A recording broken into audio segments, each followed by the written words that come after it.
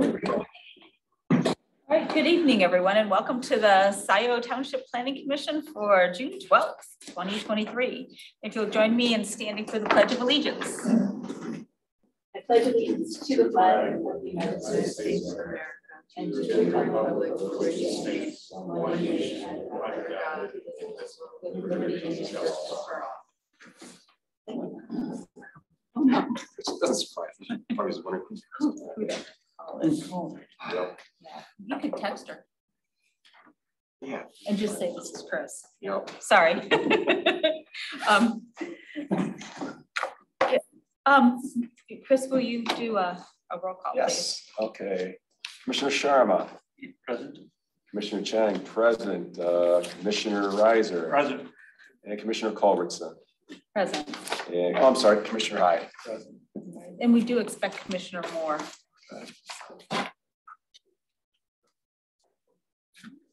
Um, we have quorum. And uh, move to adoption of the agenda. I would, are you moving or are you asking me to move it?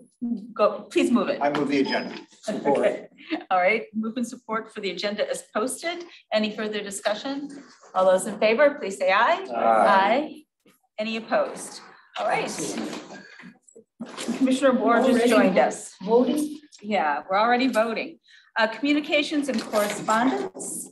Um, if there, um, are, uh, several pieces of communication, um, in the upload section. Um, I think they all relate, relate to the KFC. Um, any other communications, um, that were sent to planning commission members that didn't get forwarded? Oh, yes, and then, trustee Noel just emailed her, newsletter article for everyone, and that'll be uploaded under correspondence as well. And that was just a, a summary of the current testing or the, the last set of testing for the plume. Um, Anyone else have any other communications? Report that I emailed to folks this afternoon, I intended to. I didn't get it. Oh.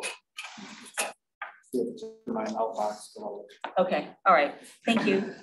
Um, Any other uh, correspondence to report? All right, then we'll move on. Um, Presentations requested by the planning commission.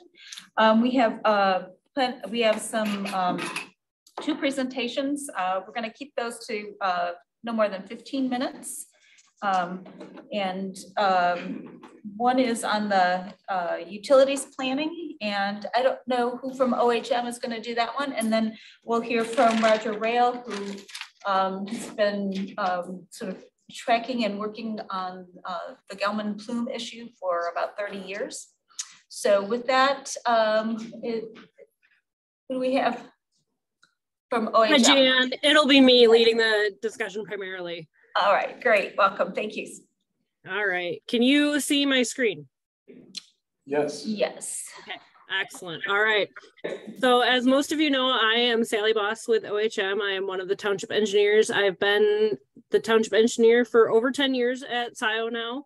Um, Matt Parks is also online. He's been with Scio for almost 20 years.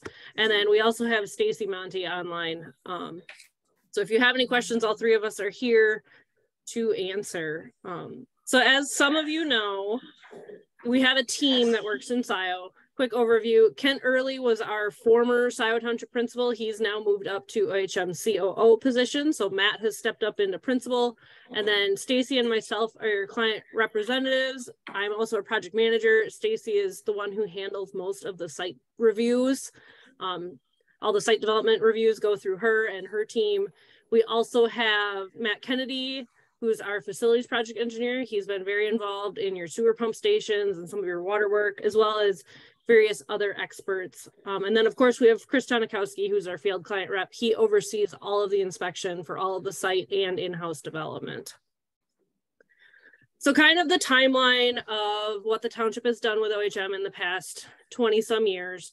Um, 1999 to 2009 was mostly studies, planning, and assessment years. We did a lot of studies at that point, and then 2010 through 2019 was the implementation years. So all the projects were identified in those studies were then implemented, and now we're kind of back to the study period again, but we're also doing impl- implementation at the same time. So we kind of do a study and then implement, study then implement, and so on and so forth. So touching on the water contract, because I know water and sewer has been a very large topic of discussion in the township race least recently. The current water contract was signed June 9th of 1994. It has an initial 20-year term. It auto renews for 15 years after that. The terms of the agreement state that it has to have a five-year notice required prior to the termination of contract, and that can be from either Scio or the city of Ann Arbor. Um, it, the contract limits the water service to the instantaneous draw rate, which is equivalent to 4.4 million gallons per day. Um, that would be the most you could ever pull from Ann Arbor. However, additional storage, so more water towers could be added to help mitigate those peak demands. So you shouldn't ever hit this because there's always the ability to add more water. So honestly, water service is not a concern at this time.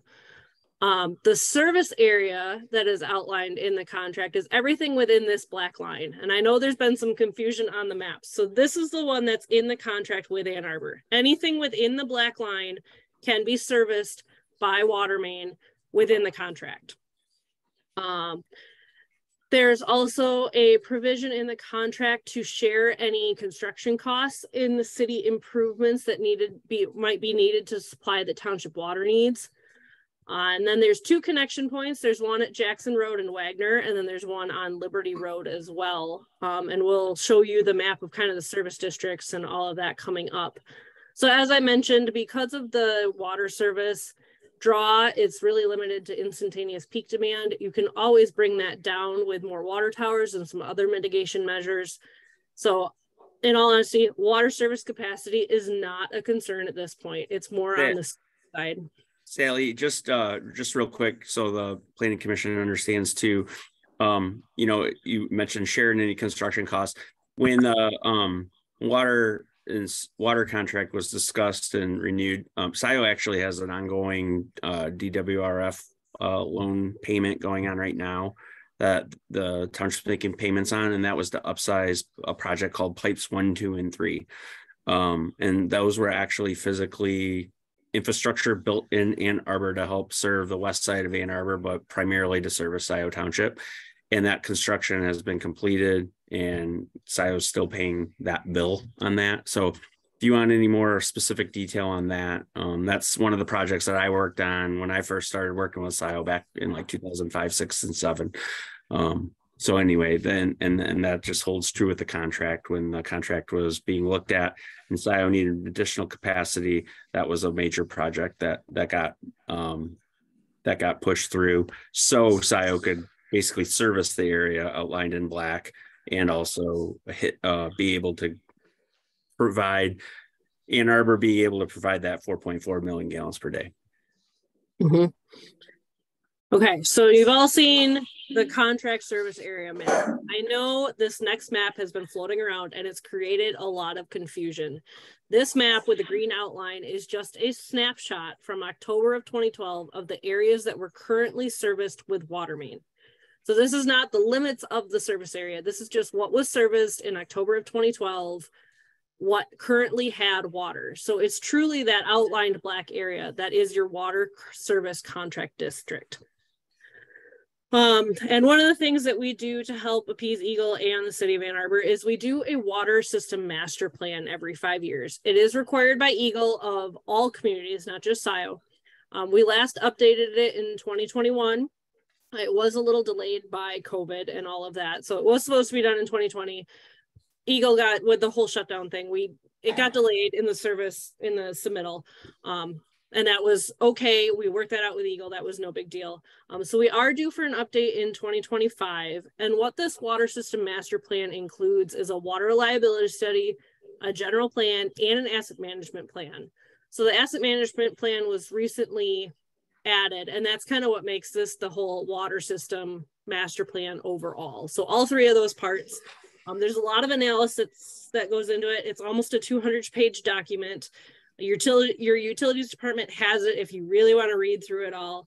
Um, but basically, all that analysis goes in to help us develop five-year and 20-year capital improvement plans, as well as identify any needs that are immediate needs to be addressed.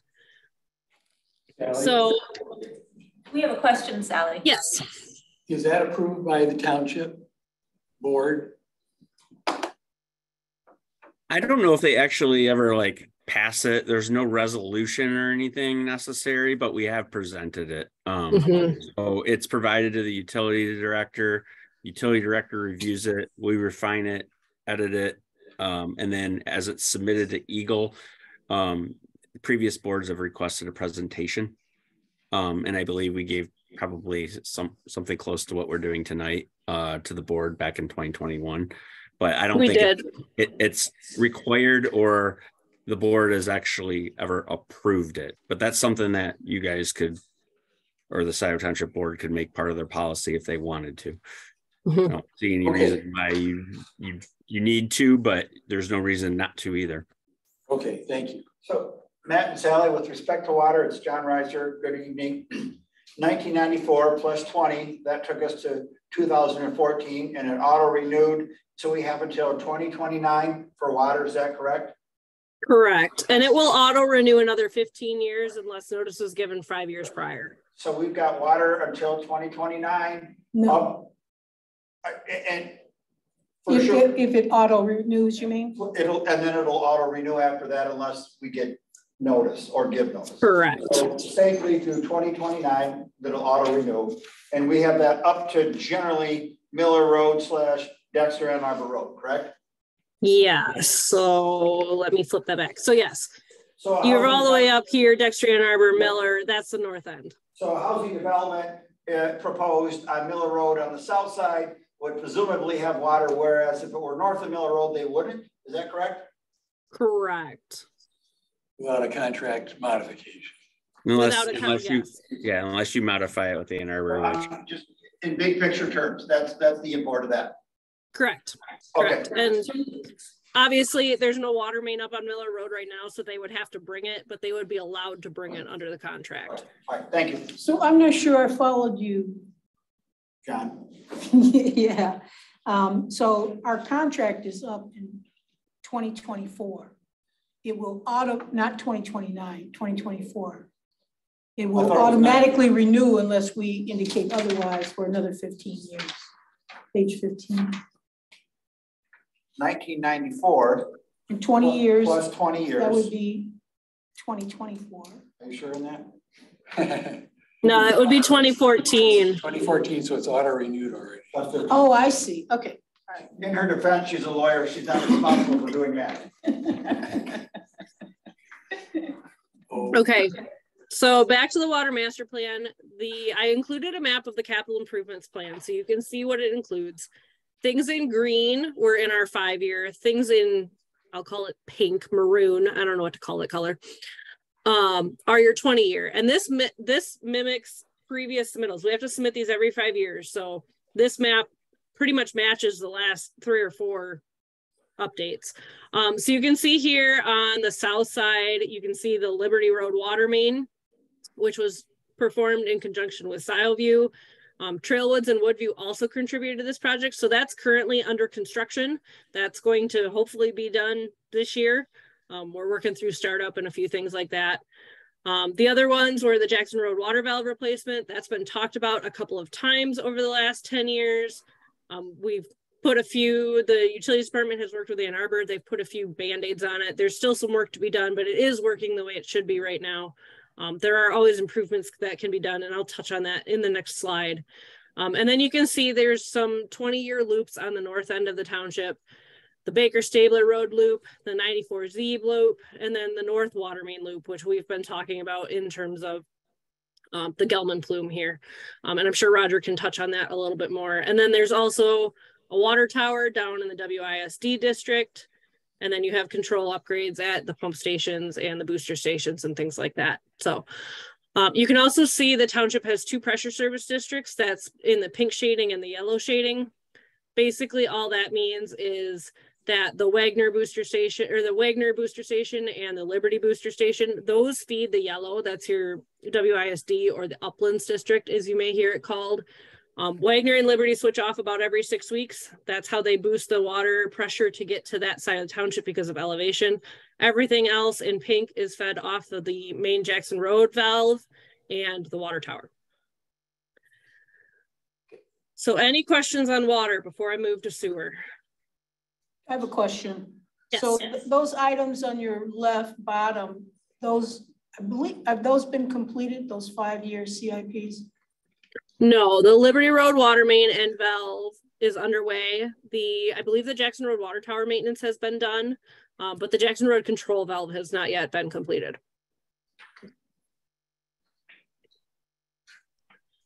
All righty. The reason the valve, the reason the valve was, uh, Ann Arbor just got done doing a, um, meter switch out. And the timing was not uh, preferred to be able to um, do that at the same time and the coordination between the city and the township didn't happen um, congruently. So it's, uh, it's probably the next vital thing that needs to be done within the next few years. agreed. Okay, moving on to sewer. It was signed April twenty fifteen. Um, it's valid through December of twenty twenty-four. So unless written notice of change is provided by the end of this year, so December thirty-first, twenty twenty-three, the agreement automatically extends ten years. And if audit, so that continues on, it would be extended to twenty thirty-four, but if there's no notice given by the end of thirty-three, then it would extend again um, to 2020, 2044. Um, and if automatic extensions continue until 2044 with no new negotiations, it enters a period where it renews for a year and another year and another year while a new contract is negotiated with the city. So there is, this won't auto renew in, in perpetuity like the water contract does. It will auto renew for another 20 years or so, and then it has to be renegotiated. Um, so service area modifications require written consent of both parties. We did this back in 2014. It took a couple of years to get the agreement through. Um, there were projects that had to be done and things like that. So this one updated accepts 2.05 million gallons per day. That's an average on a monthly basis. So it's not, they don't measure a specific day. They take an average, which in terms of REUs, because I know we talk about REUs a lot in engineering, um, that's about 6,800 REUs. You've heard us talk about remaining capacity. We're at about 1,200, 12 to 1,300 remaining REUs right now. Um, and the way we've come up with that is we do periodic sanitary sewer metering to help true up remaining capacity. Because with low flow toilets and low flow shower heads and things like that, um, we work off of Ann Arbor Table A, which assumes one household uses about 300 gallons per day. It's probably less than that, which is why we like to do these true up meterings about every five, eight years. Um, that lets us kind of reset the clock with both Ann Arbor and with EGLE on where the remaining capacity is, because it gives us a true, not a theoretical, it gives us an actual flow to work off of. Um, there's also a cost sharing in here of city sanitary sewer improvements that would serve both the township and the city. One of those cost sharing projects was the sanitary sewer lining south of the outfall that was done back in, I believe, 2014, 2015, right about when this was going in. Um, so that kind of projects, again, like we have to cost share with the city of Ann Arbor because we're using their infrastructure. I have a question. Yes. Yeah, so back on about the water contract, you say equivalent to four point four MGD. What does MGD stand for? Millions of gallons per day. And with regard to the sewer contract, we refer to two point oh five MGD. Correct. That's, that, that's the same? Yes.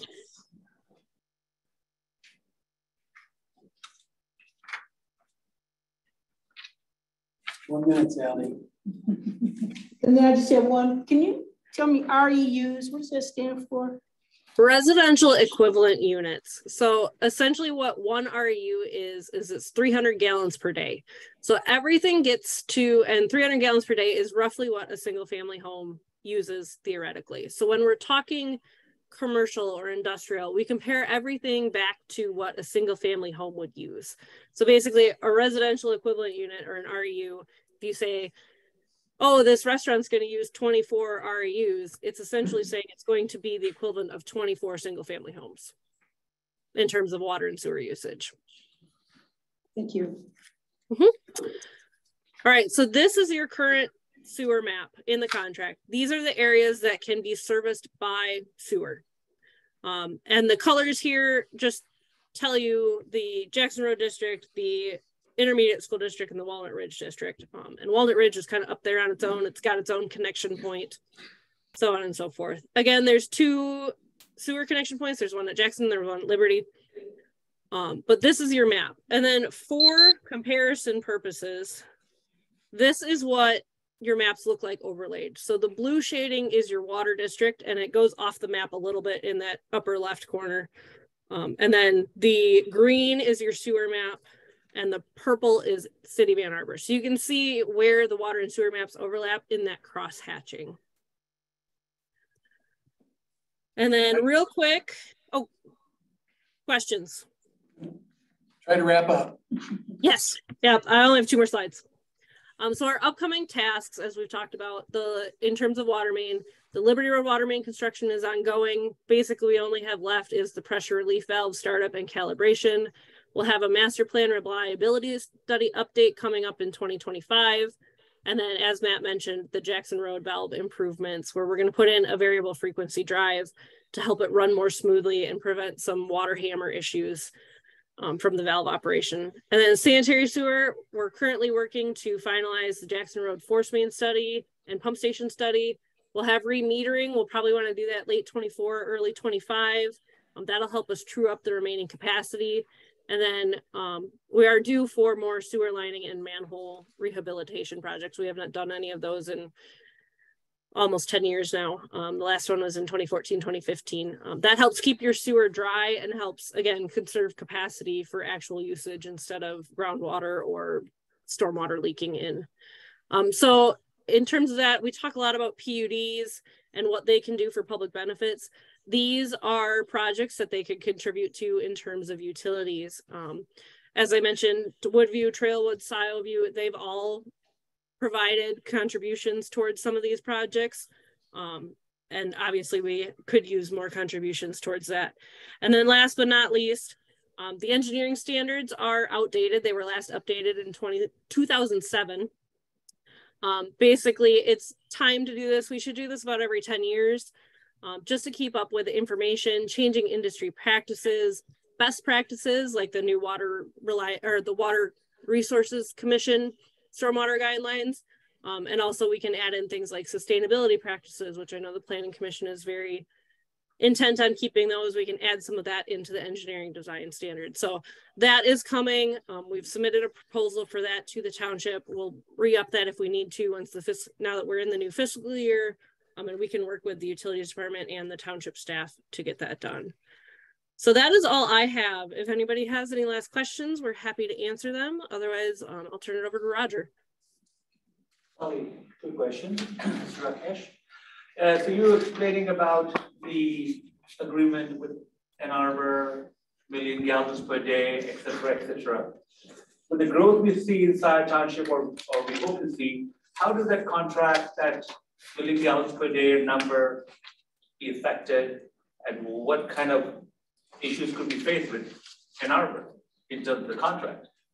I mean, are we running kind of, could, could there be a situation where we are um, uh, above the threshold or something like that? Is that a risk? Could There is. Could, I mean, could there be a risk? Not in this. There could be a risk. Um, that's why we track it. That's why we do the remetering every five to 10 years, five to eight years, um, to make sure we're staying within that because there can be fines and retribution type things from exceeding those contracts. So if we were getting close, then we would need to renegotiate and move forward with that whole process, which is multi years and usually rather expensive. Um, but that's one of the reasons we track it. And this is why we talk about REUs so much. This has been one of the township's tools to control development and kind of target it towards Jackson Road in the past. Um, but outside the sewer district, then you're looking at individual septics, you're looking at these packaged treatment plants, uh, that type of thing. So there is a risk eventually of running out, running out of capacity without renegotiating. Um, but it also depends on what the city has available. And RU, REU could be a single family home or a condo or an apartment, it doesn't matter, right? It does not matter. It doesn't matter. Um, if they are smaller apartments, if they're under, I believe it's 800 square feet, it's a partial REU. So there is, um, and I can send you Ann Arbor Table A that gives you the breakdown of what everything relates to.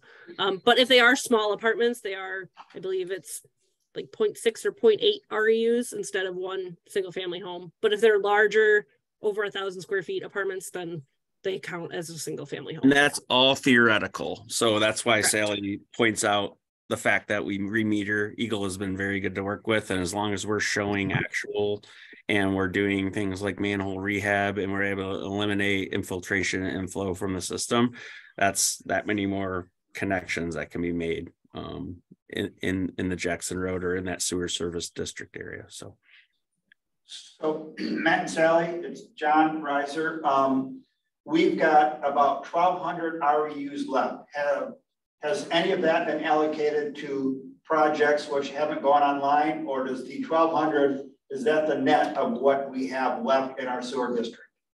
The twelve hundred is net of what you have left. We did factor in the rest of Trailwoods and Woodview, so those are already out of Okay, the spoken for. twelve hundred. So the twelve hundred is truly Okay. representative of what's left, not including anything that's already been approved and is under construction. And we have until the end of this year, December thirty-first, twenty twenty-three, to get a new contract or to extend it for ten years. The question I have is, is twelve hundred likely to go to last over ten years based on the development um, you know, line that we've been on? Or do we need to start thinking about how we're gonna need more than twelve hundred or more than two point oh five million? Can we take that to a two point one, a two point two five, or can we get that number up? Or there are, are there things that can be done structurally? I know holding tanks or something, um, or, or does that not work like it can with water towers? Or the That we workarounds? we looked at that a little bit, um, John, and we we did a Jackson Road study with the force main as well as looked at the pump station at Zeeb Road there and uh, looked at the wet well. So your yeah, your con- contract capacity is at about twelve hundred. You actually have a physical capacity that's a little bit below that even. So you're going to start running into problems. I would guess in the next 10 years, you'll, you'll be out of capacity, probably in the next three to four years, or I would say as soon as you've complete that next metering, that would be the time to kind of look at it, as well as your master plan. And I mean, you're, when I say that, you're planning master plan and do a, a sewer master plan that coincides with that. Um, Carla Wortman and OHM did a, um, a study a while back, um, when we worked, um, with Scio when you're negotiating with Ann Arbor to come up with the requested amount that's in the um, actual uh, contract now. And that was based on a theoretical build out of Jackson Road. Um, what it didn't account for was expansion of that sewer district. Um, so we kind of looked at if we were to build out Jackson Road and we had some kind of 60% build out with two story buildings, more office, um, et cetera, um, we would be good for the next 10 to 15 years. Um, but what we're seeing is higher density, mixed uses, more restaurants, um, Baker Road now becoming kind of a commercial hub where we thought maybe more R&D, which wouldn't use as much. So we are seeing a little bit of a different um, dynamic happening. And so all that should be looked at probably in the next three to five years um, seriously, because it will, like Sally said, take a good two years to sit down with Ann Arbor and renegotiate a contract and get EGLE involved. But if, if we re-up by December thirty-first of this year for ten years, then what right do we have under the contract to come back and say, hey, I know we, we agreed in December of two thousand twenty-three, but we really need more because we've got density on the west side of, uh, western edge of Jackson Road. What if we need more, but we've already re-upped for ten years? Are we, You can Alright. still go back and negotiate. You just have to provide, so you can renegotiate anytime. You just have to notice before like the next renewal period. So even though it says December first, twenty, or December thirty-first, twenty twenty-three, you could re-up for the next ten years, but then notice them five years from now and say, hey, we want to renegotiate before it re-ups the next time. And the, and the one thing that we have to be extra careful of is you'll see on our review letters that Stacy and Sally put out, you'll put re- on the front page, there's a lot of times they'll say requested RUs and then I'll say allocated RUs. A lot of people, uh, properties paid into a special assessment and pre-purchased RUs. And so they have some rights to that. Um, some properties don't have any and some properties don't have as not as much as they need. You do want to be careful because at some point you could be in a situation where you do have to do a moratorium on you know any more development until you get something renegotiated. But you want to make sure that you have at least enough capacity for some of those properties that pre-purchased. Um, so that can and we spent a lot of time with previous boards and you know previous city managers going all the way back to like daryl fetcho and um, others um, going way back on kind of analyzing this and working with EGLE. And that was the root of the renegotiation with Ann Arbor to kind of get us, you know, through through today and probably the next 10 years, but going into 2030 and beyond, that's that's really where we need to think about how Scio is going to develop. So I presume the allocated REUs are those that are purchased, pre-purchased. Correct. And those were all done in like 1985. I think there was an SAD role for the expansion of the sewer system. And the property numbers were updated in two thousand six, I want to say, Matt. I think that's the conversion date on it. But yeah, it was originally purchased, like you said, in nineteen eighty-five. So we're still working off of those purchased in data. And those are purchased through their property taxes? I mean, that's, I think I heard you say that. It was a special assessment, so people would opt in or or not opt in. And uh, to be honest, I don't, we don't see much of that behind the scenes stuff. But there is an SAD role. It's all on a spreadsheet. Um, it would probably be good to get that onto a modern day GIS at some point. Um, but In a master plan. So, REU, residential, what is the conversion to a business unit? Like a shop, a dealership? How does that work? Just use it. It varies depending on the use. So like a restaurant, I believe a fast food restaurant is like forty gallons per day per seat. A office is 0.06 RUs per square foot of gross area. Um, there's a whole, I mean, there's a list of translation, okay. thirty Yes. different categories. I can send it out to Jan and she can distribute it.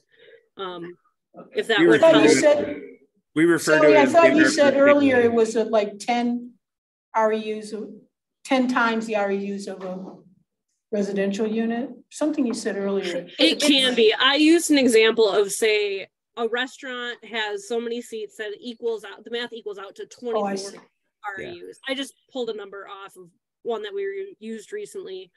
Um, I can. She can send us the table that, that Yep. is, Yeah. so there's a Yeah, table. we call it- We call it Ann Arbor Table A, and the reason why we call it that is that's what they call it. And the reason why we use that is it, it puts us on an apples to apples with them. So when we're talking about theoretical capacity, we're not using a totally different um, theoretical calculation system than Ann Arbor uses. We we want to be consistent with them. So here, yeah, I pulled it up real quick. So here's, that's small, I realize, but so here's the single family residence. Two family duplex would be two. And then you can see like there's a wide variety of here and math calculations that goes into it. Um, and Jan, I can email this to you. That's not a problem. Okay, great. Thank you. Yeah. And th- that'll be really helpful for our discussion at our next meeting about planning for Jackson Road. So Stacy, Matt, and. So much for wrapping it up. see, well, I have a question. We're getting demand for development north of uh, ninety-four. We're getting demand for development north of the sewer district. Um, and we need to plan for that as a planning commission, as a township. what recommendations do you have? Do we say no to these people? Do we say put in private sewers? Or do we punch in a sewer? Do- You know, what's the, where, where are we gonna be in 10, 15, 20 years with respect to our sewer and where we're able to have development? Because where we have development, unless it's septic or unless it's private sewer system, then we're kind of, we're kind of bound to this blue, this blue map. Is that generally the case? I mean, that's really a land development policy question, John. I mean, we, we, we're the engineers. We can tell you what you do if you so wish to serve them with public sewer and what size it needs to be and what kind of in- infrastructure. You can But I tell me mean, how, it- mu- how much pipe and how thick it's gotta be. But it's up to us to figure out where to put it and how to finance it and who Yeah, and it. it, and there's risks, right? I mean, the private package plant, some communities are completely comfortable and are okay with that. Some communities are not. And honestly, Scio has dealt with this just recently with Heritage Encore. So it just depends on what you want your township to be and feel and look like. And, and that's a land use policy that really engineers shouldn't be the ones dictating that. That's a, that's a, that's a master plan question. Thanks. Okay. All right, thank you very much. And we'll move on to Roger. Uh, actually, before I do my presentation, I had a couple questions for the engineers. Um, how many, uh, REUs would be necessary to handle all the light blue area? A lot. Yeah. Um, we haven't done that calculation, but I mean, it's mostly large acreage, single family residential, but you know, to handle what's there today versus what could theoretically be built there are two different numbers, but I mean, easily you could double that sixty-eight hundred REUs um, just to handle the area outside.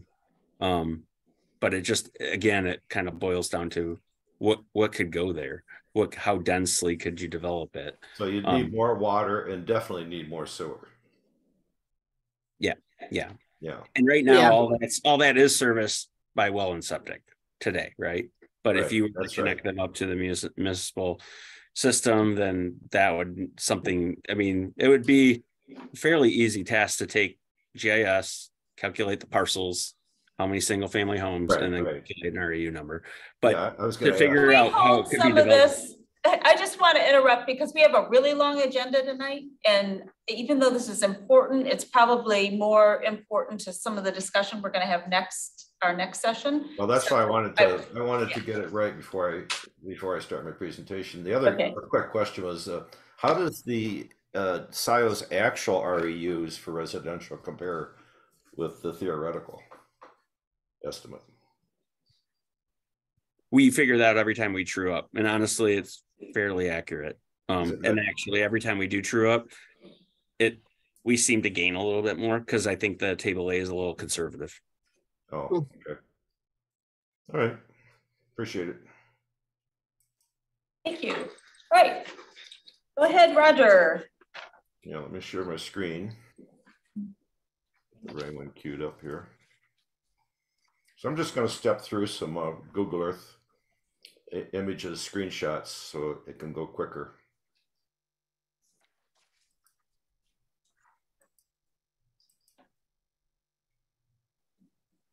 Okay, so you should be seeing a shot of the plume with the key. We are. Yeah.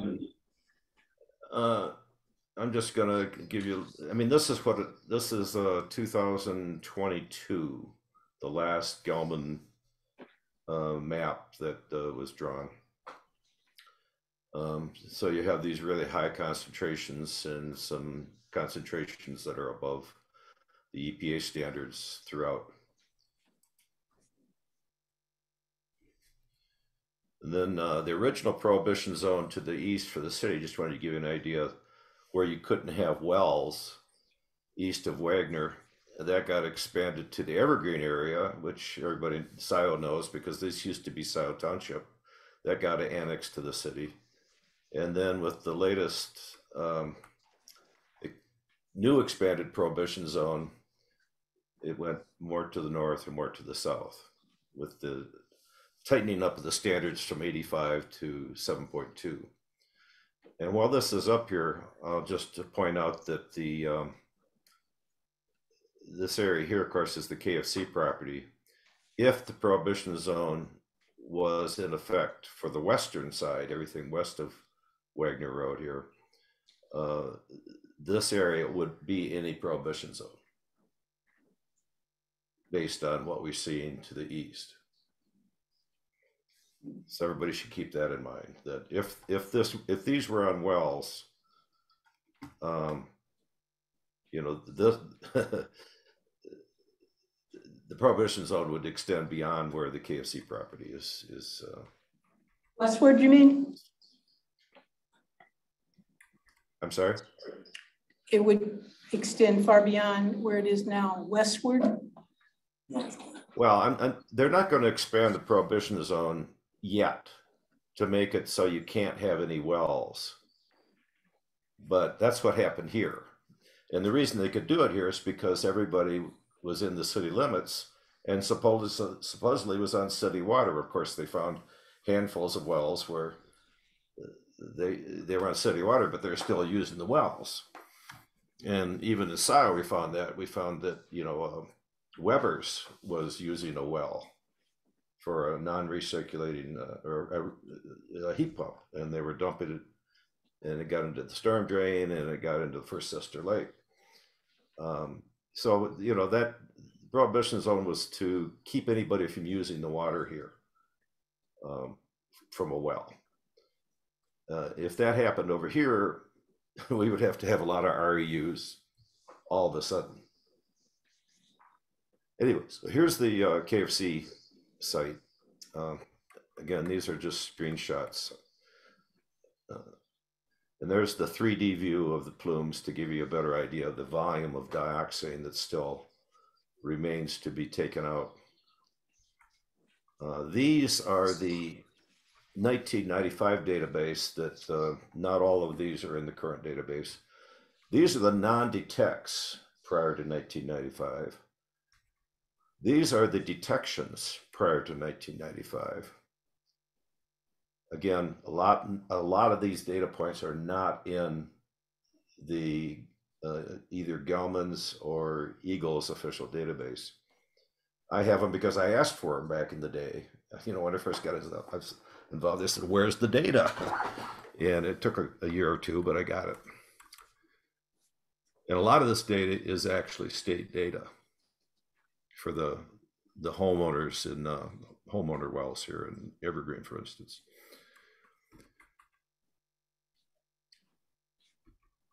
These are all the positive hits of existing monitoring wells over the years. And what I want to point out here is there's some of these 1995 data points where my cursor is, for instance, uh, where there's gaps in the data and gaps in the data that concern us because it's close, closer to the Knights of Columbus property. Excuse me, I hate to be out of order, but is this a presentation on the Gelman Plume or the Knights of Columbus project? Well, it's the Gelman Plume because that is. I would like a copy of the presentation, please. Well, I, I, I'm making a video of it, so you can It will be available, it's being recorded, so you'll be able to have Yeah, it. and I also have, um, I also have all the slides queued up, so, you, you know, send me a request. We have requested from the township. Okay.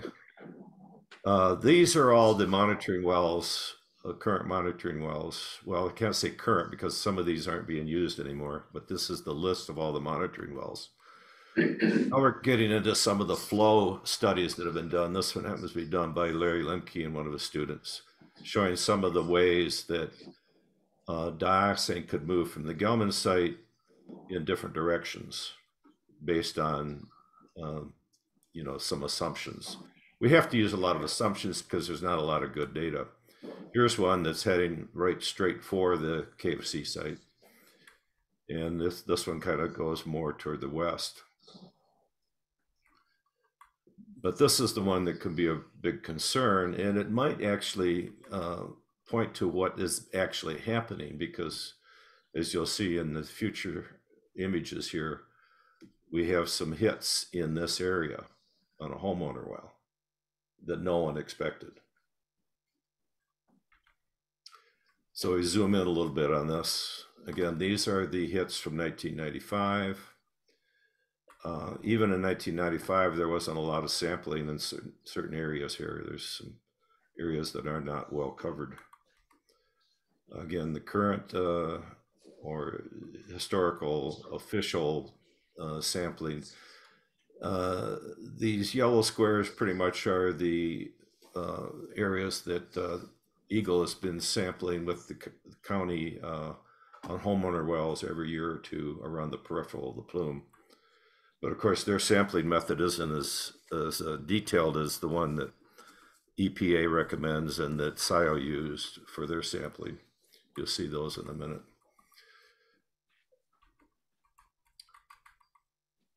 So here's the sampling uh, results that Scio did.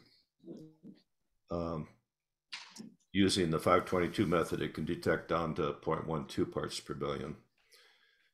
Uh, most of these are in deeper uh, aquifer heading straight north from the site. Um, anybody who's been studying this should be very surprised by this because the state was doing sampling of homeowner wells in here and did not detect this. This was all new stuff within the last three years. And this one over here. Oh, this is Jan. Could you just briefly go through the, um, the state, um, limit and the EPA limit, just so people understand when you're saying I so have a- much to I have a detect, slide. yeah, I have a slide great. coming up for that. perfect, thank you. Yeah. Um, this is the, uh, property right next door to the K of C site. That had, uh, two hits that were above, uh, I think they were like 0.8, 0.9 uh, parts per billion. So this one would be detected by the state's new analysis method. Uh, their old analysis method, they tweaked it so it supposedly can get down to 0.5 parts per billion. But it's not as it's, it's not as uh, accurate as the 522 method that can detect down to 0.12. Uh, so the state's going to go out and do sampling of the sites that Scio had. Uh, and, and this is only 25 with the hits, so there's another 100 of them that are around the area. Um, but of the hits, using the state's new uh, tweaked uh, old method, they're going to miss 40% of the hits. So we're not going to have any better information about where the low levels of dioxane are in Scio Township. Uh, when the EPA comes in, they said they're going to use 522 method, and they will find, you know, where the dioxin really is, and that's what we've been missing all these years. So again, superimposed under this is, you know, some of the analysis of flows, potential flows. Here's another uh, uh, overlaid uh, image with some of the supposed flows of how dioxin got to different places. And of course, Barton Pond's up here. And so even if you have water, uh, you know, having city water is not going to necessarily solve the problem if we don't stop this dioxin. And, you know, taking all the dioxin out solves a lot of problems.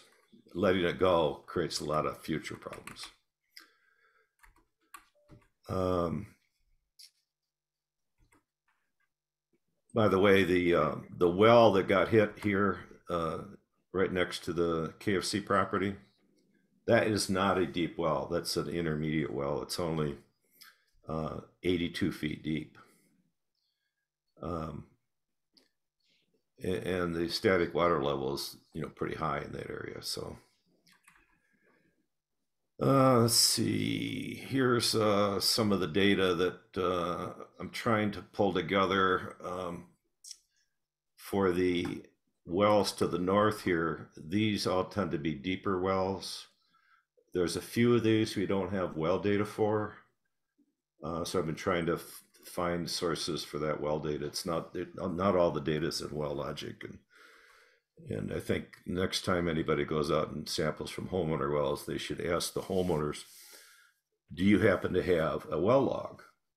You know, especially if we don't have it in the Wellogic system, ask, do you have a well log? Because that's what happened to my property. I'm up here at corner of Wagner and um, my well log is not in the Wellogic system.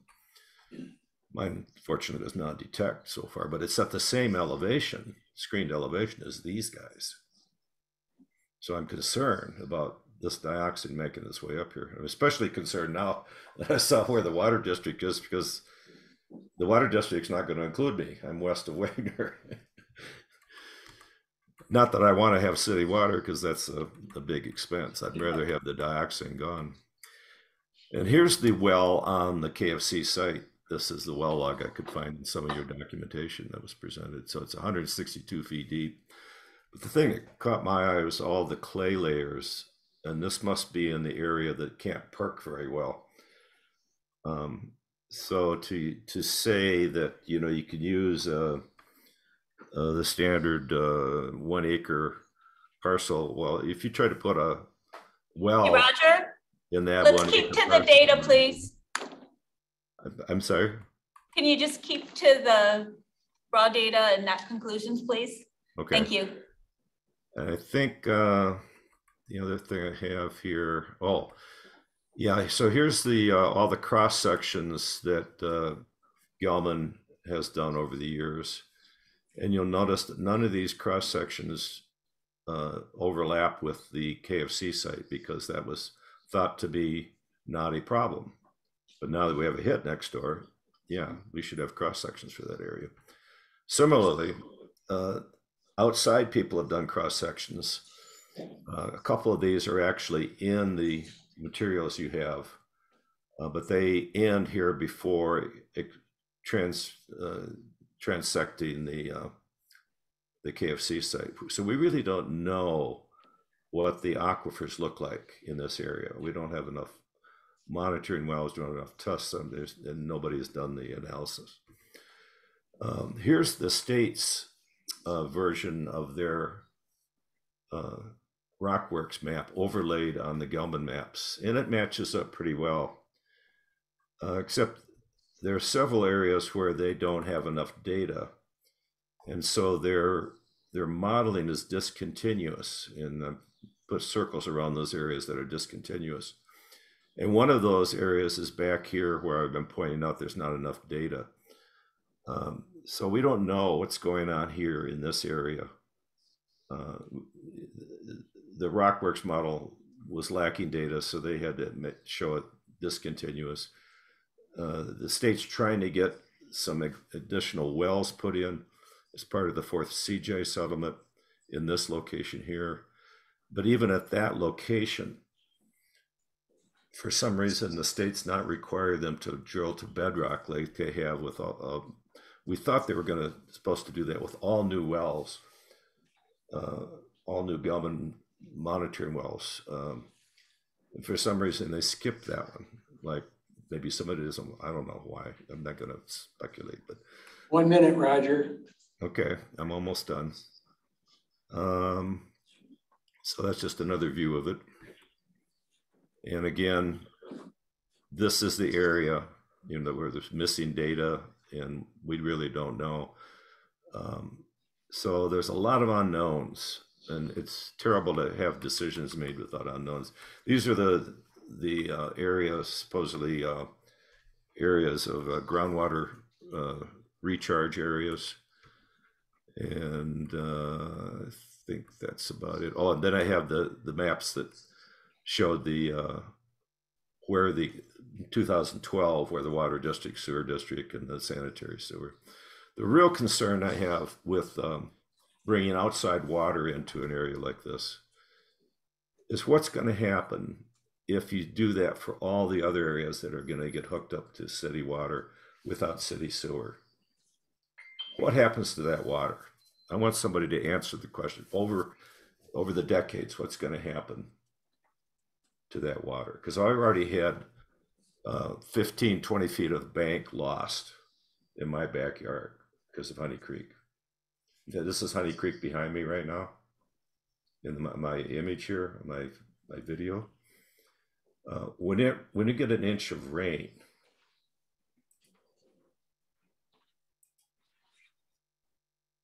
inch and a half of rain, this is what happens to the creek behind my house. Same spot. So it goes from six or eight inches to four feet deep, moving about 15 miles. We, we can't see that. Well, that's just because. That's the after, Behind them. he before, before. Oh, that's right, because I'm not on regular Zoom. Let me, uh, Because you I have did- a- I didn't close my window. There we go. Sorry. Okay, Roger, do you want to wrap up, please? Thank you. So this is the water that we're gonna have to deal with in the future. Okay, Thank you, Roger. thank you. We appreciate all the work that you're doing on this. With that, questions? questions for Roger? All right, then we'll move on um, and open up um, public comment. Uh, people wishing to address the Planning Commission on matters which are not on the public hearing, which is the uh, Best Friends Pet Care, um, uh, or seek uh, information on any other matters. Um, oral presentation shall be limited to three minutes, except a representative or a spokesperson of an organization shall have five minutes. And with that, I'm opening public comment up at 757. Is there anyone present who would like to make public comment? All right. Anyone online? Let's start with Mr. Let's start with Margaret Engel. Uh, Ms. Engel, you have the floor. Good evening. Uh, I'm asking, um, I'm asking you to recommend denial of the Knights of Columbus PUD for the following reasons. The proposed type and density of the PUD will result in an unreasonable burden on the roads and public health and safety because of the positioning between two hilly curves on one of the township's main roads. Also, the proposed type and density will result in an unreasonable burden on the township's public utilities. The determination of where and when water is piped to a certain area should not be dictated by a single development. Piping water here to benefit one private company will have major implications for all Scio residents and taxpayers. Who will bear the cost of upkeep and repair for a water line under I-94 in the future? Approval could also set a very bad precedent for development elsewhere in the township and hamstring the township's ability to control where future developments take place. And looking at that presentation tonight, anything south of that Miller line that's in the water service area is much more vulnerable to uncontrolled development than because you're setting a bad precedent here. And, and given the concerns about public health, safety, and welfare of the township, it would be unconscionable to approve without a thorough hydrogeologic study. Professor Lemke's letter of June 9 states that the results of a study could allay fears, or the results could cause the concerns to be amplified. The study was a requirement of the Planning Commission, and Norfolk has had a year and a half to fulfill that requirement. They did not.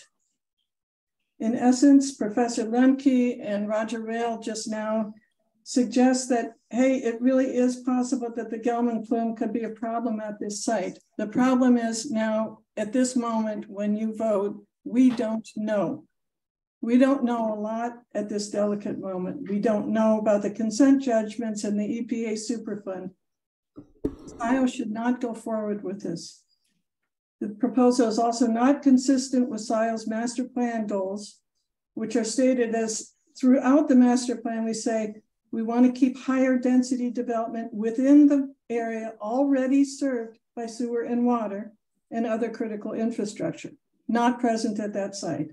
The master plan repeatedly states the goal of retaining Scio's rural character. This will not do that. The master plan's PUD environmental objectives would be undercut by the fact that we'll be building in a designated bioreserve. And with no public transportation, the development would add to, not diminish vehicular trips. The master plan's land use goal number one is that land use should be consistent with the community's desires. Clearly, this development is not. Dozens of people have written and spoken out against this proposal. Has anyone spoken out in favor of it?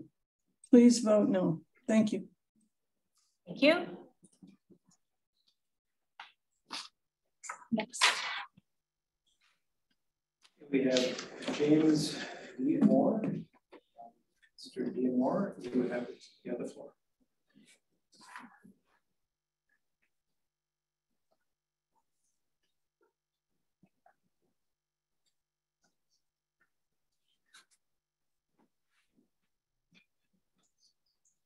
Unmuted. Jim? It's James.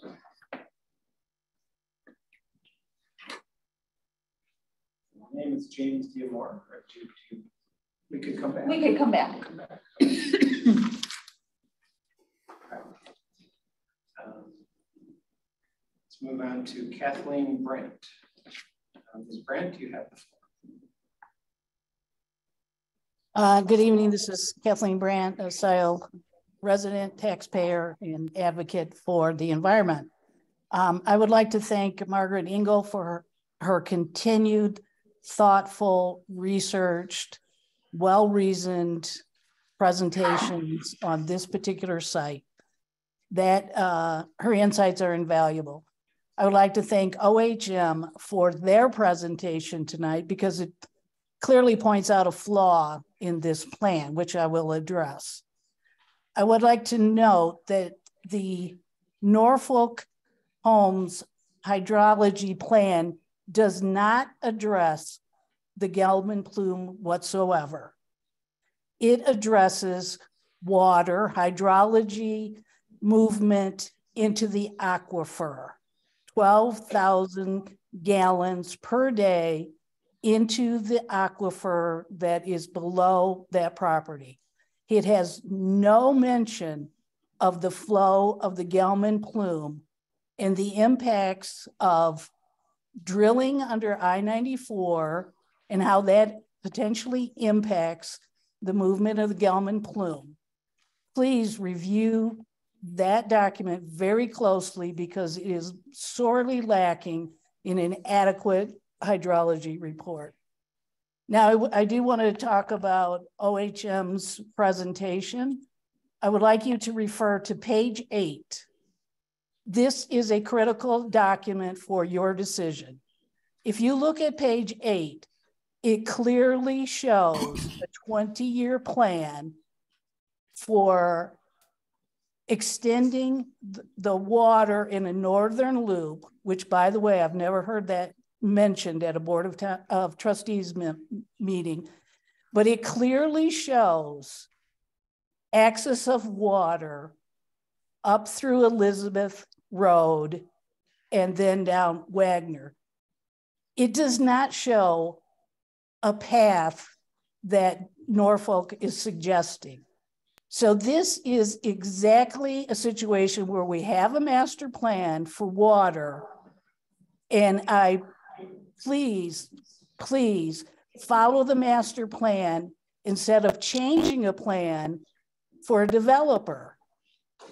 You can't, you cannot reconcile this to the master plan. We did not plan to put water under I-94 to solely uh, service the K of C property. So therefore you should deny. Um, I advocate for denying um, all the environmental reasons. Um, any property north of the K of C property, uh, they are influenced by the discharge of the waste treatment system of 12,000 gallons a day.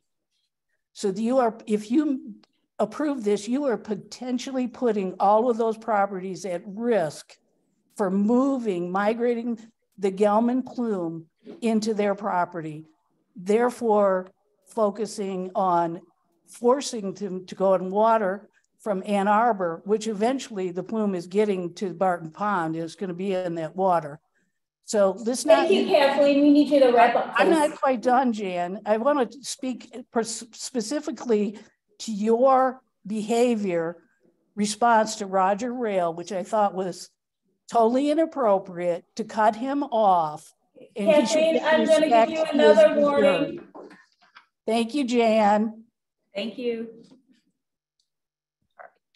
Next.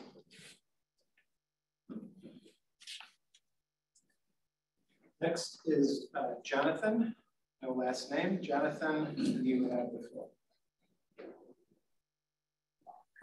Hey, so I'm going to say something that I haven't heard anyone say yet tonight.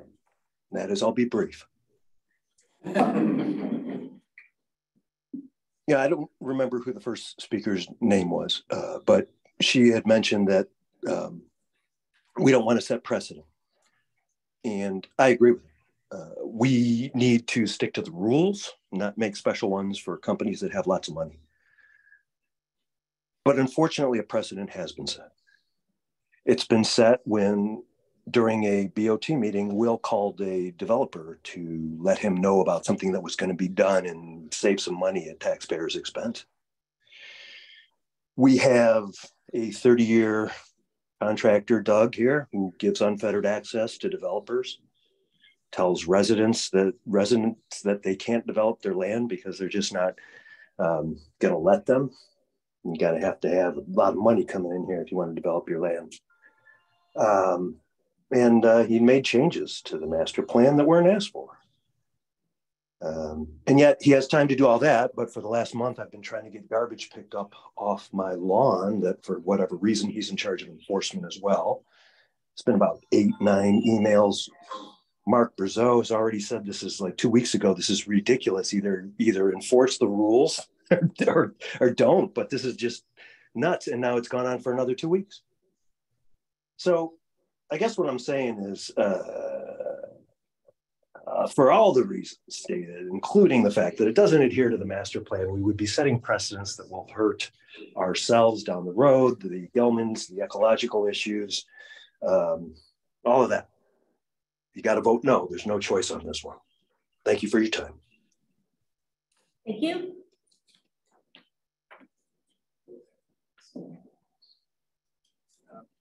Next up is Pam Boyd. Ms. Boyd, you have the floor. Thank you, Pam Boyd, a Scio resident. The answer to vote no on this is actually very simple. As representatives, you planning commissioners um, have Scio residents' um, health and well-being in the palm of your hands. If this property, if this, if this goes through um, as the developer wishes, and then uh, the Gelman plume spreads to neighboring wells, it'll be on you all. It'll be your fault. It'll be your fault. Please vote no. Thank you. Thank you. Next up is Rita Clinthorne. Um, Ms. Clinthorne, you have the floor.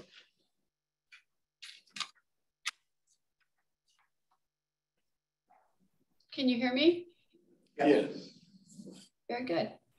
Okay, um, you know, I just, I don't want to have a lot to say, but I, I, I think that we should not move forward with this. I, I feel like um, there are just so many flags on the field for one thing. Uh, if, if I could just echo everything Margaret um, uh, said earlier, and also, uh, you know, I, I, I think that we really need to pay attention to what Roger Rayle is saying.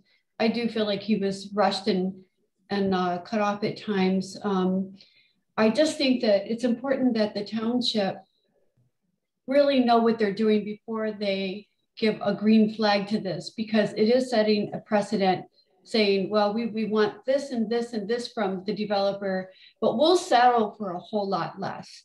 And I think that that is a dangerous path to go down. Um, I don't think, especially if this site is, is just has so many flags on the field that this is something you really have to pay attention to in 10 years, in 15 years, if you let this go forward. Um, how do you how do you wind this back into the box? How do you say, oh darn, we shouldn't have gone, we shouldn't have done that?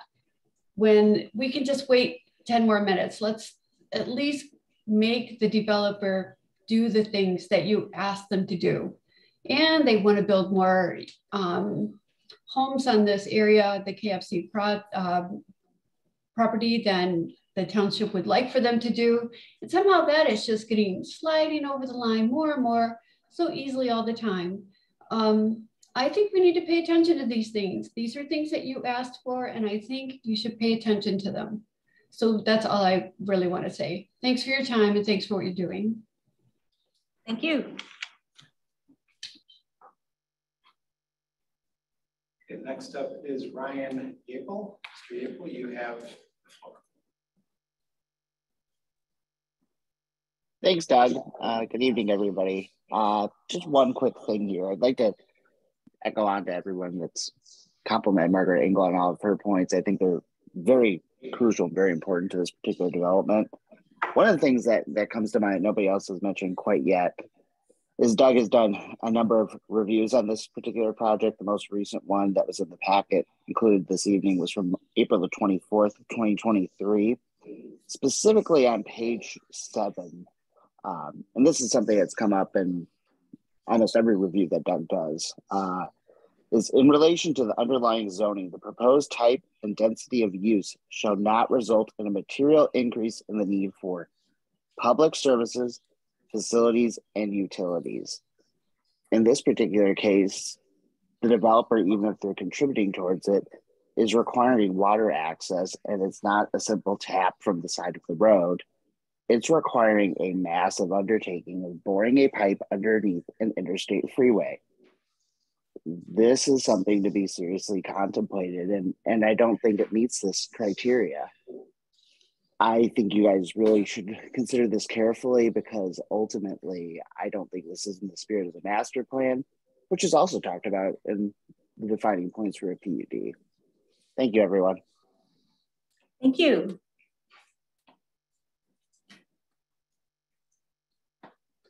Okay, next up is Rob Pattinson. Mr. Pattinson, you have the floor. Oh, hold on, I got that you. There you go. Sorry. Now you have the floor. Rob Pattinson, Scio resident. For the past year and a half, you have heard many reasons why this is uh, an inappropriate project for this site. I won't repeat any of those. You've heard some very good points earlier tonight. 60 years ago, Gelman started poisoning our groundwater. 40 years ago, he got caught. And for a developer to come into Scio Township and refuse for a year and a half to do a hydrogeological study to find how their project will impact the Gelman plume shows a colossal lack of insight and thoughtfulness. That alone should raise major red flags with this particular developer. And then tonight during Roger Rayle's presentation, there's an outburst from the developer asking for this data. And for them to come into this meeting just tonight and not be aware of the dioxane data and CARD and people like Roger Rayle and the data he has after a year and a half, again, should be a major red flag for this committee. Please vote no on this project. This project is fraught with problems and it's your duty to protect Scio Township from these types of de developers. Thank you. Thank you.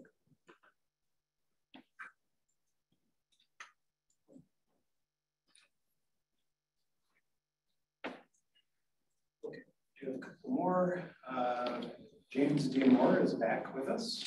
So James, you have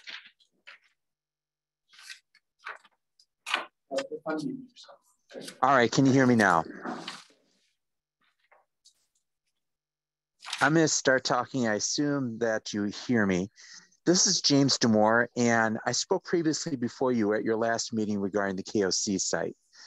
Um, I'm gonna remind everybody once again that I speak to you as a fellow uh, uh, former planning commissioner with the city of Ann Arbor. I'm also a member of CARD um, with Citizens Action Mediation Dioxane, which is formed largely in response to uh, inadequate response to the Gelman plume. Though I'm a member, my remarks are solely my own. I want to thank the commission for last month's meeting. I share much of your feedback related to the project. All of you raised some very good and valid points and concerns. I wish uh, the city of Ann Arbor could demonstrate as much due diligence and thoughtfulness as you've done with respect to planning issues as you direct growth challenges. Thank you for your service. Given that, um, I don't have too much in the way of an additional public commentary, although I think I echo what the previous speaker just said. Um, as I understand last month's meeting, there was an issue regarding distribution of documents. Tom Covert remarked about the unusual nature of this issue, something he hadn't observed in his 27 years of service in the industry. Um, as I mentioned, I was a member of the Planning Commission with Ann Arbor. I'm familiar with Mr. Heisler and his several decades of experience as a builder. Norfolk Builders has been acquiring developing land in much of Western Washtenaw County for some number of years now. Given the vast experience of the institution, individual experience of the petitioners, now this leaped out at me. Given their long time standing in the community, surely, surely they will understand the importance of listening to the township request for a hydrogeological study, given the very nature of the Gelman plume.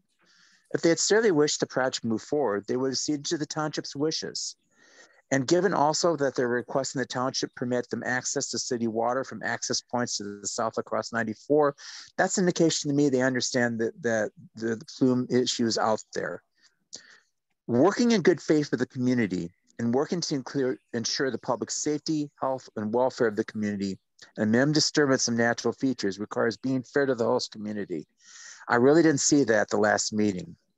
And uh, given that the hydrological study was a standing request for some time, this raises questions for me. It should for you as well. Given the outstanding concerns you noted regarding water connection and disturbance natural features and impacts to the aquifer of a private sewer system, your choice is clear. I recommend denial of the project in consequence of these concerns. Thank you for your time. Thank you.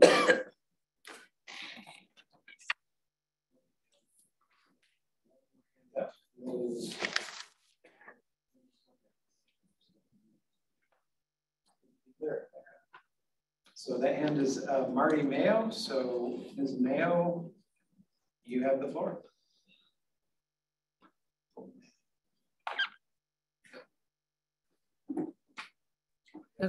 Can you hear me? Yes. Okay. Uh, Marty Mayo, I'm a Scio resident. Uh, I have just a question. Uh, I noticed that I read the uh, reread the parallel plan by which um, it, you determined that the the possibility of building 47 units. I don't know whether that parallel plan was um, how they handled the sewer and the water. The parallel plan really just dealt with the issue of can you squeeze in the houses in the in the property.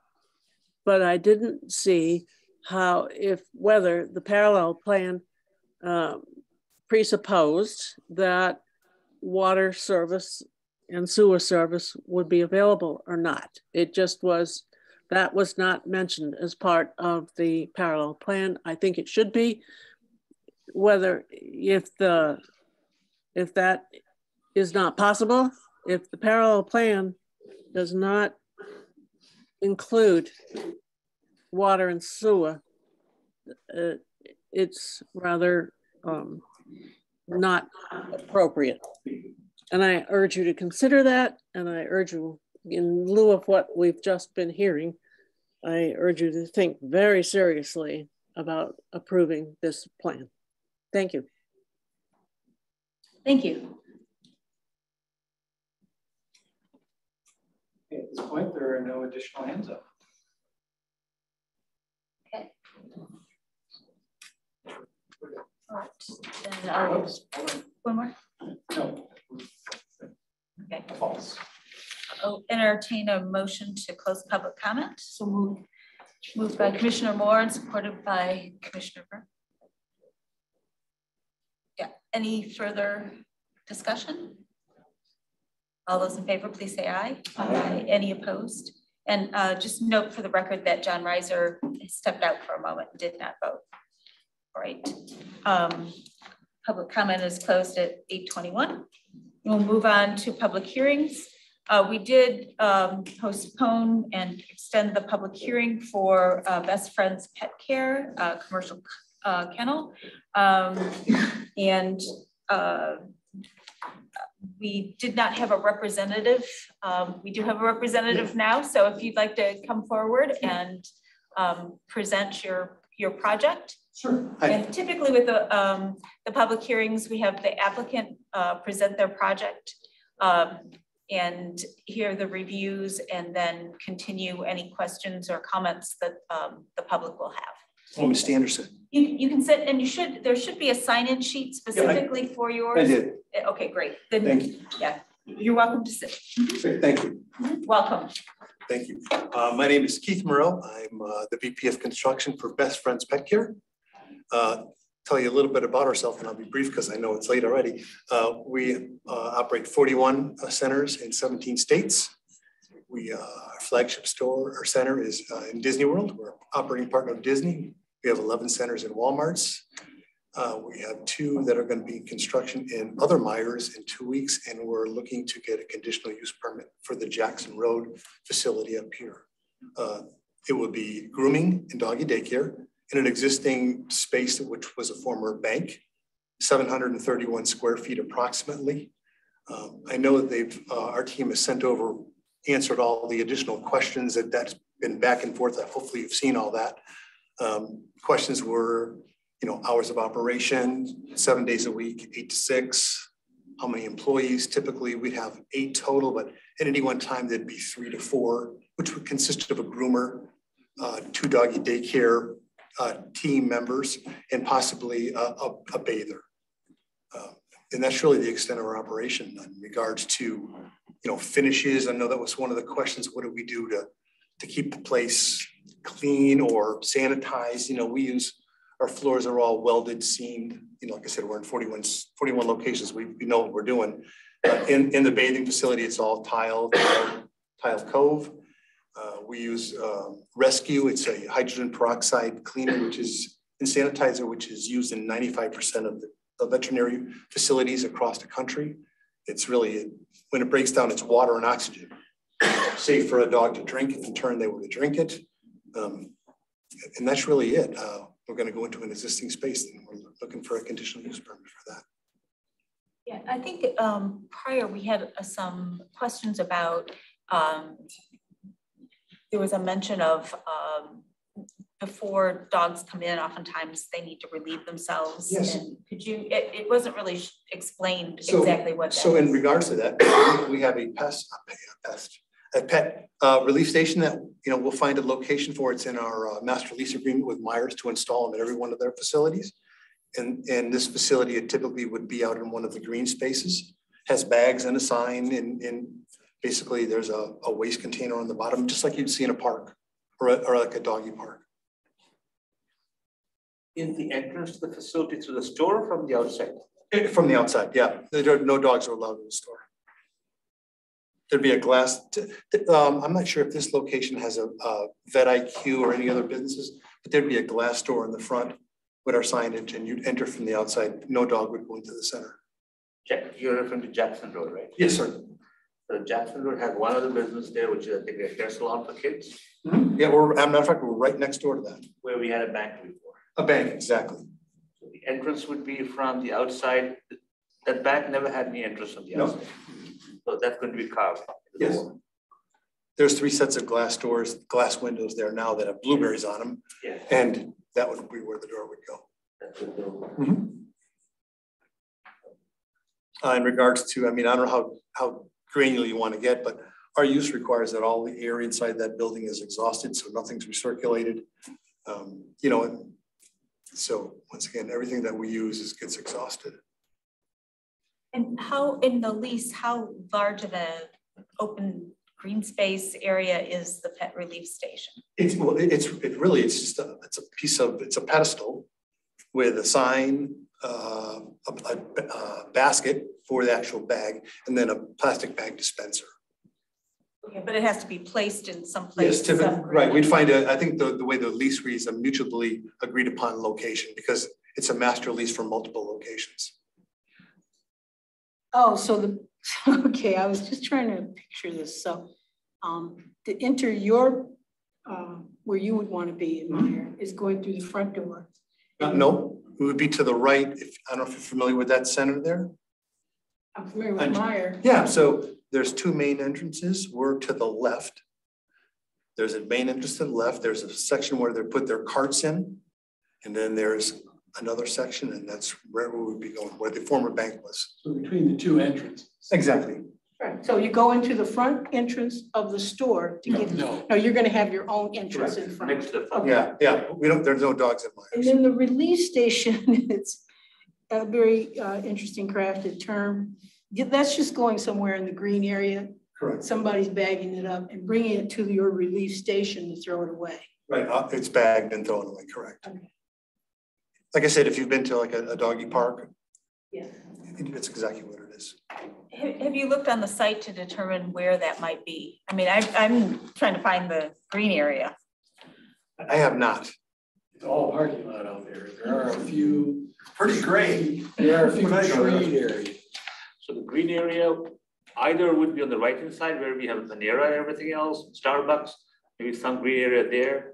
There's a green area right across the parking lot, but that's a long walk. Be near the spectacle shop, AT&T store, but that's like hundred miles away, literally. Uh, Walking through the cars and everything else, When which you is. say green area, you mean a small? I mean, it's someplace where there's typically plantings, like in other words, Okay, that's what I'm referring And the other one would be, on the left, you would walk, walk across the entire store near the charging station, near the right bus stop, et cetera, et cetera. That's also like many, many miles away, a lot far away. So the question is, where is the green area? That would be suitable. well, like I said, I, I can't answer, like, I guess I can't yeah. answer that No, no, today. I'm asking you answer it, but. But I mean, I could certainly, we could come up with, I'd have to get Meijer's approval exactly where it would go, but every one of our locations within Meijers will have one. There isn't one nearby. Yeah. There really isn't. Yeah. The only nearest one is near the Starbucks and all that places, if there's one existing, but I haven't checked lately. Or an outlet. The, the outlet is far away, like I said. I know. This is like very far away. You could walk through the cars and Okay, anyway. I think we've identified. yeah, you've identified it. Kim, did you have another? uh, I just a- uh, your daycare, would that be overnight daycare? No, we, we do, no, there's, yeah, there's no, no snowboarding. And, and do the dogs go out at all during the time that they're under doggy daycare? No, no, no, there's floor drains, uh, we pat, we uh, pick up the, the waste, we bag it. Uh, the floors are sanitized after each session with that rescue product. It's washed down, there's hose reels in there. The franchise? Yeah, well, we're, we're private, yeah, but we have forty, and we're operating ten of these right now, the exact same concept in Walmart with nine, we're ninety more to build. Any more questions of, of fact? Uh, How many dogs per day do you, have? how many dogs at a time will be in the facility? Typically, in a, in a busy grooming salon, we would see anywhere from, and these are small salons, you know, eight to ten dogs a day. In a doggy daycare, we have like three or four at each side, which would be small dog and large dog, it's separated by size. So the dogs will be in there together with their food? Uh, no, you would drop your dog off, you know, like you wouldn't come and play with your dog. You drop your dog off if you shopped. A lot of people drop their dog off, say they, they're young professionals or professionals who work all day and they don't want to have their dog alone all day. They'll drop them off, they'll drop them off for socialization. If, say you got a new dog, you want to socialize your dog. So the daycare is how many dogs? It all depends on the size of the dog and the breed of the dog in the day. But typically on the small dog side, we have three to four. On the big dog side, it'd be exactly the same. That's at any one time. That could be if you dropped your dog off while you shopped, if you dropped your dog off, you know, for the day, all that's. It would be three to four, small or big. Uh, uh, on each side, so there's a small dog side and a big dog, so separated Oh, by. Two areas. right, Play areas you call it. exactly. And it was, like I said, rubberized floors, they're all welded seamed.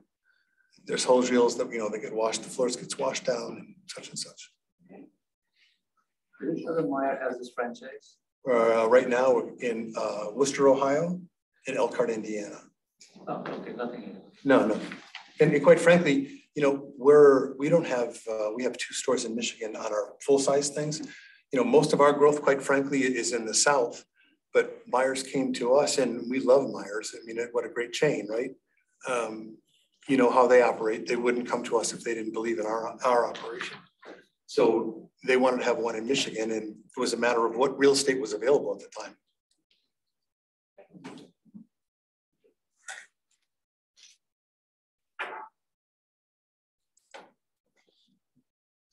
We went through your review. Yeah, we already Did went. did you want to just maybe just Update it. update anything based on their Yeah, I mean, responses? Our, um, I think we're good with, uh, we had three conditions. One was provide a project narrative talking about hours of operation, numbers of employees, um, area of tenant space. I think those are all clear now. Um, The applicant did provide the required information for conditional use, as we mentioned, section thirty-six two two zero.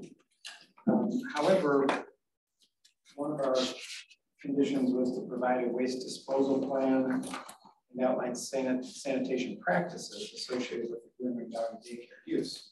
So the applicant has verbally indicated what that is. But uh, I'm looking at her the top photograph right now of Meijers, and I I agree with what has been said. I don't really see a green space um, other than, other than the parking lot landscape island. um, Which are gonna be between cars and, and very, it seemed to me to be very inconvenient to take a dog. So, um, I think that's, that one item, the the rest of the items, I mean, this is a relatively small operation. Don't, we don't see any impacts with traffic or parking. Meijers obviously has a lot of parking. Um, Don't see this impacting, you know, the REUs of the township or anything like that. But it's really, you know, just the function of how this is going to work. Um, And uh, again, the applicant has verbally indicated how this is gonna work, but I- I'm still not quite understanding it. So uh, I think that condition is still out there. Thank you. Then uh, we'll be, uh, then move to anyone present who would like to address the planning commission uh, regarding the, um, our, the pet care conditional use. Anyone online? Uh, There is one hand up online. It is, uh, two hands up. Uh, We have Jonathan. Jonathan, you have the floor. Thank you. A couple of questions that I'd have to ask is, uh, number one, um, effectively, and hat tip to Ryan here, but, uh, how many REUs worth of, of poop are you going to be generating per day? In other words, if you're going to, uh, have a business that, uh, that, uh, generates dog waste during the day, how are you going to dispose of that? And the whole green space thing, you know, forget about that. That's not going to happen anymore unless Meijer's willing to dig up some sidewalk for you and put down some green plastic grass. I mean, that ain't going to happen out there. So you should really go take a walk around Meijers. Um, but uh, to the applicant, um, anyone, do you, uh, do you, I just want to ask you, do you have a dog yourself, sir? I, I had a dog, our dog passed away several years ago. I'm sorry to hear that. Sorry. Um, but anyone that says dogs uh, can clean, can drink former cleaning chemicals probably shouldn't have a dog. That was a really amazing statement you made earlier that that this stuff breaks these cleaning chemicals break down and dogs can actually drink it. Um, I don't recommend that to anybody who's listening. I would also be very curious to hear from you how how you plan to remove the waste from the green area and how you, you plan to manage waste along dog waste along the sidewalk or in the parking lot on the way to your shop. Not all dog owners are, as we know very well from next door, not all dog owners are uh, well, uh, they don't take care of their dog's waste. And so if a dog lets loose in front of Meijers on the way in, who's going to take care of that? Just some practical things that I would want to know before I go to Meijers with your store encased in it. Thank you. Thank you.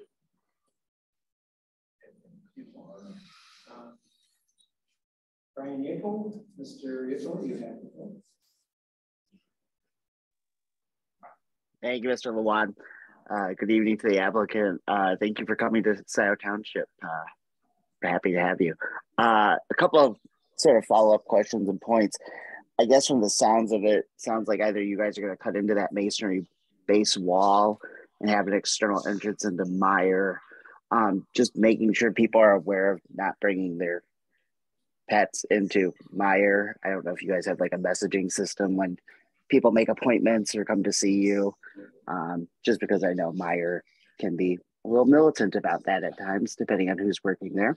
Um, another sort of question or comment.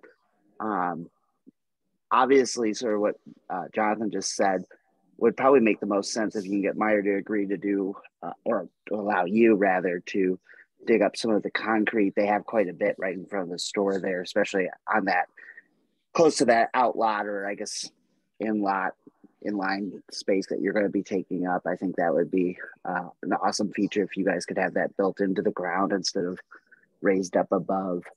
Um, ultimately, I, I think your business makes a lot of sense. The logo was a little bit confusing because it said hotel, so that made me think there's some sort of overnight component to your business at first. But uh, now you've been able to come here and clarify that, uh, so I took care of that. Thank you for your time. Thank you.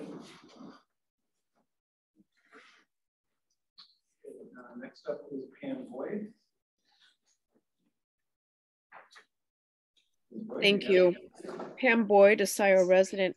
Meijer is my favorite grocery store, and I go there fairly frequently. Um, every now and then, um, I need to go to the PetSmart over off of Ann Arbor Saline Road. And if you look at the picture of the front of PetSmart, I just I just pulled it up. Um, they have a, um, a pet waste station, and that's usually where the pet urinates or defecates. It's it's it's all concrete or rock. And um, when I have walked by there before or going from the parking lot, um, it's kind of nasty.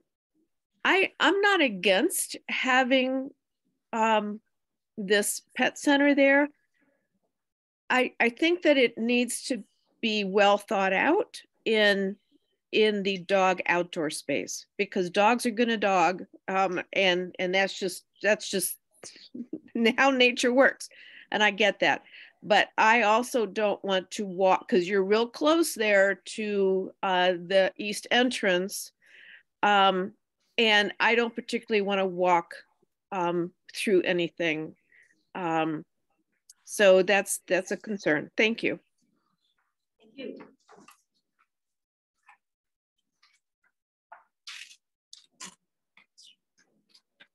Kathleen Brandt, uh, you have Good evening. This is Kathleen Brandt, still a Scio resident. And by the way, I'm a dog owner. Uh, we have a doodle. That means her hair doesn't stop growing. So we go to a groomer every six to eight weeks. Um, honestly, I would not take my dog to a groomer at, at Meijers. And that's because of this, the uh, expansive pavement there. Um, we take our dog to a very small facility. Usually when she's done, as most dogs, they need to relieve themselves. So I think this would impact my uh, decision to actually shop at Meijers. I wouldn't use your um, business for grooming because I don't want to park way out in the parking lot because there's so many cars, walk my dog 100 feet yards into Meijers and then do the same thing on the return. So I have a question for you. You made a statement that Meijer sought you out to put your business into that store into their stores. Is that true or did you seek out Meijers to try to make that as an avenue to expand your business? I, and I didn't see Meijers saying, you know, let's bring in dog grooming right next to our produce or cashiers. So could you answer that? Did they really seek you out? Yeah, we'll keep it between, yeah, the. No, Jan, public comment is supposed to allow questions and answers from the petitioner. So I'm going to ask that you please honor that. You just. Yeah, we, we'll be glad to ask that, Kathleen. You just allowed it for Jonathan Greenberg, Jan, but you won't allow it for me? Okay, hang on. All right, I'm not done. Jan, I'm not done. All right. Please, you cut me off last time. Okay, so now let's uh, pivot to the report from uh, Carlisle Wortman. On page two of their report, they state that dog grooming is not a listed use in the zoning ordinance. However, commercial kennels would be the most similar use as listed as a conditional use in the C2 zoning district. Then on page, let me get there, page five, it states that the requirement is five acres for a commercial kennel, and this meets the requirements. How does five acres of asphalt meet the requirements for a commercial kennel? Because a commercial kennel is going to need green space. So I don't, I challenge, I don't agree with uh, Carlisle Wortman's assessment. Please take a look at that. Thank you. Thank you. You fucking try to pull me off again. Oh, did was that all?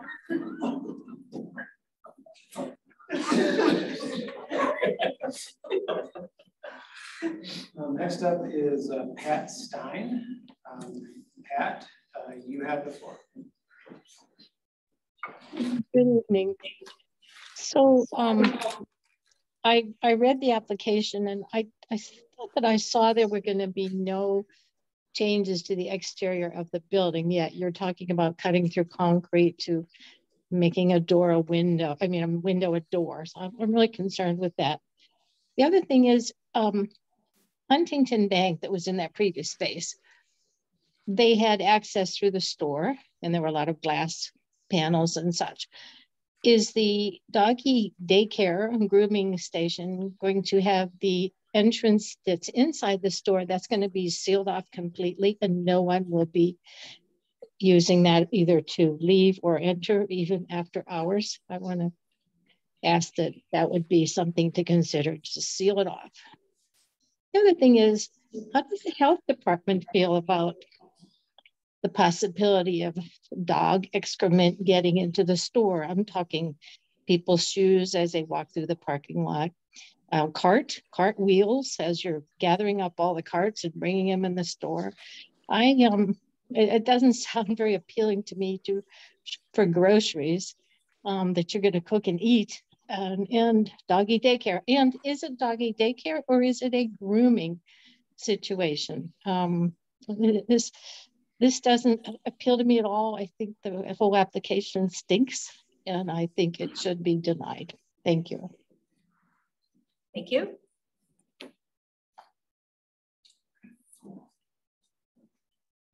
That's it. That is, we have no other hands up in. Um, okay. Then I'll entertain a motion for to close the public Move hearing. Close public hearing. Moved by Commissioner Reiser and supported by Commissioner Moore. Oh, uh, any further discussion? All those in favor, please say aye. Aye. Any opposed? All right, and we're closed at um, eight forty-five.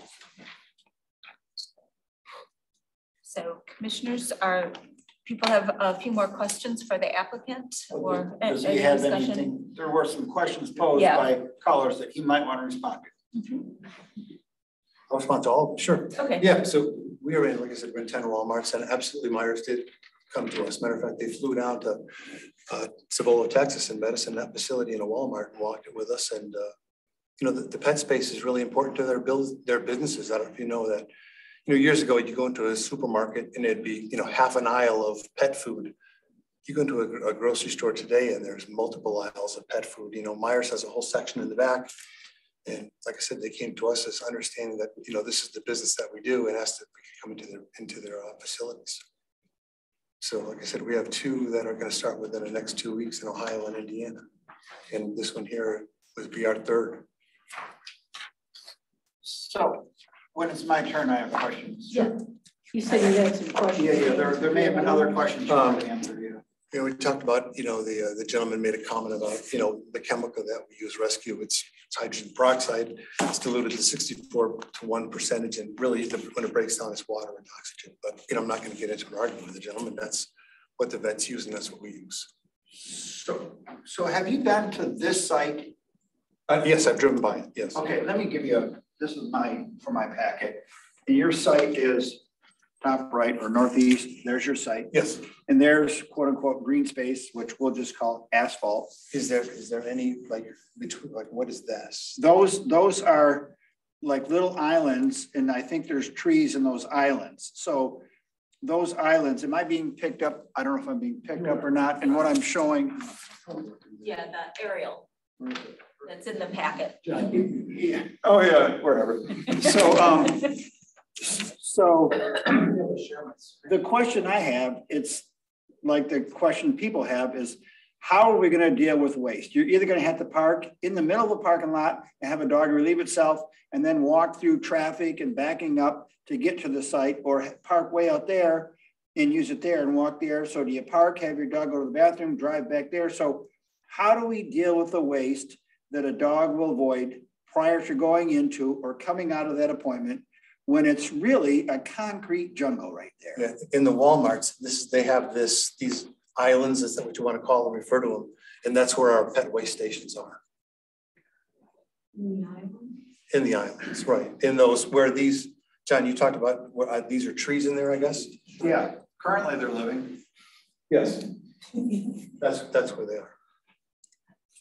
And, and Meijers is gonna be okay with dogs, you know, urinating and defecating in that space and we're against, I mean, listen, I, I'm not opposed to this project, but there's a real crucial aspect that we gotta get right. And I don't know what the answer is. Um, and maybe Meijers will work and maybe put a fence there and says dog use only, or they clear out some of the space around it like they do for shopping carts. Uh, But I don't know that we're there yet, but I'll defer to the, to the others on this body as to what their thoughts are with how we deal with this important aspect uh, of this project, at least in my mind, is dealing with the, uh, the urine and the feces that are invariably going to be created. Um, and I, can imagine people just parking close to it like you want to do. There's a good spot. They let their dog out. And then the dog voids itself either in, in, in the, uh, in the lane of travel for a parking lot or, or in a parking space or on the sidewalk and, uh, you know.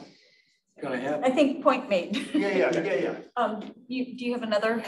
I, I think a follow up to what John is saying, and I would say that I would like to see Meijer and the applicant work out the plan and then come tell us what they think the best plan is. And instead of us asking all these questions, let's have them tell us and then we evaluate the plan.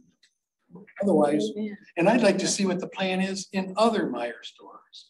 You know, if you say you're about to open, you've got a plan.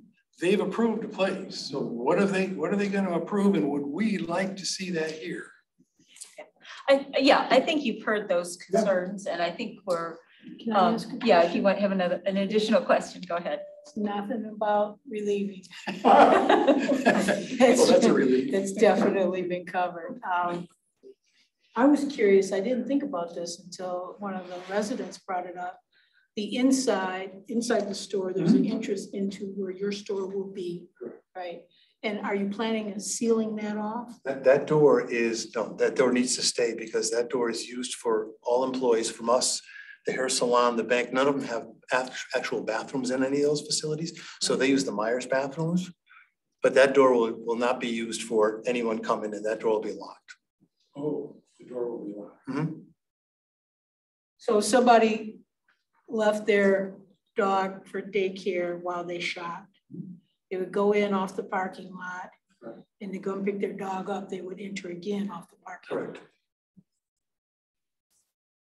Correct. But none of those mezzanine spaces have, have restrooms. Except the dogs. Yeah. Plastic line. All right, I, anyone else? Um, I, I'm, I'm thinking that we sort of, I, I sense that we have enough of a concern about the plan that we'd like to um, postpone it and until that you can come with a, um, a, a proposal for, um, waste. Do you have an additional? maybe just, this may be just summarizing what everybody's also said, but, you know, my concerns really are just noise, you know, odor and waste. We've discussed the waste portion, so I'm not gonna get into that. Is this insulated by any chance? That's a little more soundproof for the employees inside Yeah, the like I said, wires? And it sounds like you said you have exhaust that's going to get rid of 100%. any type of odor. Yeah, so with the, with in regards to odor, all our odor, all our air is exhausted one hundred percent. Nothing gets recirculated back. You Can't do it, you know, use, use won't allow it. And in regards to sound, said we're in ten of these in Walmarts and believe me, they'd be the first one to complain. We insulate above the ceilings.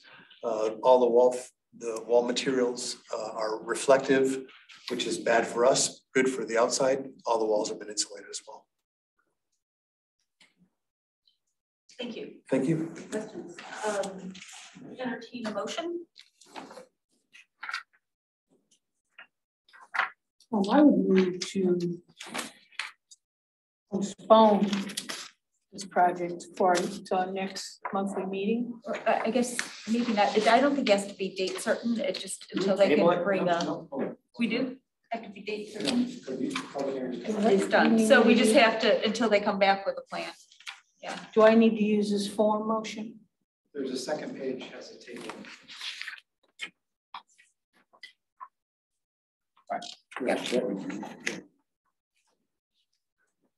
Okay, you're using the word table. Yeah, so I would move to postpone the conditional land use uh, number CU twenty-three zero zero seven, Best Friends Pet Care, Commercial Kennel, um, to allow the applicant to respond to the comments discussed tonight by the planning commission, including the following. Um, What the plan would be established between uh, Best Friends Pet Care and Meijer for for the, I'll just, uh, for the relief station outside. May I amend that to include, to also discuss how other Meijer stores have been resolved so that we can compare that to what this one would be. Or Walmart or. Or Walmart. Wherever. Yep. So we can see examples of what's been done. Okay. And, okay, so really provide other location examples. Right? The only question I had was, I understand a postpone is to a date certain, and a table is where you lay it on the table, then you take it off the table when it's ready to come off the table. I don't know the time frame that this gentleman and his people need to get the, the plan and have a discussion with Meijer on how we can do this. Do you have any sense of that? I'm gonna meet the Meijers people on Wednesday and Thursday, and both in Elkhart, Indiana and in Wooster, so um, we'll certainly get that ironed out by then. In the interim, I can get the information back on what we've done with the Walmarts and get the exact location for those as well.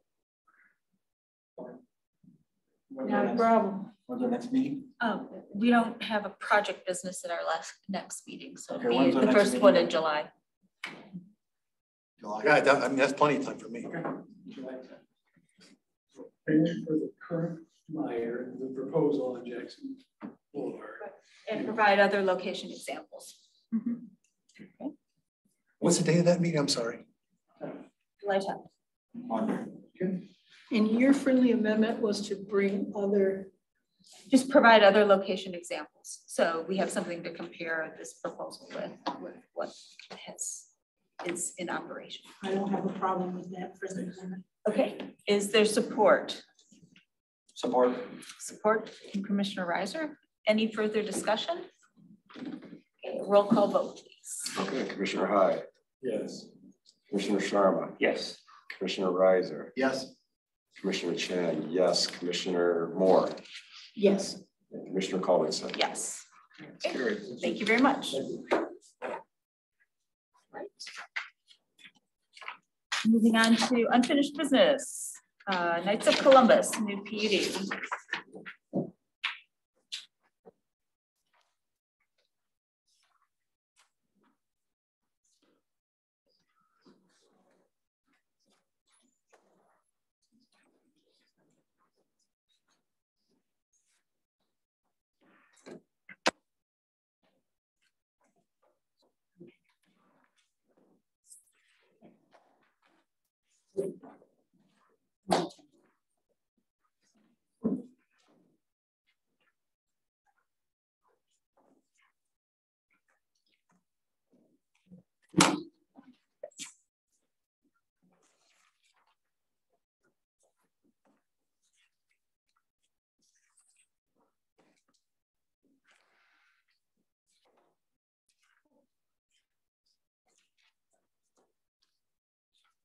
Evening. Did you have something you wanted to show uh, on the screen or did you want to just go? Uh, I can, I do have a couple of new slides from the last time we met, um, just as an update, so I'll try to keep it brief.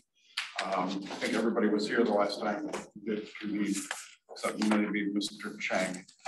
Um, so if there's something, if you see a slide that you'd like me to talk about, I'm happy to do so. I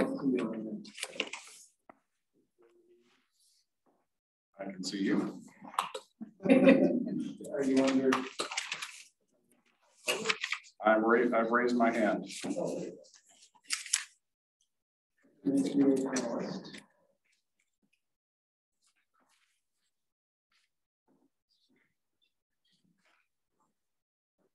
While we're waiting for, there we go.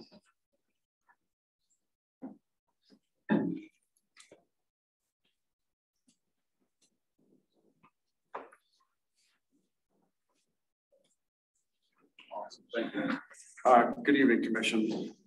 My name is Tom Colbert. I'm with Midwestern Consulting. I'm here tonight with Jim Heisler and Sean LaFear from Norfolk Homes and also Mark Sweatman from WSP.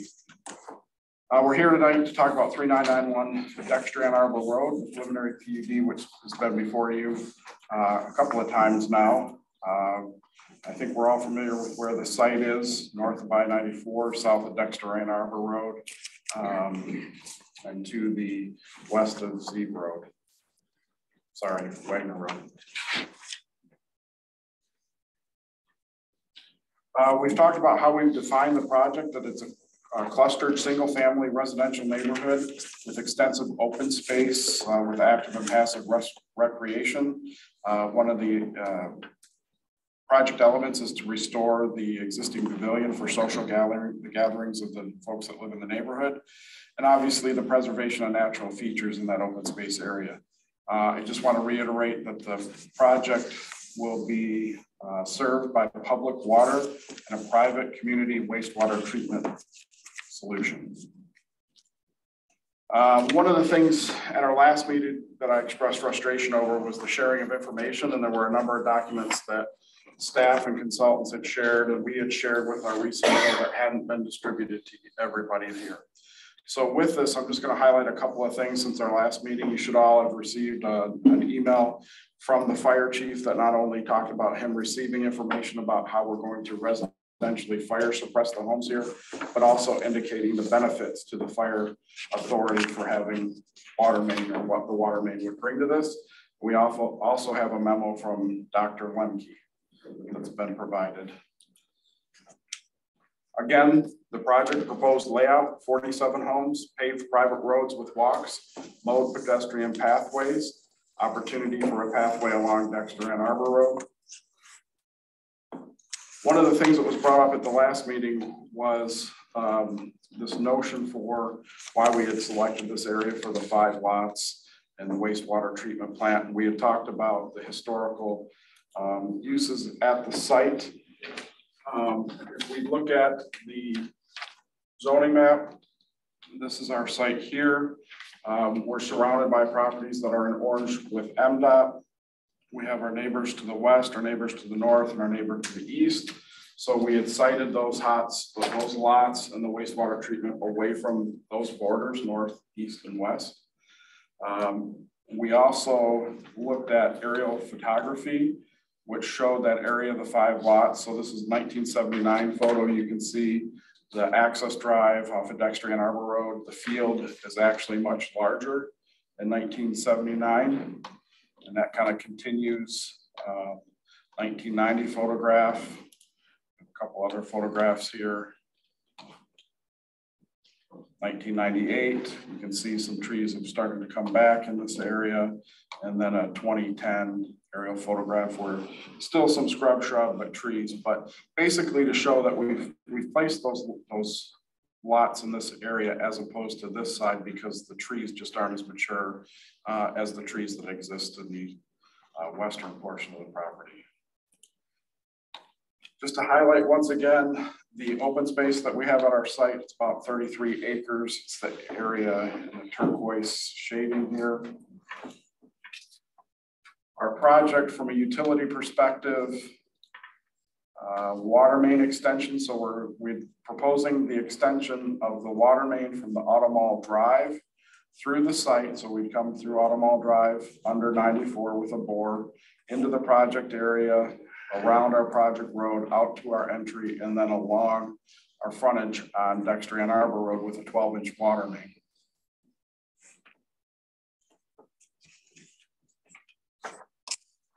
So this is just a blow up of the development area. So again, our development, the homes would be located kind of focused on that plateau that sits on the site. That 12 inch water main is located here in yellow and across the frontage of Dexter Ann Arbor Road. And then we would have an eight inch loop or lasso that you've heard it referred to that would serve the lots that, that front on the internal private roadways. The wastewater treatment would be handled on site uh, for this preliminary PUD. We've shown this with a building um, that would be established where wastewater would be collected, treated, and then disposed of in a wastewater drain field or infiltration bed that would sit here to the west of that. Uh, it would have an access drive, and that access drive would have some parking for the operator when they came to visit the wastewater treatment plant. Uh, I will mention that the, the infiltration area currently proposing a fence, fences. And again, this, this spot on the site is one of the most distant directions we can get from the neighbors to the east and to the west. If you were to draw a line from this area to the northwest corner of the site, it'd be roughly 1,600 feet.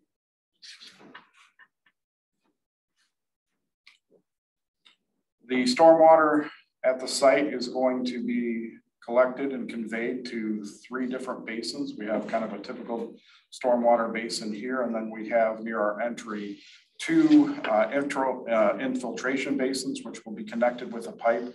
We had outstanding infiltration in this area of the site. So even though the infiltration exceeds um, the maximum requirements of the county, we've uh, completed this design to uh, only utilize the maximum extents from the county, but we have good infiltration there for our stormwater management.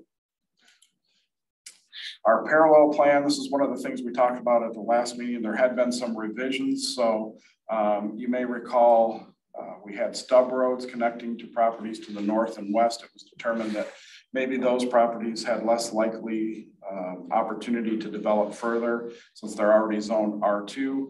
Uh, so we removed those stub connections, replaced it with a cul-de-sac and a radius uh, here in the corner. And then the other thing that's that's come up here is what are we showing for homes and septic fields on this plan? So the home footprint you see on this plan is over twenty-seven hundred square feet. So the footprint that you see there is twenty-seven hundred square feet. So you could probably build a ranch style home at twenty-seven hundred square feet or more, a little bit more, or, you know, a colonial with two stories in that same box. Then what we did for the septic field sizing, so we need to provide for a primary field and a reserve field. So with that, we have sized that such that based on the, the soils information we've, we've have at the site that that septic field sizing could serve four or more bedrooms. That's how the county uh, establishes the size. So it could serve four or more bedrooms in moderate soils or better. So it may have the opportunity to also that same area serve six or more bedrooms because of some of the soils we found there that, to be good for, for this kind of um, use. The drain. Tom, can I ask you a question?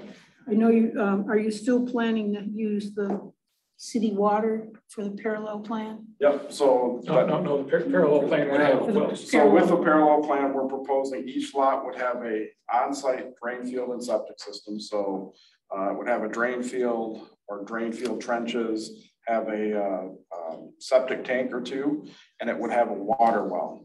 So it would have its own well, It would have its own well. And with that, we've also accounted for the well isolation um, to happen within this plan on the lots. Or I should say, it overlaps such that it doesn't interfere. There's, there's no overlapping of the well isolation and the septic fields in this plan. Just So- Say that again, I'm sorry.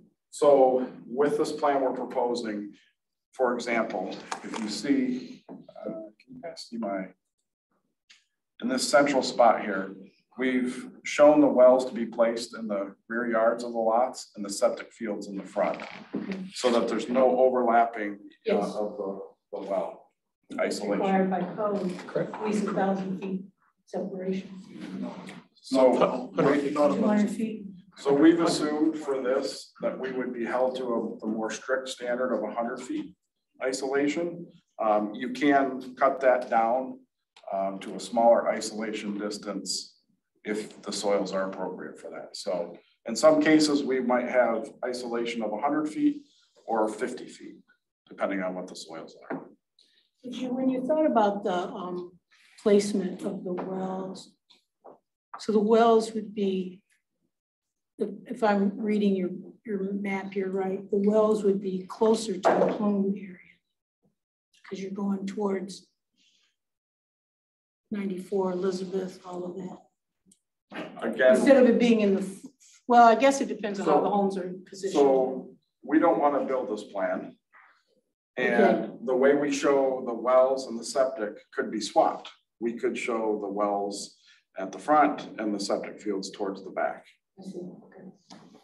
But we probably wouldn't have an opportunity to go every other lot uh, and swap them. If that makes sense, well front, septic back. We could um, to some extent, but what we've really done with this is shown that each of these lots at one acre have that ability to provide septic and well, and then throughout the whole site.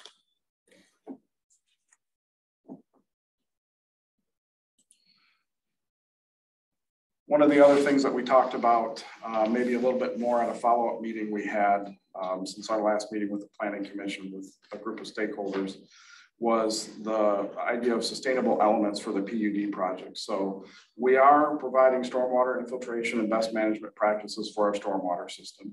We are providing open space and preservation of the natural features um, and working to minimize the impacts on that.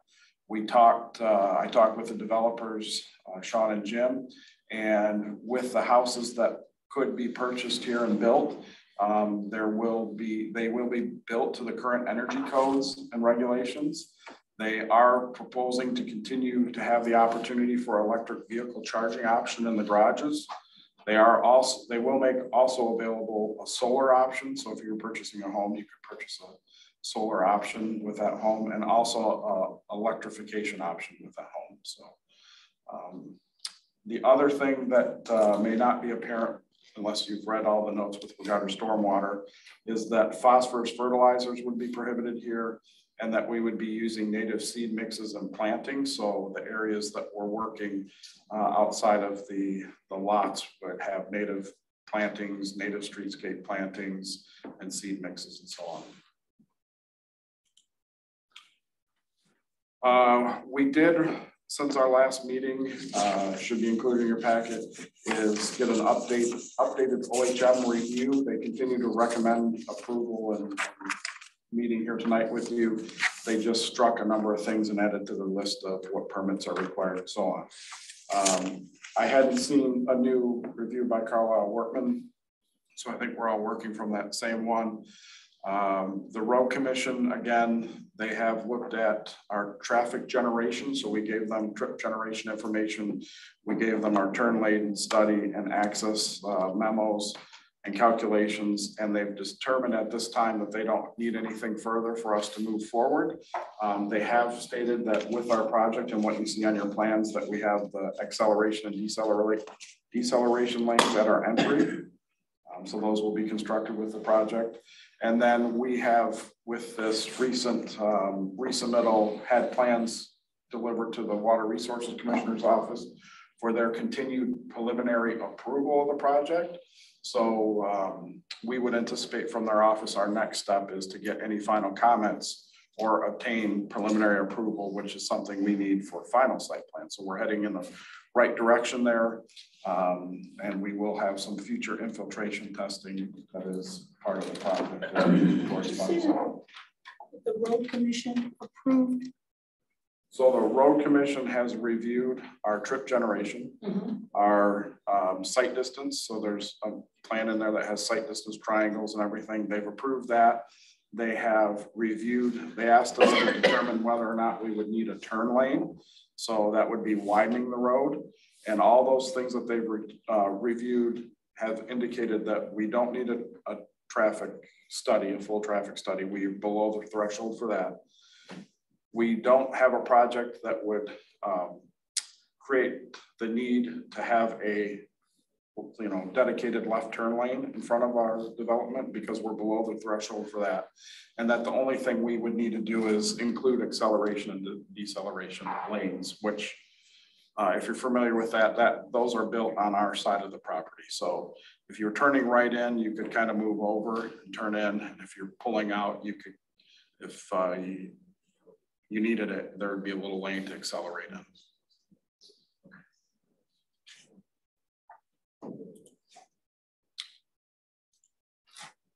Uh, we did receive a review from Dr. Lemke, uh, representing the township with regard to the hydrogeological investigation work plan. Uh, he and and um, if you have questions, feel free to ask. Marcus, the expert here on this. Um, I'm going to kind of paraphrase a number of things I've highlighted that stood out to me. He references the work plan that was approved by EGLE, confirming that. He's referencing what Scio Township would like to know with regard to how the work plan addresses the proposed wastewater discharge and its opportunity maybe to alter patterns of groundwater flow, and move, move higher concentrations of the dioxane to existing residential water wells in the surrounding area.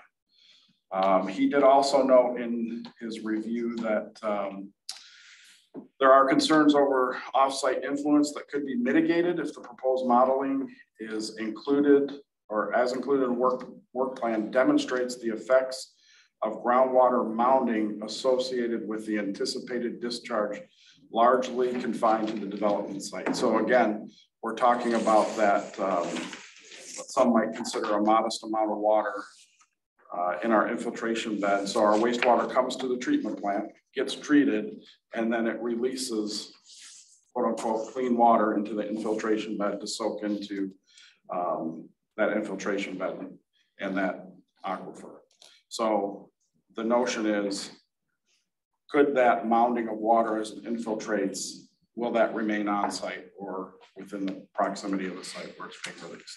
That's something that the hydrogeo study would get into. He also had a number of recommendations in his review. Um, he talks about methods and procedures for modeling.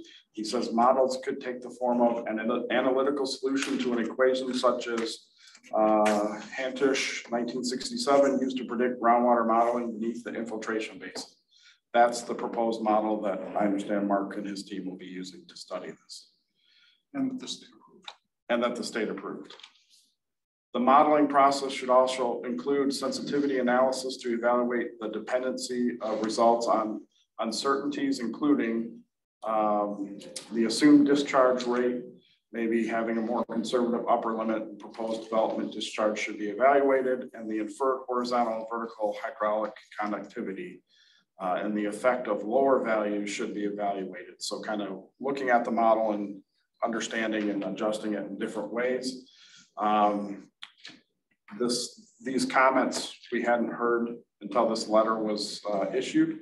So what we would like to, you know, Mark would be doing is having a conversation to review with Dr. Lemke and determine specifics of the sensitivity analysis for those two things to see what the uh, those parameters uh, would be as that. Uh, the other thing is the anticipated discharge met, uh, method should be identified and incorporated appropriately into groundwater mounding model. Um, that would of course be identified in the study, if, whether it's a drain field or infiltration, uh, uh, rapid infiltration absorption field kind of thing. So we would certainly be providing that in the study um, and analyzing what system that would uh, best work in our certain circumstance here. And then the last thing he says, in addition to uh, analyzing the number of items that uh, Mark and his team were going to look going to look at were taking water samples and monitoring wells should be also analyzed for the 1,4-dioxane. And uh, if that's desired, I mean, that can be done as well.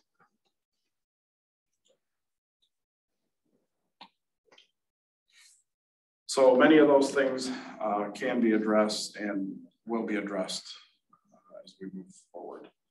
Socioeconomics and project benefits, there's a list here. We've kind of run through a number of these as we've, we've worked through uh, multiple presentations here.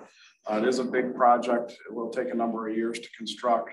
There will be about 120 people that will live in this development as projected, uh, and it will have some tax revenue um, that will benefit a number of different municipal entities.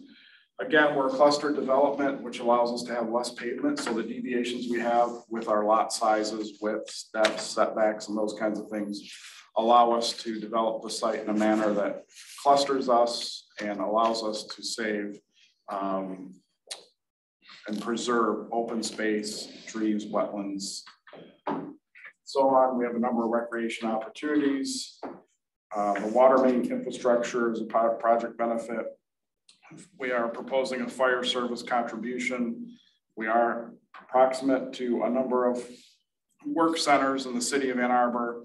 We're along an existing transportation corridor, and the goal here is to provide more attainable housing uh, in an area that has close proximity to where people want to be. So our goal tonight is to re requestfully request from the Planning Commission uh, recommendation for preliminary approval of the PUD. Content, I'm sorry, I said that backwards. I would respectfully request a recommendation of the preliminary PUD be approved contingent upon the completion of a hydrogeologic study. As you know, there's a number of factors here that will input into how that study um, takes place and the findings, location of wastewater treatment plant, number of lots and so on. We've talked about that before uh, and can talk more about that with Mark here if you have questions about it. So that's really what I have to share with you. Um, again, we had the opportunity to share digitally and paper copy. I've shared a number of bits of information, so hopefully everybody has that this time. So thank you. Thank you. I'd just like to start off by saying thank you for providing the documents to us. Um, questions from the Planning Commission?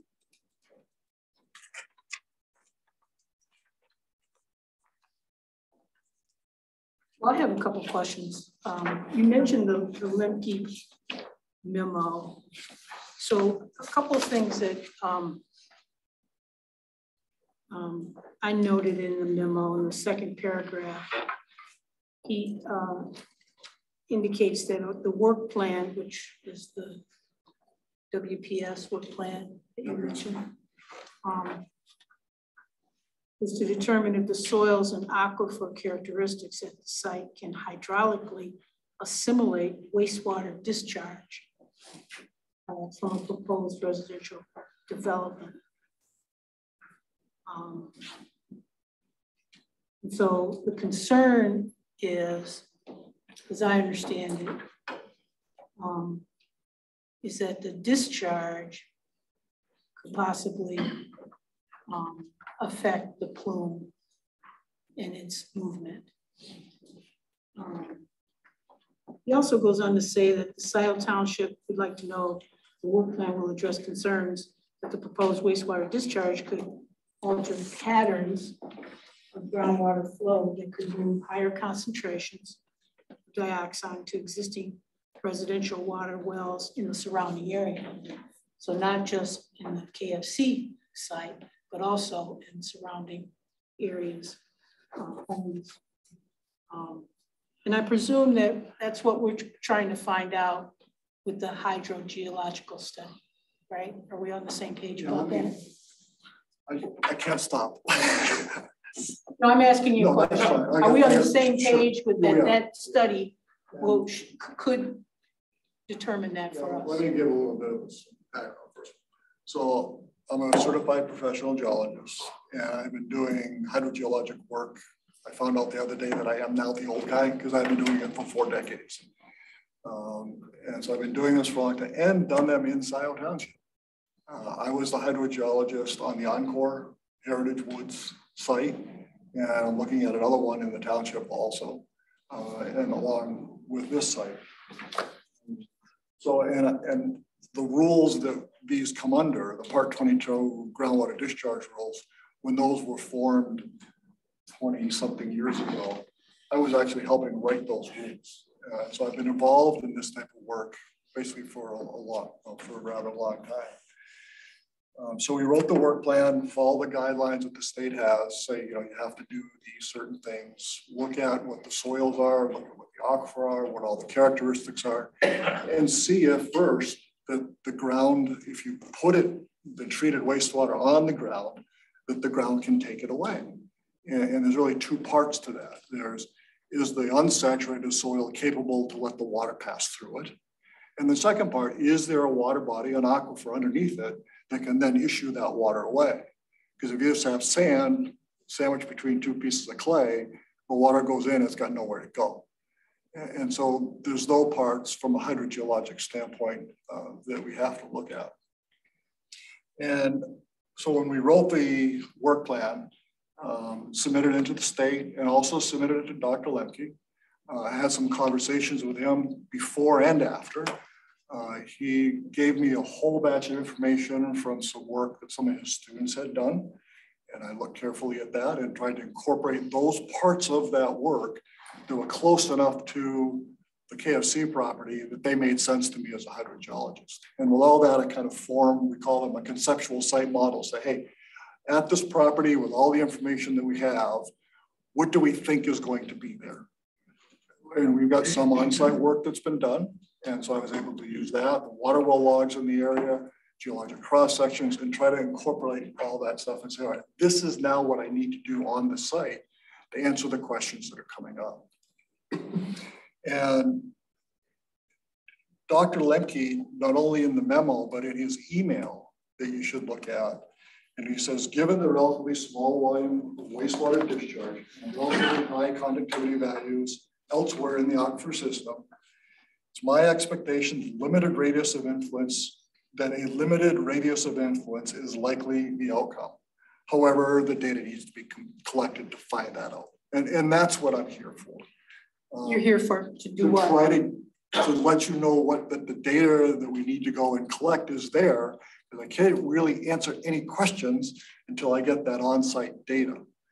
And there's some other parts of this, when I look at what I call a conceptual site model, we know there's some clay at the surface, and then there's a sand body, and then there's more clay and more sand bodies underneath it.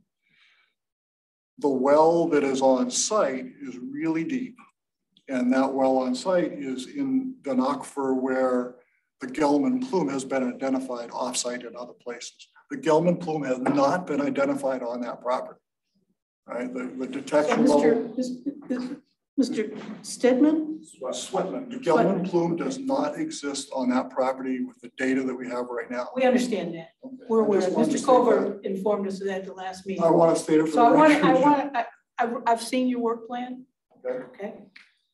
I, I just want to re-address my question. Sure. We're not asking for results because we don't have the hydro study yet, so we can't give results. So But here's my question. To answer your. I'm gonna ask it again. I'll So I'm gonna focus in on it, okay?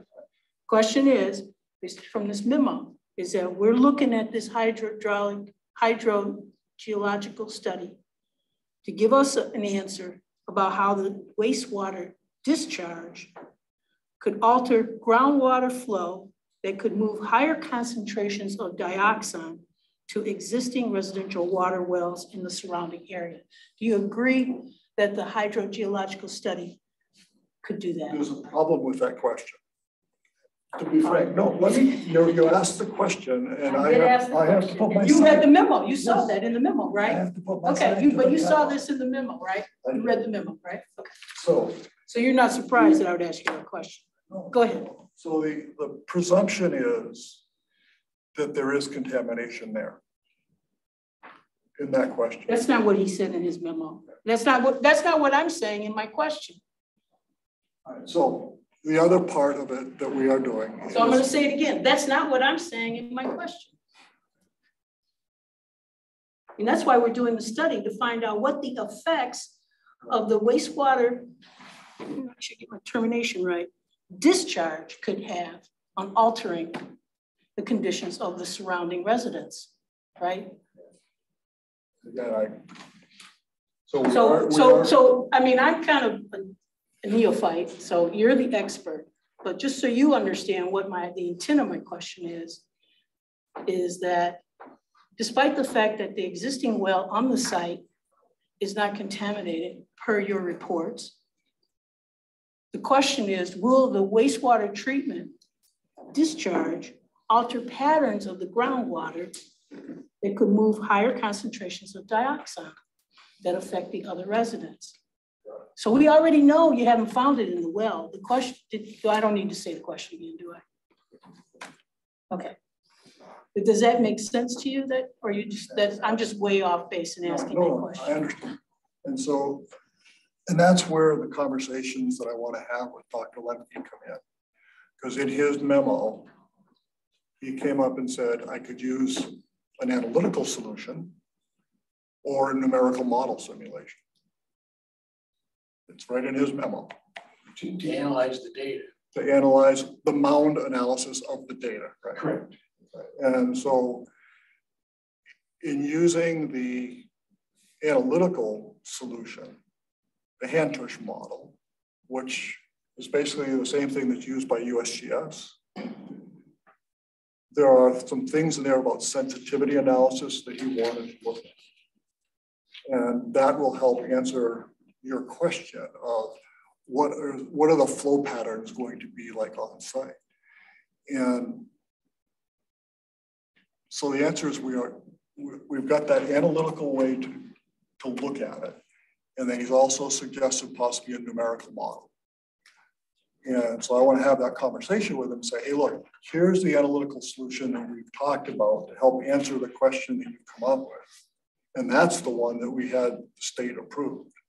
And I'd like to go along that way. If he and I can't come to agreement, he says, no, we want to do something else, then we'll have to see what that something else is.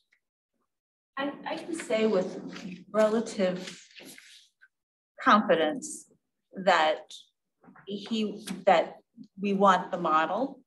Um, because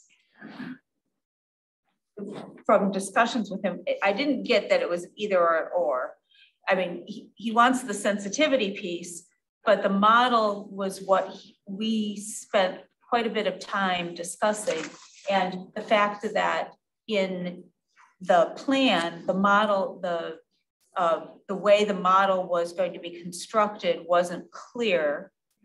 Um, it, we spent quite a bit of time and that that was really the focus that to refine, to describe um, and, and again, he would want to, we, Scio would want him to approve that, the description of the model. So, because we need to be, we want to be as, um, uh, we want the data to be as good as we possibly can to determine whether or not this particular development as proposed will influence the, the Gelman plume. And so I'm going just by what I, what I was, so I haven't had the conversations with him. I was tempted to give him a call right away and say, what do we got to do? But I wanted to do that here today first. And so when I look under his recommendations on page two, he says models could take the form of colon, an analytical solution, or a numerical finite difference or finite element model. So he's, he's got those two that are in there. And so I've got to have the conversation with him that what is it in the analytical solution that I would have to do to satisfy his questions? Or is he just so fit on the numerical model, the finite elements model, that he wants that one done? So I'm just going by what's here. And so I'm a little bit in the dark myself. So, because I, again, I've done these for decades and have always used that Hantush solution basically to do the prediction of what the response to the underlying aquifer is going to be. And then the other part that we really need to look at in this is what aquifer are we discharging into? Because are we discharging into the Gelman plume aquifers that have contamination down gradient? Or are we discharging into an aquifer that has no impact to it? So it, it, it really depends on what the site hydrogeologic conditions are to see, I've got to answer that basic question first of where's the discharge going and where's the contaminant plume? Because there's multiple very thick layers of clay that separate these different aquifers at the site. Yeah, yeah, I totally understand. I think you're right on with that. You're just getting in the weeds a little bit. I was asking more a global question. Yeah, which is, it comes from my. Will the proposed wastewater discharge alter patterns of groundwater flow that could higher, move higher concentration of dioxane in existing residential water wells in the surrounding area? And like For some reason, you don't want to answer that, No, but and I presume you agree with that statement that, that the hydrogeological study will give us an idea about that. It'll give me an idea of what the hydrogeologic conditions are of the site. Okay, and. Okay. And, and as Dr. Lemke has said, the magnitude of that mound therefore brings in the magnitude of the evaluation that has to be done. If the mound height is so small, you know, and if we find the right soils and when we put the water in, it just gets taken right away. There is no mound and there's no diversion of groundwater flow. So there is no issue. If the soil I see what you're saying now, Yeah. about- because he did talk about, you have to determine what that mound is. how big is it? Is the mound gonna be one foot high or is it gonna be ten foot high or fifty feet high? Whatever the mound is, will have an effect on what the, the, whether or not the discharge will because If affect. the mound height is small and stays on site, it's not gonna affect anything We're offsite. saying the same thing. Right. You're saying, I, I agree with you. We We do need to need to know about the study mound. to get the answers that all of us want. Yeah, I mean, that's one of the weeds that we would know from the study that will tell us if it will, the discharge will have an effect on the groundwater flow. And, and I need to pass, and, and the other frankly, and they, these guys don't want to really hear this, sorry, but I need to pass go of saying, hey, the site that we think is going to work, is it really going to work in the first place? Are the conditions that we need just to get the water through the soil and into an aquifer there? I don't really know that. I think they are, but I don't know that. And, and I've had other sites where people have gone and say, we, Somebody comes in and they have a plan, they say, I want my wastewater plant there. Well, maybe, but maybe it belongs down here. And so that's kind of the stage I'm at right now of hoping. And from what we've looked at so far, this area looks like it's going to work, but I don't have that on-site deeper data to make sure that that's the case. Yeah, okay. Do you have a? Very specifically about that statement. You're going to perform the study assuming that it's in the location defined by. Absolutely. Okay. And if that fails, you might look elsewhere. Is that what you just said? If that has to happen, yes. Okay. Okay. And then, and then Tom gets mad at me because I've screwed up all his plans. No, but you're going to use the site as chosen. It's designed with nature. Ian McHarg, an old. Do you know Ian McHarg? Designed with nature. That was Design my- with nature, yep. So that's exactly what we're doing, is we're trying to design this based on what the conditions are and making this work. So, all right, we have the, the issue of the um, hydrogeological test. And I, I want to also see if there are other questions about, because there are other issues of community benefits. Um, I know I had a question, does the, do the pathways connect anywhere so the public can use those pathways through the site? we don't connect any public right away or anything, so there is no opportunity. You know what I'm saying? That It's not a public benefit, it's a private benefit. It's a private park. But they're open to the public. We'll ask for them to be open to the public, but the public would have to drive into the subdivision to get to it. But we are proposing a, if, the if and when there's ever a uh, trail or a path down um, Dexter Ann Arbor Road, and we'd give the right of way or the easements for that. Maybe be a benefit in the future. We could, yeah, I mean, we, we would, we could put it in there. You're not gonna have to buy, or you guys wouldn't, but whoever wouldn't have to buy the easements or um, through eminent domain, take it. But currently, it doesn't, it doesn't tie to any other public pathways or anything else. I also had a question about, and this is, we talked about density a little bit last time. And, um, you know, there's a range that the planning commission can, can look at. And I do have to say, I- think, um, you know, with the seventy percent um, of, of, um, the open space is, is great. I, I just have two issues with lots thirty-nine and forty, just because of the, one, there are, you know, I think three landmark trees impacted by those sites. And there's an awful lot of grading associated with those two lots. And so I sort of feel like uh, when there's a range of density, you kind of look at what makes sense. And I would sort of question if those two lots aren't really trying to get squeezed in as opposed to really respecting the uh, topography and the um, the So existing thirty-nine and forty are two of the western five lots on the south side of the loop. Um,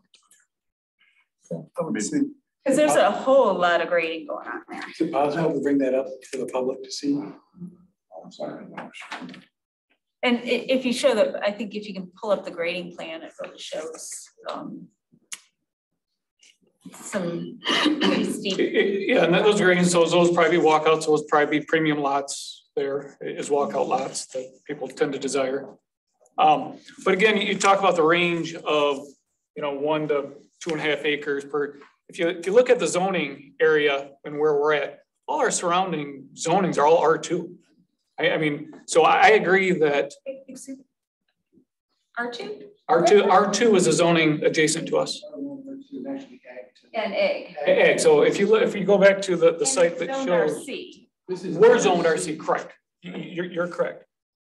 But the adjacent zonings and kind of the, the property between Ann Arbor Dexter Road and, and I ninety-four or fourteen, where it kind of cuts up there, tends to be the R two zoning. So when you look at transitional zoning, you look at densities, the more north you get, the more rural you get.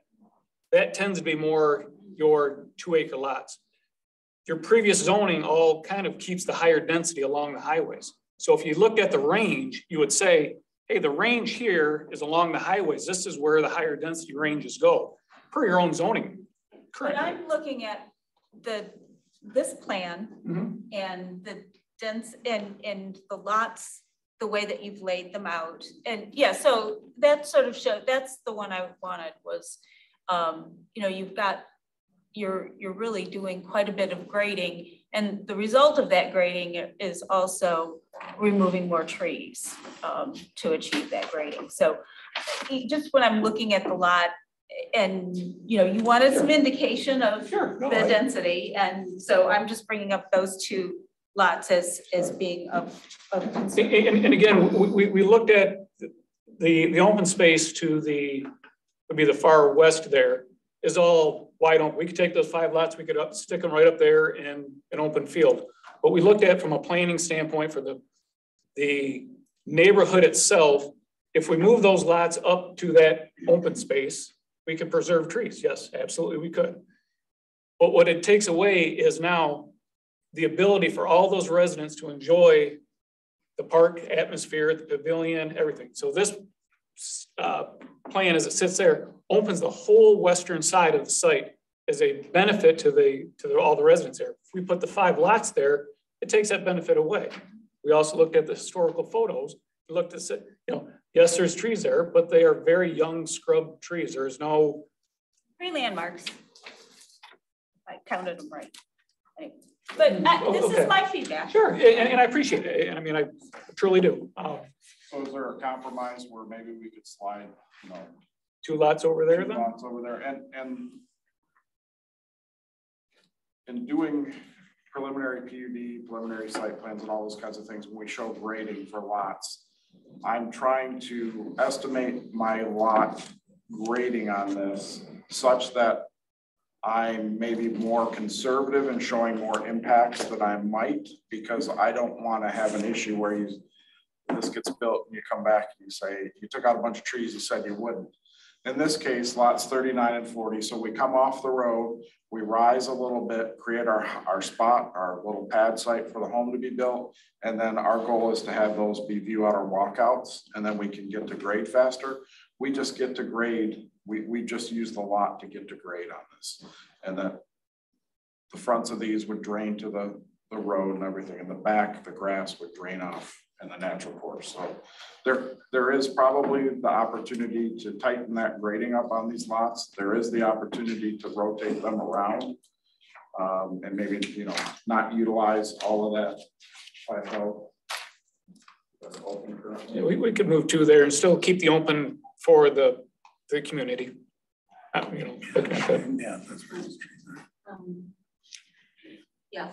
When you're done, Mhm. well, uh, what, on that issue, the density is based on the parallel plan. That Carlisle Wortman still says is not a reasonable one, and I, I look at the parallel plan and see septic tank, septic fields um, outside of the well uh, exclusion areas. But I see some of them uphill of the wells and some downhill, some uphill of neighboring wells. They're so close together. There's so much grading on this site that I don't, it just puts wells close together and interfering with each other. It's, it's not something that could be built. The, the, the well isolation, No, is- those isolations, Not to you. This is my comment to Carlisle Wortman to find out more about what you feel the parallel plan Well, the, the. um, feasibility is. Yeah, so the, uh, couple things with the parallel plan. So of course, if you're looking at an open space project or PUD based on, you try to begin a density based on what could happen under old fashioned kind of standard development uh, processes. So in this particular case, because the property, master plan designation of medium density, which would allow a R1 zoning designation, but as as uh, Jan has pointed out, um, it's also a range of densities. So it's township is under no obligation to accept one unit per acre. It's a range of one to two point five units per acre. If we rezone it from RC. Yeah, there's, there's state in the master RC. and that, and that, that range is supposed to be, that is supposed to be based in part on what's going on on the, on the property itself. We're supposed to consider what's, you know, there's a range for a reason. There's a range, it's not automatic. Um, and so that's kind of the basis. What the applicant has done is proposed a one acre, uh, proposal for their parallel plan.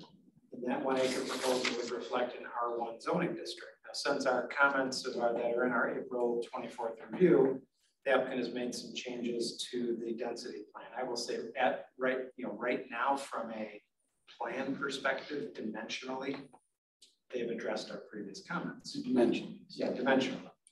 Uh, so that the lots are all one acre, they all have proper road frontage, there's no more of these odd kind of hammerhead or T turnarounds that were at one time proposed. And so in theory, if the sep, if soils were perfect and wells were perfect and all of this worked, uh, that is a viable plan.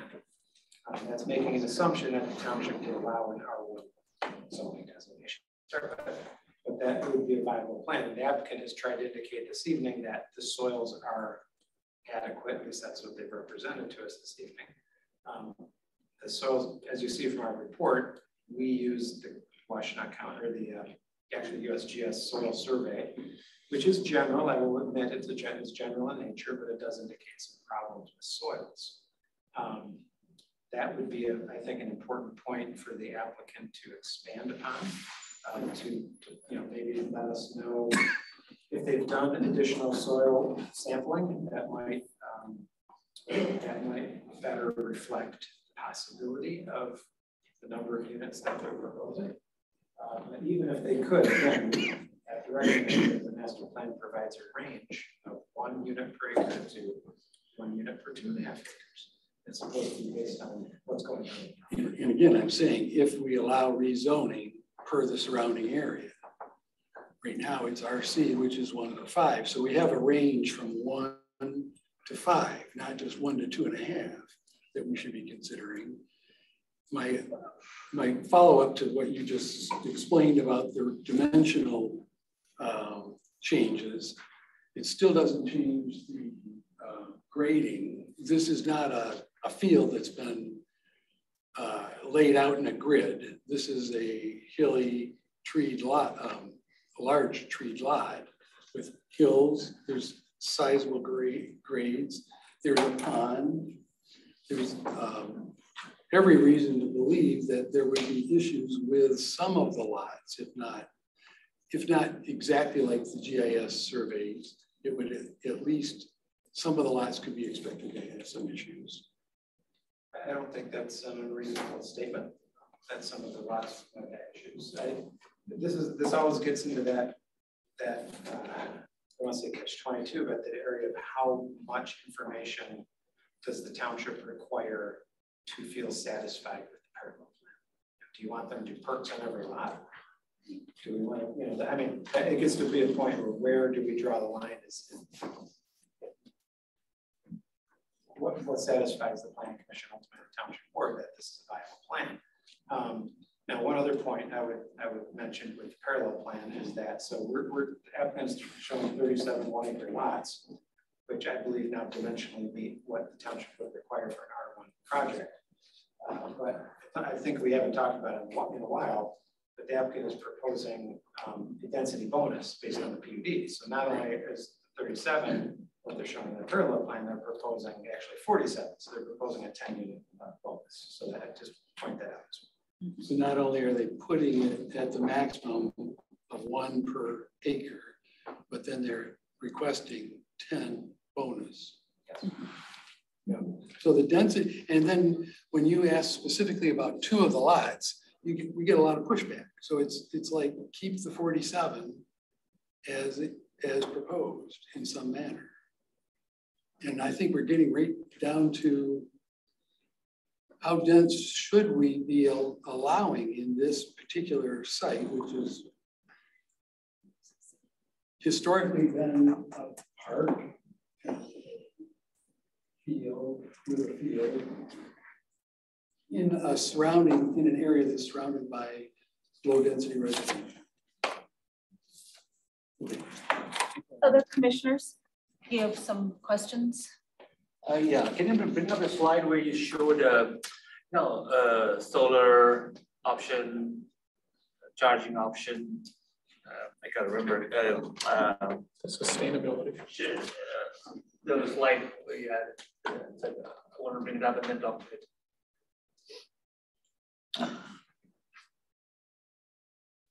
Charging stations. Yeah. Uh, yeah, that's perfect. Yeah. Okay, good. So these things that you talk about here, uh, solar option, uh, what does it exactly imply? People who want to have panels on the roof can opt for that, others cannot? If they want to purchase, if they, if some people want to have solar panels on the rears of their roof, they, that would be an option that they could. This option, so they And the rears of their roof? I, I guess on the rear of the. Wherever the- they The, the sun side, so. My question is, is this place positioned to provide that kind of facility? The angle of the sun, et cetera, et cetera, whatever that is, or is it just? I, I guess it would, there's some would be on the rear, some would be on the fronts, so. Is this location lot appropriate right for, you know, there's a great, there's, there's some kind of information available from government. Your house is suitable for this or not suitable for that. So is this subdivision suitable even to take such panels and, and, and be able to produce electricity, I mean, et cetera, et cetera? So these houses would be. What's the index called? I'm forgetting the name. It comes to my, my bill every month. I think. Um, these houses are oriented, all but the four lots on the east side are oriented, so the longest dimension is gonna run east-west. So have you? So the, if you're looking at this image of the house, so they would have rooftop. Yeah, no, that's not the point. That's not the point. They, they can have them any- anywhere they feel like.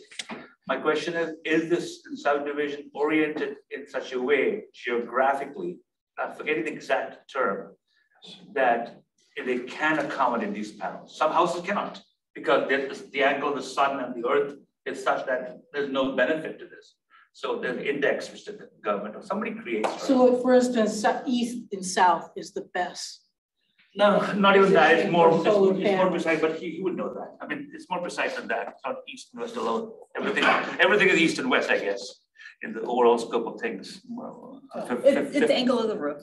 Yeah, Oh, so, I see. So that's my question, I guess, and, uh, looks like, I mean, because it's like saying, yeah, I wanna, I'm not sure what index you're looking at, but the way these are oriented, yes, we would have that opportunity. I'll have to look up the specific. no, no, there is one, there is one, definitely. I, I, in my bill, uh, something that comes up. I live further north than here, and the index there is Anyway, perfect. so solar. I guess the question then, okay, so let's assume this place is suitable for that. Let's assume for a minute hypothetically, I don't know if it is or not. Some people may say, no, we can't afford it, so we don't want it. So that's kind of the approach, right? It doesn't necessarily mean that anybody would purchase this option They would have the option to purchase it or not. or not, okay. That kind of uh, doesn't So necessarily would- mean that it will be a So green would the- would the- subdivision. Would the units, be- Everybody will save money, right? Would the units be solar ready at least? Even if they didn't want it right now? Meaning is the structure and the wiring in place for it. What, what, what, yeah, that's a good question. When you go in at the structure of almost all your modern buildings, if you build them cold, there's enough systems out there that will accept them, because I've got them in some of the other There is stuff. a specific de- definition for solar ready, um, that the DOE has, um, and, yeah. Um, And in order to be, uh, also effective, they would need to be all electric or all electric ready, and I haven't heard anything about that.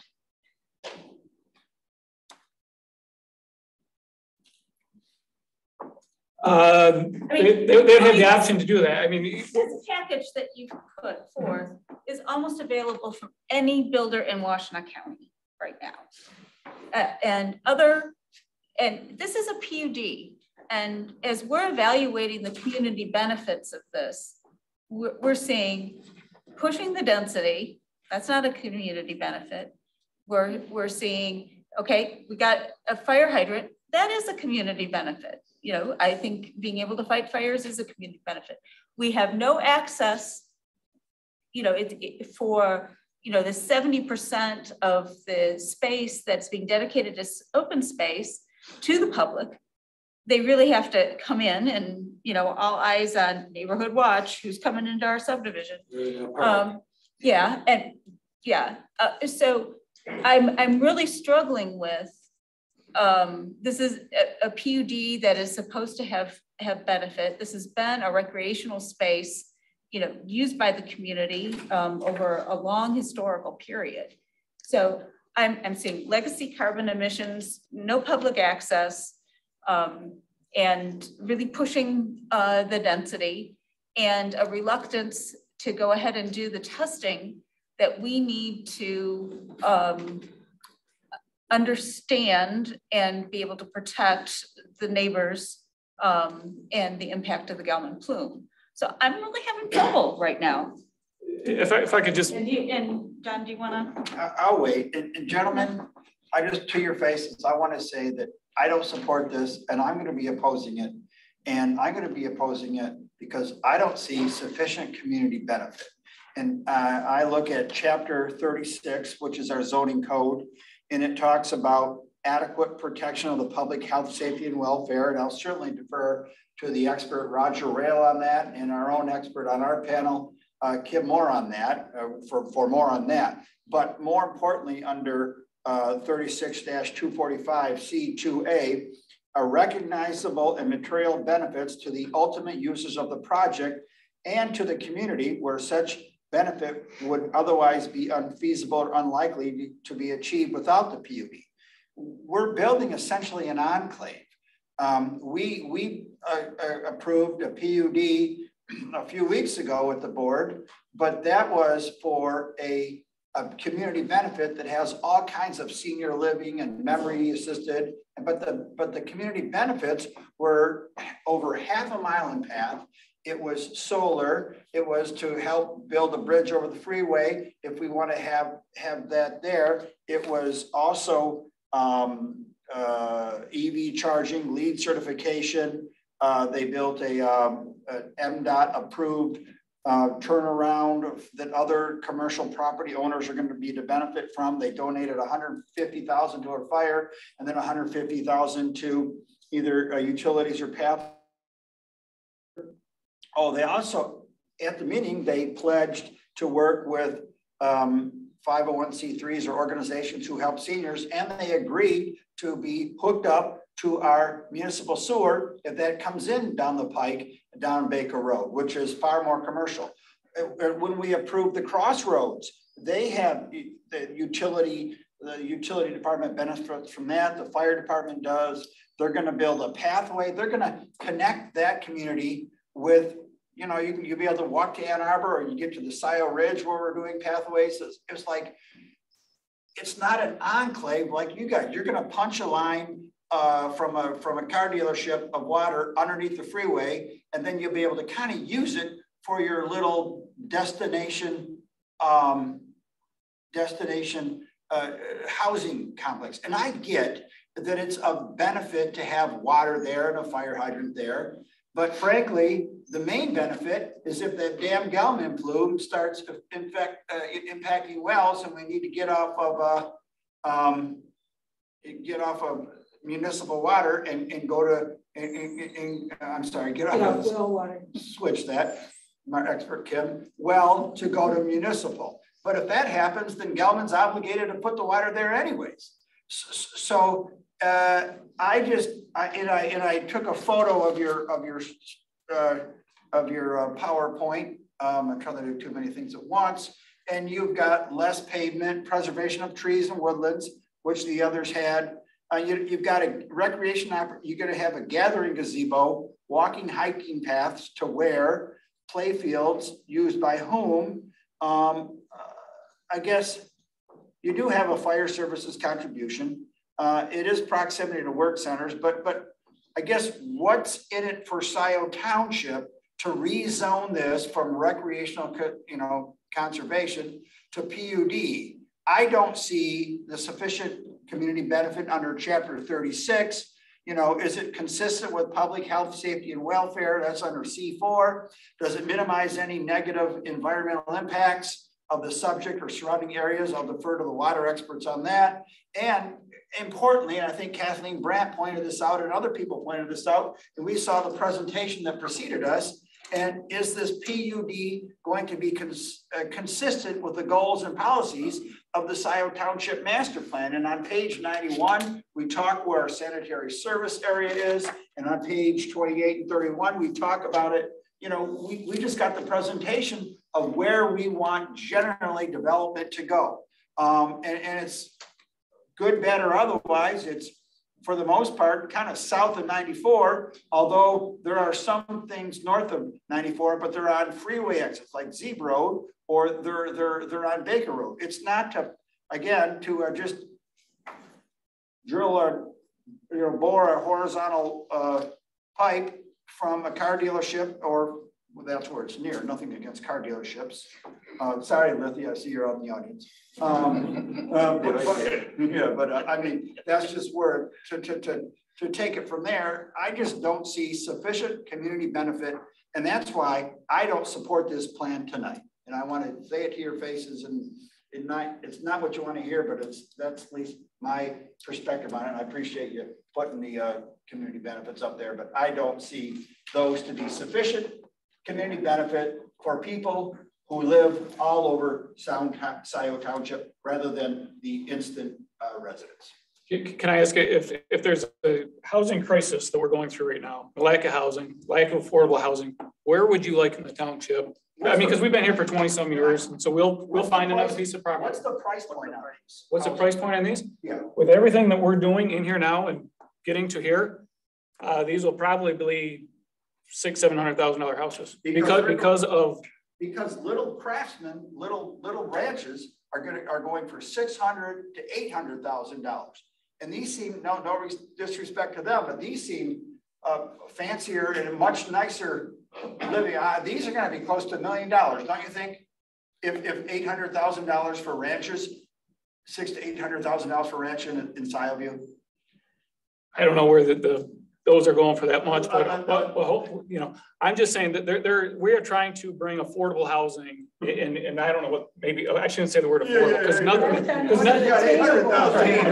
Attainable, because nothing. And you know, back then it was 400, 500. I know, that was before we had to bring water, you know, I mean, to be honest with you, going to the parallel plan and the, the tree mitigation, what we're paying to bring the water over probably takes care of the tree mitigation for us. So, I mean, from a cost standpoint, we could probably go back to rezone it and go with the parallel plan and be a cheaper development than this year. You wouldn't get that rezone. But, but master plan says.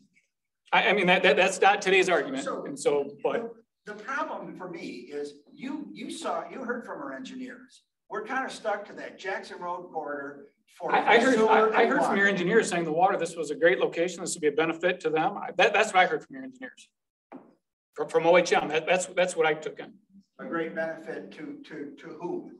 It, it's a benefit to the, to the fire department. I believe your fire chief said that would be a substantial benefit to the community to have a fire hydrant up there to serve that side of the township.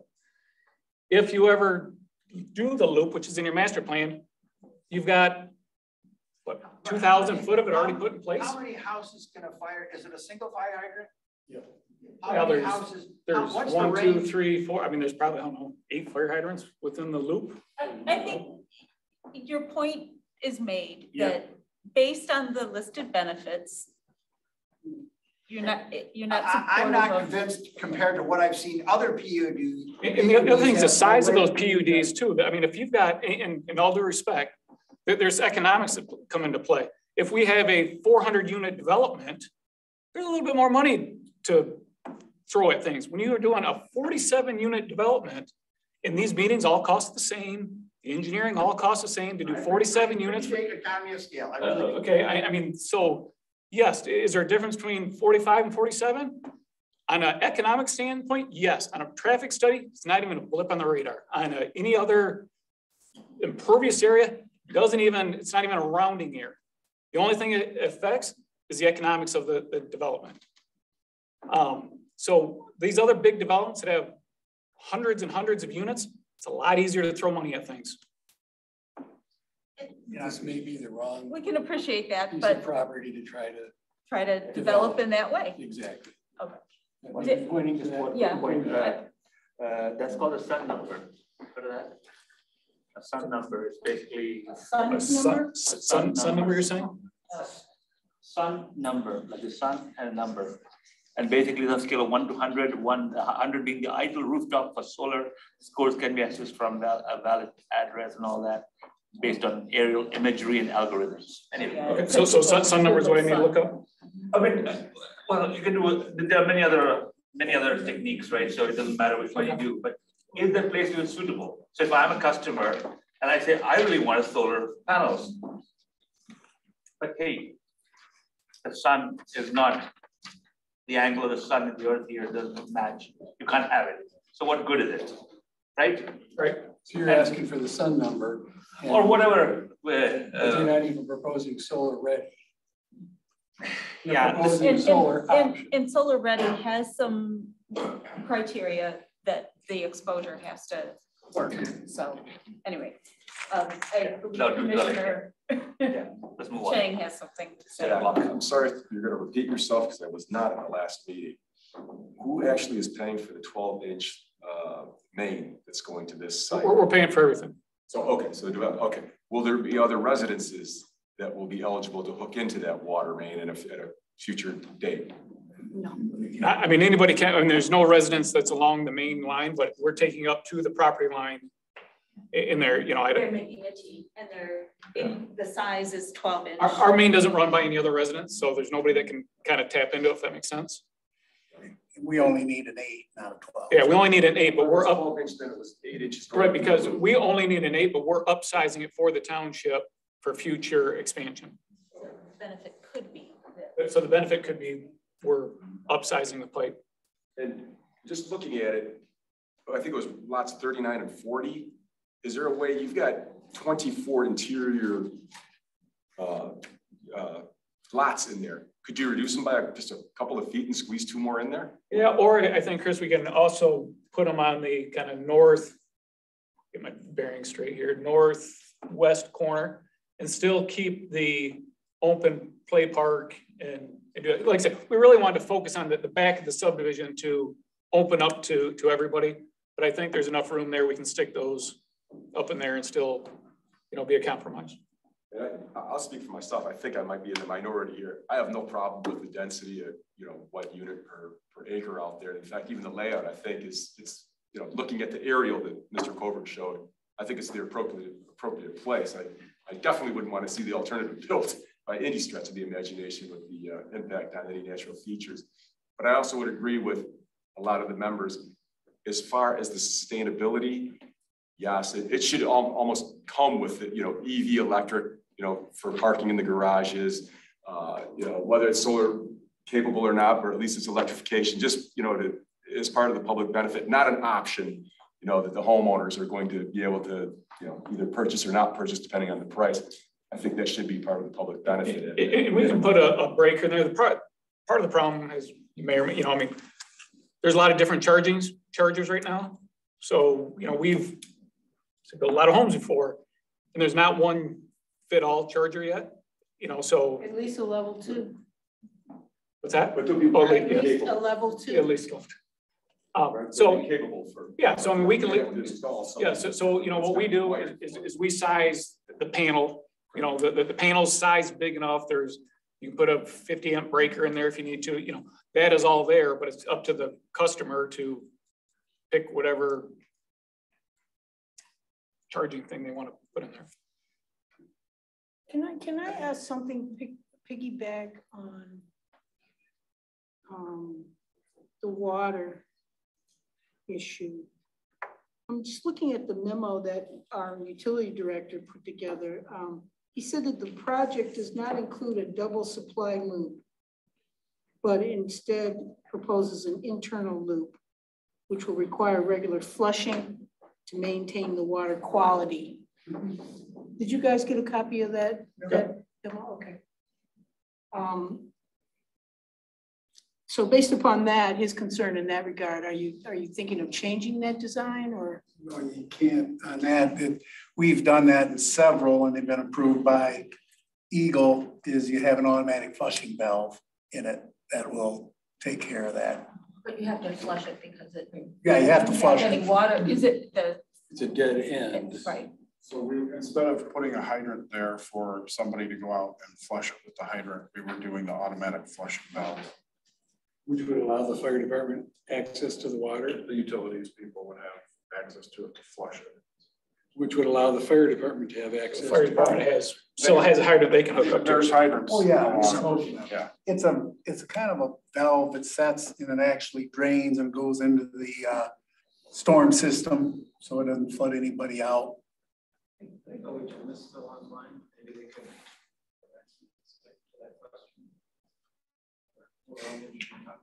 About the flushing, you mean? Yeah, just, Yeah. not Kim's question. Yeah, because they were in the same meeting that we talked about with the utilities director. What we're getting, right, is Chris, um, and in no way am I questioning your statement, except to understand it. You said you didn't have a problem with the density of one unit per acre. You were aware, I- you have to be aware, the lots that they're proposing are not one acre each. Correct. This is a forty-seven acre site, forty-seven units, so it. No, it's a thirty-seven acre site. Oh, Forty-seven units, okay. I didn't know. forty-seven I thought it was units. Because 47 Because they're asking for a bonus. Okay. Ten bu- the So in density reality, bonus. They're getting the ten, okay. they're getting a ten bonus because they're making it a PUD, so it's not just one per acre. For the- mm-hmm. So the exchange to that is really the seventy percent open space and best management practices. And This is a question I, you know, I just want to follow, maybe it's for Mr. Malone. Is there a, a- maybe a parks contribution we could ask? Is that, is that allowable under this PUD to, if, since this is really for the private residences? Is there a formula the township has that, let's make a contribution to the parks department? No, there's no formula there. I- Yeah, it's, So it's like just all that, you know, um, Yeah, I, I, I, is Stacy or Sally on board still, for Matt? Hey, Chris, I'm gonna, does Sal have a parks department? You know, they do, but They have a parks. Advisory board. advisory. well, we have a, we have a You're on. staff member. PPP. I am, but I didn't know if we could actually ask for a PUD for a contribution to the. to the parks. It's, it's like an advisory, I mean, it's not a full, it's like an advisory. So Matt is, uh, Matt is raised his hand. Try to Okay. answer Kim's. Yeah, Doug, can you repeat that question again and I can answer? Sorry. Uh, So, so um, I'm looking at the memo uh, put together by the utilities director, Steve. Um, And in it, he says that the project, meaning the K of C project, um, does not include a double supply loop, the water that would be brought in, but instead proposes an internal loop which will require regular flushing to maintain the water quality. Um. EGLE Yes. normally frowns upon these closed loop systems. So I Yeah, asked, I asked the folks from um, Norfolk whether or not they would consider changing that. And Yeah, so just real quick, my explanation on that would be um EGLE EGLE would have to consider that and would have to review and permit it. Um the single supply would be coming from across 94. Um you know, one day if the North Loop was connected, obviously would be a double loop system. Um that's what we would prefer. Um but the applicant has proposed like a flushing valve or a blow off. And so really what that would require is um, you know, as the subdivision develops, say um only 10 or 12 houses were there at first, you could get some stagnation in that water. So you'd have to flush that water periodically. Once all 47 houses, if they were to all develop, there would be enough flow through there where you wouldn't have uh much stagnation if any any issues. And then obviously if you connected to it in the future, ran it east or west, um, you wouldn't have any issues. So uh, the utility director is correct. There are some concerns with the maintenance and upkeep of it, but um, it's it's fairly minor. And uh, as the applicant mentioned, they could do some kind of an automatic flushing valve or something like that. So there's solutions around it. Not optimal, but it would be something that EGLE would probably be looking at as well. Um, so hopefully that answers your question. Yes. Oh, is the flushing meter, do you know? It would not be metered, no.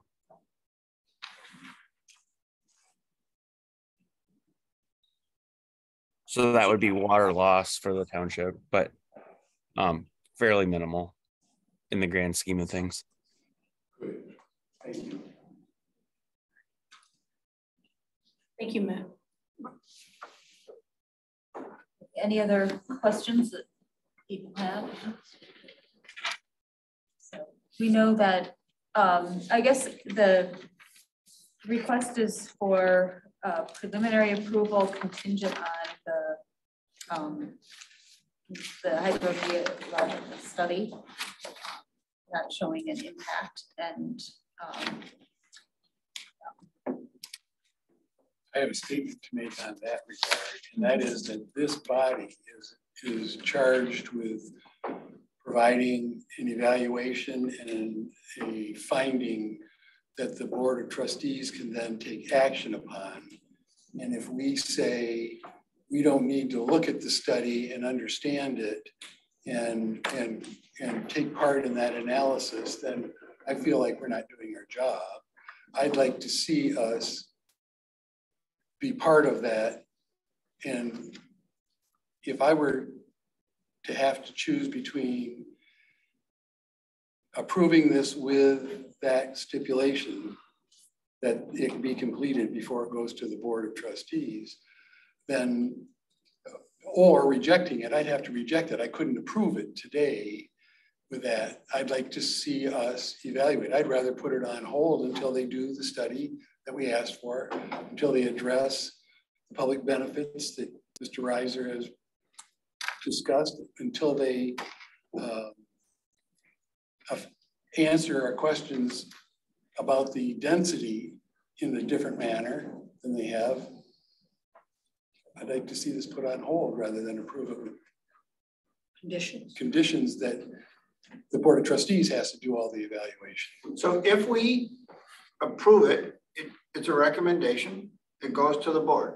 If we recommend declining it, it's a recommendation, it still goes to the board. And the board can do with it what they will, and they can do what they will to get it ready for board consideration, whether that's a study or a non-study. They might read the tea leaves and decide why pay for a study if the board's not going to approve it or this body's not going to approve it. I mean, that's up to them. I'm prepared to vote this down tonight, but that's only my vote. I'm one of five, six. No, yeah. So, um, are you done? I'm done, yep. Yeah. Um, I've done a lot of thinking about this project. I've read all, many hours of thought put into this, not as much as you guys. Certainly put a lot of energy into thinking about it and reading stuff and trying to educate myself. That was why back in a year ago, we decided to meet with our experts to really get a handle on it because all these questions were coming up. Um, I'm not going to vote for the project until I see a hydrogeological study. I'm uncomfortable with moving forward with a preliminary PUD without knowing that. I think that's uh, fundamental to my being able to approve a preliminary PUD, uh, preliminary site plan. And uh, secondly, I agree with uh, Commissioner Reiser and his concerns about the community benefits. I'm also concerned about, uh, Mr. Hyde has highlighted for us the density issues. Um, it just seems like there's so many things about this project that really aren't your fault. I mean, you, you're taking the land you're trying to build on, you're taking it how it came to you. Um, but there are issues of like the sun number and the solar ready and this and that, but those, those we could probably work out. I'm sure you guys um, could, would work with us on that. It's, it's really these density, the density issue, this parallel plan, this hydrogeological study, uh, which in my estimation is the most important, and the community benefits. So for that reason, I am, I, am, I do want to vote today. I think, um, I forget your name, sir, I apologize. Jim, we, Jim came back here tonight he wanted a decision last time because we didn't have all the information. He agreed to postponing to today. And um, after having all the information and thinking it through, um, I'm, I'm, prepared to vote today. Um, and uh, that would be my recommendation to the Board of Trustees that it be denied.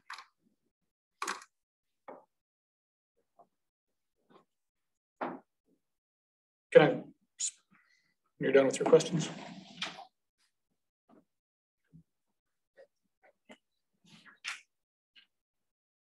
All right, so we're ready to entertain a motion. Can, did, I, did you want to? I, I, did, I, but I didn't want to. You know, and I, I, you know, I think I talked about this last time. You know, again about the study. Nobody's denying that the study needs to be done. What we're asking, we're trying to get to is is everything else okay? And that's what when we asked here, what we're looking for tonight is is everything else. You know, just take the study and set it aside for one second is everything else okay with the exception of it? That's why we're asking for approval contingent on that study. You're not approving it unless the study comes back thumbs up or thumbs down. If it comes down th thumbs down, it's a denial. So we understand that. There but, but there are other issues. Well, so, so so what we're trying to get to is like you know the death you know so we're trying to work out all the other issues without spending a hundred and some thousand dollars on a study that we could, if I had that study and it said it was approved today, would you vote for this? Would you vote yes or no? If I had a, a, an approved hydrogeologic study today, would you vote for this project? You want me to answer that? Yeah. If you had Please. a study today that said that the wastewater discharge would not alter the patterns of the groundwater flow that could move higher concentrations of dioxane to existing residential water wells in the surrounding area, I would probably vote for it. You would vote for it? Yeah, so I think so, we so, can, so, so, so, so that, that's I think what, that's what I'm work trying to out, get I mean, there's some other issues like density and all that other stuff. We can, I think we can work those Well, that- things out. that- I think you understand now, given the remarks of So- so- so that- so that- that's how we're trying- important the community benefits to us. So I imagine you would come back and work with us on that. So, so that's what we're, I'm trying to work to that. I, I'm not gonna agree, you know, I mean, I agree the study gets to be done, and that's why I ask if, if that study was here, would you be okay with everything else? And it, you know, if your answer was yes, No, there were other issues that I mentioned. so that's what I, I'm hoping, we tend to keep coming back to this Gelman thing. I'm like, I'm trying to get through, what are all the other issues over the last year's worth of meetings that we need to, to hammer out that we can all agree upon, and if we can agree upon them, except for this hundred thousand dollar study, I guess what I'd like to say is, little bit. that it is chicken and egg, but I think you've heard in it, it- that we're, there are multiple commissioners that um, don't think that there's adequate community benefit. And a lot of that is around it being an enclave. Um, and uh, the sustainability features are not above what is, is pretty average construction in, in Washtenaw County. Um, there are some who are comfortable with the density and there are some that are not. So I'd say that's kind of a split. Um, and I think the, the issue is, I'm not sure we'll get a black and white answer possibly to that question.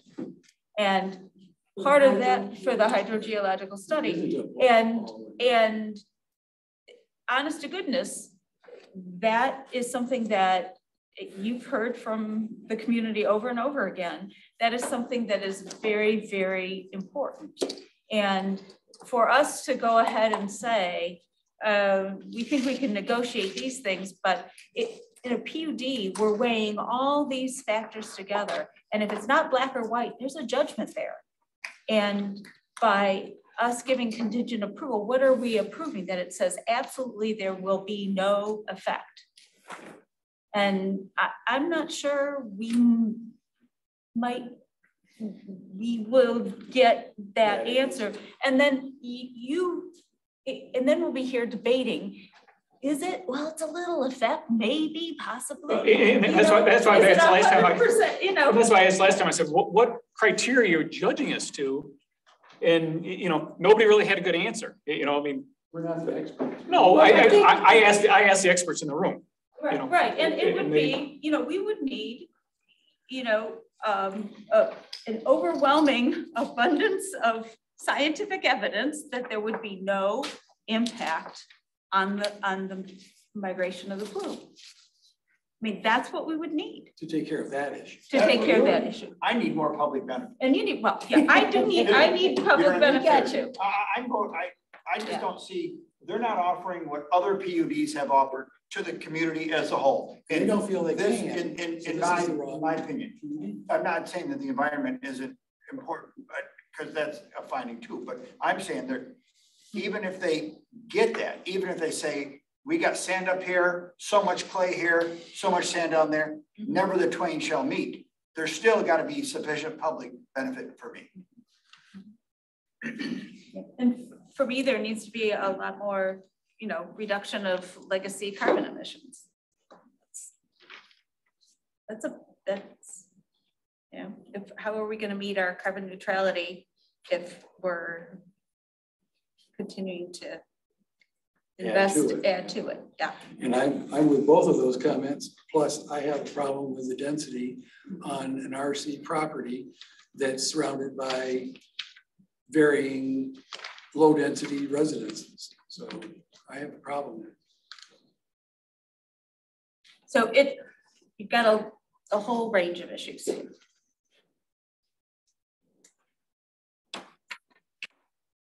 May I ask, is it, because I'm, I'm probably generally gonna be the only Person in favor. person in favor of this, Uh-huh. but is this something that's, you know, it sounds like it's going down, but can we still negotiate public benefits at a later date? Because I, I too would agree that's the one thing, yeah, as long as there's an the trustee- opportunity to continue to, to, We don't to ask for negotiate, more we, public we hand, benefit. we hand over it as we can, as far as we can.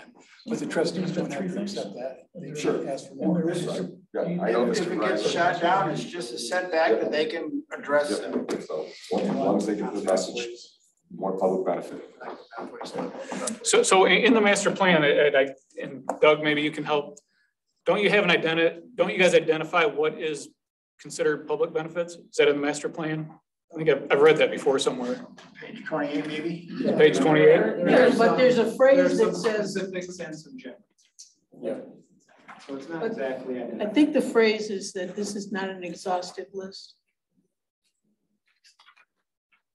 It's not an ordinance. It's not a checkbox. Suggestions?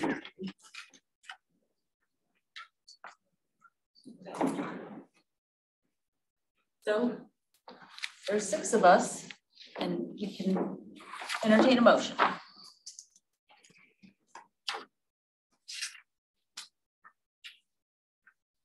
You and I are gonna make eye contact and signal each other as to whether one of us wants to make a motion unless somebody else tries to do it. I'm seeing if I can. Seeing none, I would uh, uh, move that based on, on the information received from the applicant and reflected in the minutes of this meeting, the planning commission finds that the Knights of Columbus preliminary PUD plan received by the township fails to meet the following qualification for consideration as a PUD as outlined in section thirty-six uh, dash two forty-five C of the zoning ordinance. Specific to thirty-six two forty-five C, qualifications of the subject parcel, the applicant for a PUD must demonstrate through uh, the submission of both written documentation and site development plans that all the following criteria are met. With respect to criteria number one, the planning commission find, uh, does not find that the intent of section thirty-six two forty-four is met. Number two, the approval of the PUD will result in one or more of the following. A, the planning commission does not find that sufficient recognizable and material benefits to the ultimate users of the project and to the community where such benefit would otherwise be unfeasible or unlikely to be achieved without application of the PUD regulations. Um, I'm not gonna choose B unless somebody amends it friendly uh, after that, or C. But with respect to three, the planning commission does not find that the proposed type and density of use shall not result in an unreasonable increase in the need for or burden upon public services, facilities, roads, and utilities. Four, I, I base that on 47 houses times however many trips it is going there. Number four, the planning commission does not find that the proposed development shall be consistent with the public health, safety, and welfare of the township. Five, the planning commission does not find that the proposed development shall minimize any negative impact of the subject site or surrounding land. I'm not going to collect six, but with respect to seven, I would say that the planning commission does not find that the proposed development shall be consistent with the goals and policies of the master plan. Based on the information received by the applicant, uh, and reflected in the minutes of this meeting and the discussion herein, the planning commission finds that the Knights of Columbus preliminary PUD plan received by the township fails to meet the findings pursuant to section 36-249D of the zoning ordinance and recommends a denial to the township board for action on the preliminary plan. Specifically with regard to section 36-249D, the planning commission does not find that in relation to the underlying zoning, the proposed type and density of use shall not result in a material increase in the need for public services, facilities, and utilities. And, well, I'm gonna, Yep. okay, that one, of in the material increase in the need for public services, facilities, and utilities, and shall not place a material burden upon the subject of surrounding land or property owners and occupants of, or the natural environment. Two, the planning commission does not find that the proposed development shall be compatible with the township master plan and shall be consistent with the intent and spirit of this article. Three, the planning commission does not find that the PUD shall not change the essential character of the surrounding area. And four, the planning commission does not find that the proposed PUD shall be under the I'm not gonna, I'm not gonna list that one off unless you're recommending that I do, Doug. No. Right. And that would be my motion. Well, second. I didn't, I didn't, is there a second? Well, I would like to amend that to say um, the concerns noted in the planner's review dated 424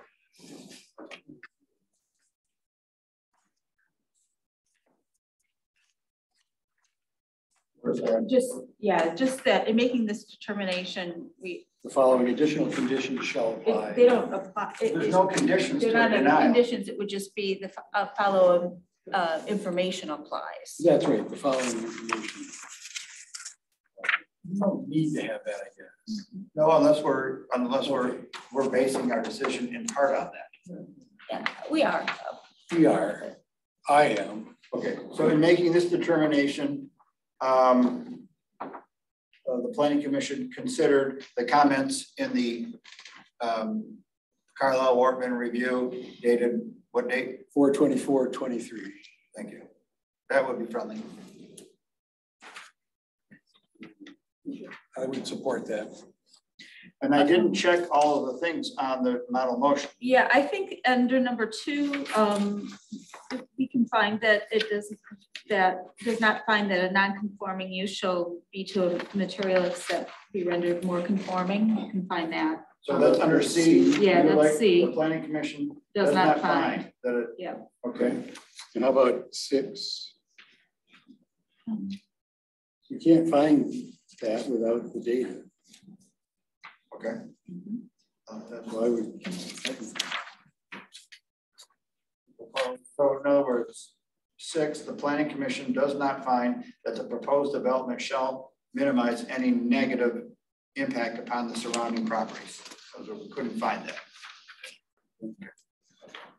Provisionals amendments to, I would, I would second. Okay, so we have a motion made by Commissioner Reiser and supported by Commissioner Hyde. Further discussion.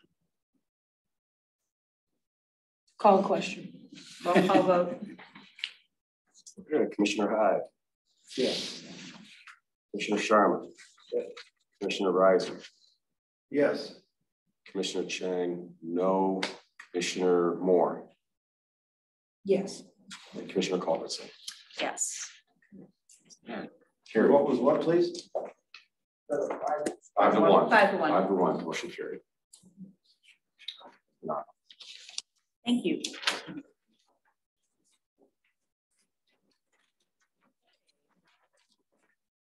Uh, Moving on to new business. Um, uh, We have the Palmer uh, Warehouse Building Addition. Yeah, do you want to,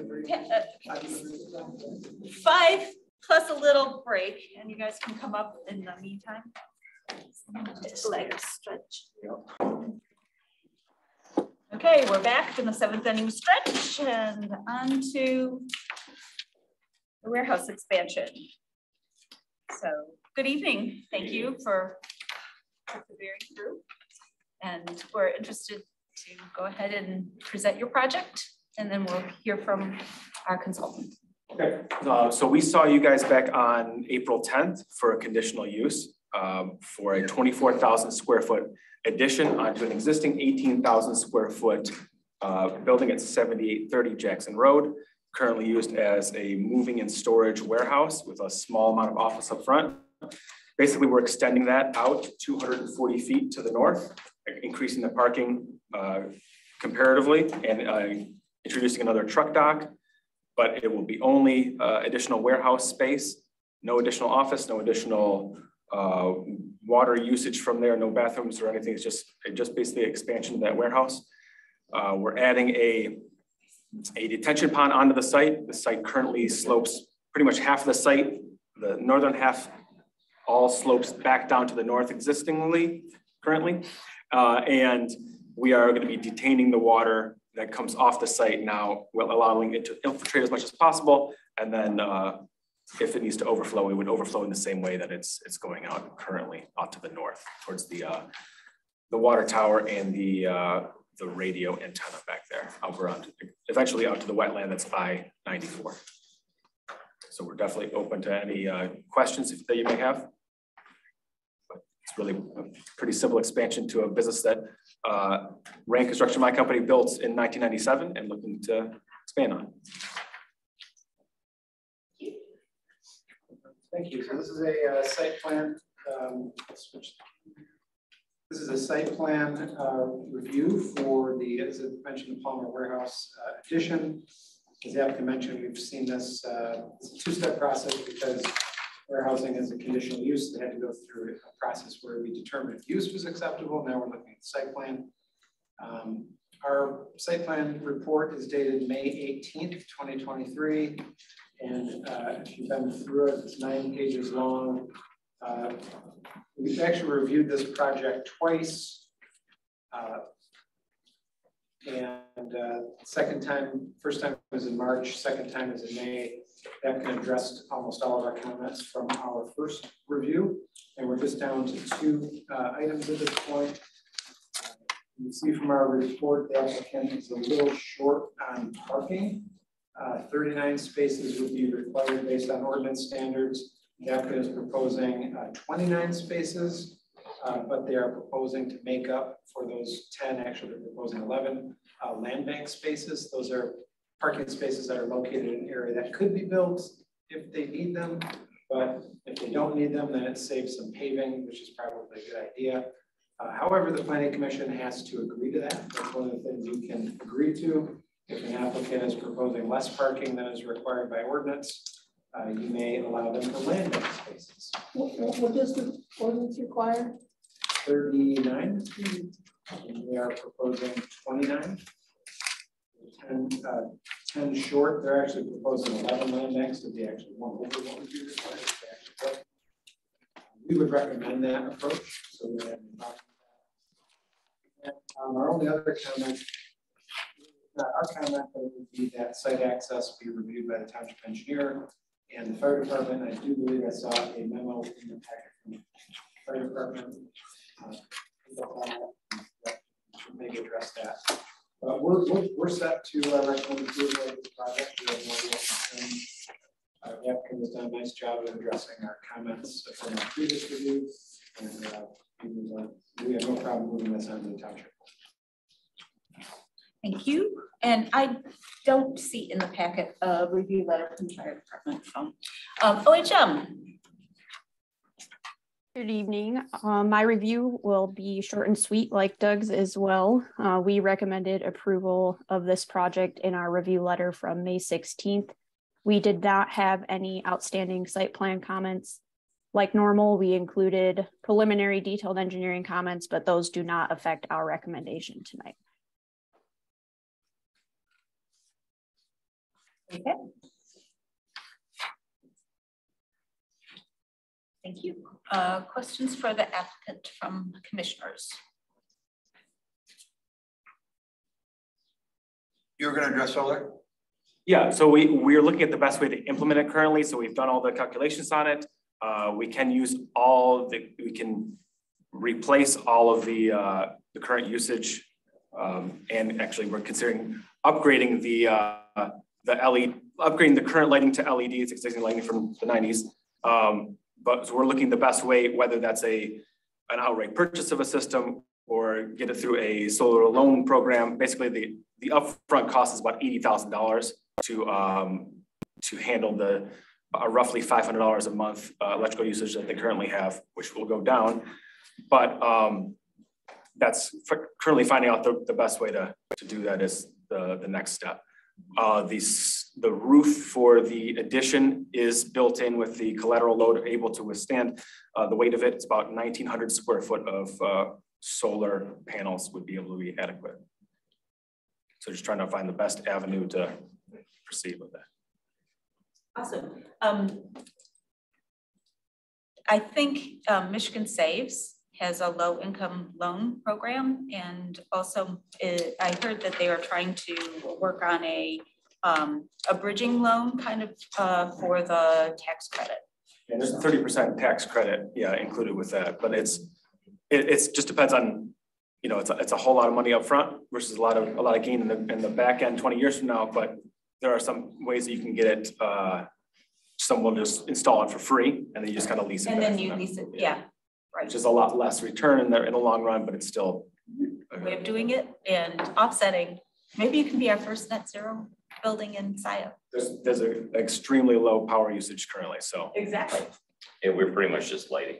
That's, that's. Yeah, I know, that'd be cool. And if all your, uh, uh, if you're all electric, it's even better, so. Awesome, thank you for going, pursuing that. Was the solar, where was the solar um, in the presentation? Was it part of it? No, we haven't put it in, as part of this. It's gonna be part of the building permit package, because- which goes to Washtenaw County, so it's not really a site plan approval. We don't have the interior um MEP systems developed currently.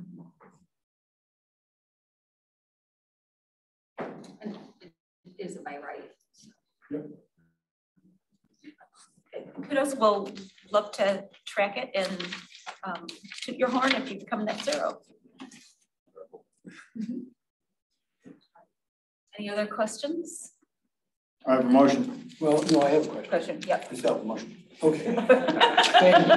Um, I see that you have garbage dumpster. Um, Do do you have recycling? Are you gonna have recycling picked up? The, uh, our old provider, which was Advanced Disposal, was separating. It would, would go to a MRF and separate it. They went out of business or sold out to, uh, Waste Management. I don't know what Waste Management's doing with it So you yet. aren't separating it? We don't separate it, no. Does our um GFL Yeah. do commercial? You, you have. They have to set up You have to, something. you have to, it's, but you have to pay for it. So it, I guess what, I think the point is, um, can, can you agree on your site plan to provide space to do separate recycling and trash. I, I'm not sure if there's gonna be enough to be able to recycle, because they, what they have now is they have pallets and they have just their office waste, you know. Yeah, we don't kitchen trash for the generate, I office. mean, it gets dumped. once Or maybe it's a cart. Yeah, it, it's, it's don't not a whole lot, You don't so have packaging that you have to get rid of. very little, very little. It's mostly warehousing. I mean, we do have some cardboard, um, that comes back, um, from jobs, but not a lot. Like I said, I get it dumped once a week. And it's a six yard dumpster. It's not like a big forty or anything, you know. It's a- I- mean, I, think just uh, having space to, so that you can do separate recycling. Yeah. I mean, realistically, what most we do with the cartons that come back is we offer those free of charge to people who then want to move. So they're, uh, they, they come in and go right back out. Even your papers. Mhm. Paper does come. So, um, We can do that. You have a, Good. a motion contingent on providing space for recycling? Yes, uh, the, uh, based on the information received from the applicant and reflected in the minutes of this meeting and discussion herein, the planning commission finds that the site plan for Palmer Movie Ann Arbor Warehouse Building Addition SP number two three zero zero four meets the required standards and findings for the final site plan approval pursuant to section thirty-six one eighty of the zoning ordinance and recommends approval. The site plan is granted uh, with the following four conditions. One, concerns noted uh, in the township planner review dated 2023 be addressed. Two, that the concerns noted in the township engineers review dated 4 26 2023 be addressed. Three, that the planning commission recommends that the applicant be permitted to have twenty-nine parking spaces instead of the um, twenty-nine spaces thirty-nine Instead of the ordinance spaces required. otherwise required, provided that eleven spaces are, are uh, land banked. And four, the applicant agrees to work with the trash provider to maximize recycling efforts. Um, Is that sufficient, Jen? Well, provides. Or- And, and to, It's just provide, provide space. and to recycling. provide space for recycling? Yeah, Okay, Can I, can I put, I heard reuse, so reuse, and recycling. recycling and reuse. yeah, right. recycling and reuse efforts and to provide uh, re- space therefore. Can I double check that? I wrote down a different en- uh, township engineer's letter date. I had four twenty-six, uh, twenty-three. But I defer to you. I have it in front of me, the revision four twenty-six, twenty-three. Okay. Yeah, the thank you. final one. Thank you. Okay. Support. Support by Commissioner Moore. Um, is there further discussion? Right, roll call vote? Okay, Commissioner Hyde, Yes. Commissioner Sharma, Yes. Commissioner Reiser. Yes. Commissioner Chen, yes. Commissioner Moore, Yes. and Commissioner Culbertson. Yes, All right, it's carried. thank you. Thank you. Is it near one? Let's have time. Sorry, you had to wait. Oh, no problem. Don't worry, we got, they got what they wanted. All right, uh, Turkey Run, new private road.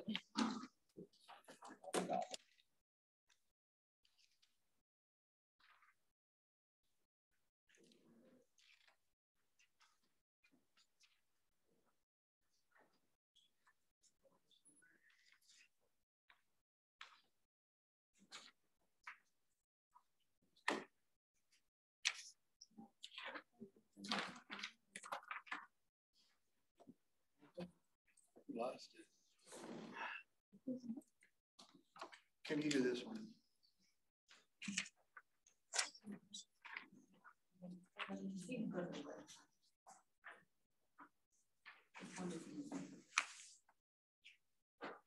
Okay.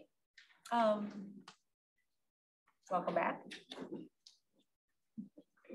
All right, you want to just highlight, uh, Yeah, I a can bit give you of a your quick, proposal? yeah, I can give you a quick highlight. Um, I think you saw this project, uh, about a month or so ago, came through for rezoning.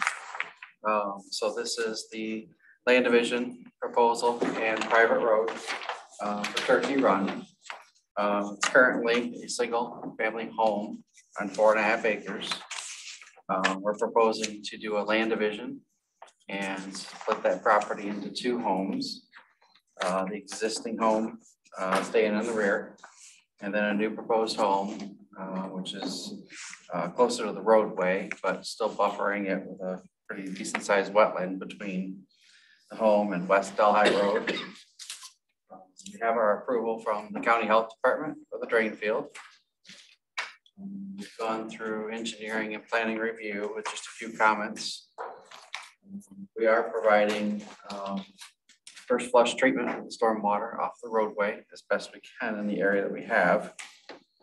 Um, and we are seeking a variance from the ZBA. We're on the agenda for Thursday to get a variance from the wetland setback buffer.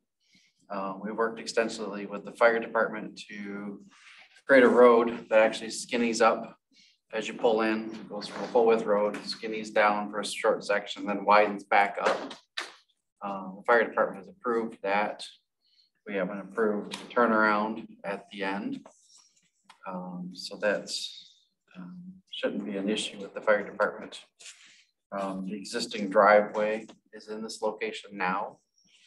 And to go anywhere else on the property would create a large impact to the existing. More so than the uh, offer that we're seeking a variance for at this time.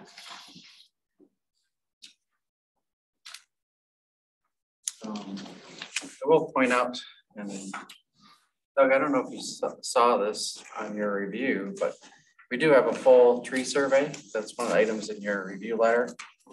Um, on page two, page three. Um, we surveyed all of the trees on site, including the DBH and health. And then on page four, we've listed all the trees that were going to be removed and provided our mitigation calculations there. Um, we currently have 191 trees on the property. Um, we have 41 of those trees set to be removed. Um, some of those are unregulated trees. So of those 41, we have 38 regulated trees to be removed, um, which are 20% allowable removal is that 38 trees. So we have no mitigation on site. But yet we are proposing to plant um, 17. 17, yes, thank you. Um, black uh, spruce trees. Black Hill spruce. That is, but um, kind of help create a buffer between the two proposed lots. I think that's about the full rundown of it. Um, I'll leave it up to you for questions.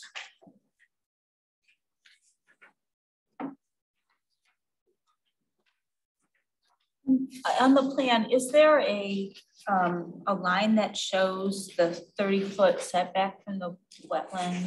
Yes, yep. Which page is it on? So Sorry. It does show on page four. Um, you'll see the thirty foot wetlands, So there's a dark line for the wetlands and then, you know, thirty foot. Oh, that's it, yeah. okay, Yeah, it's a I little got more faint than, Yeah. yeah. And then you can see the roadway does get close to it.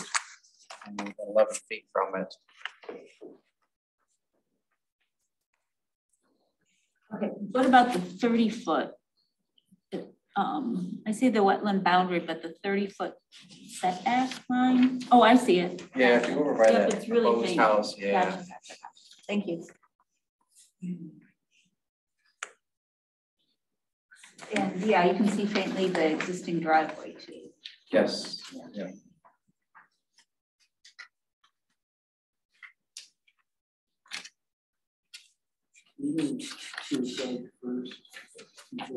Yeah.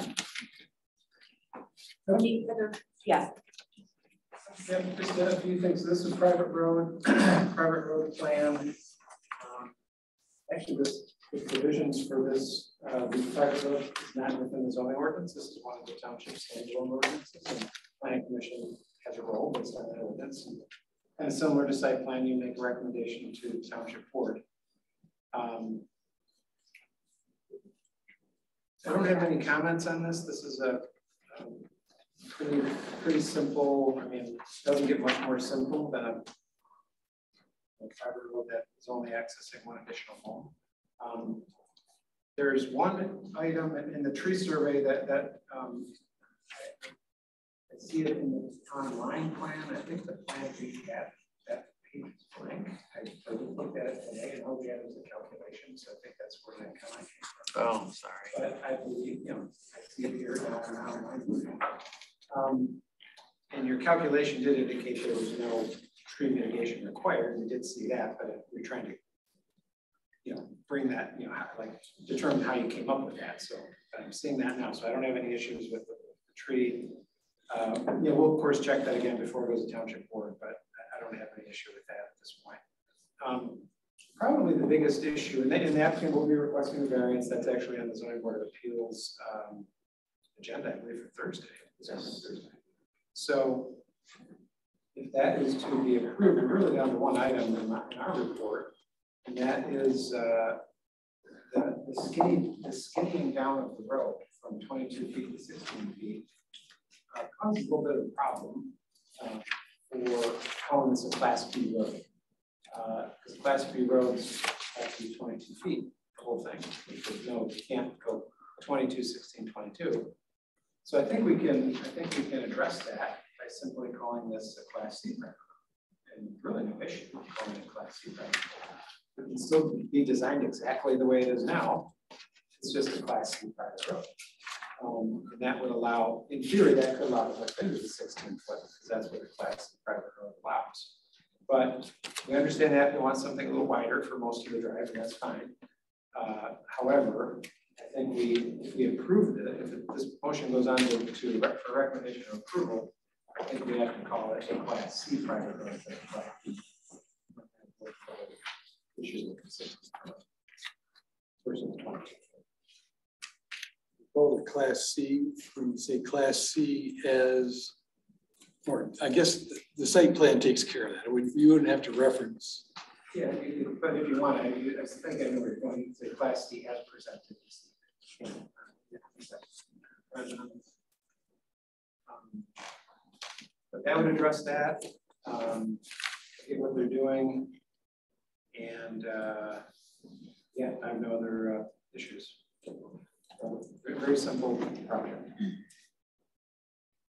Okay. Um, OHM?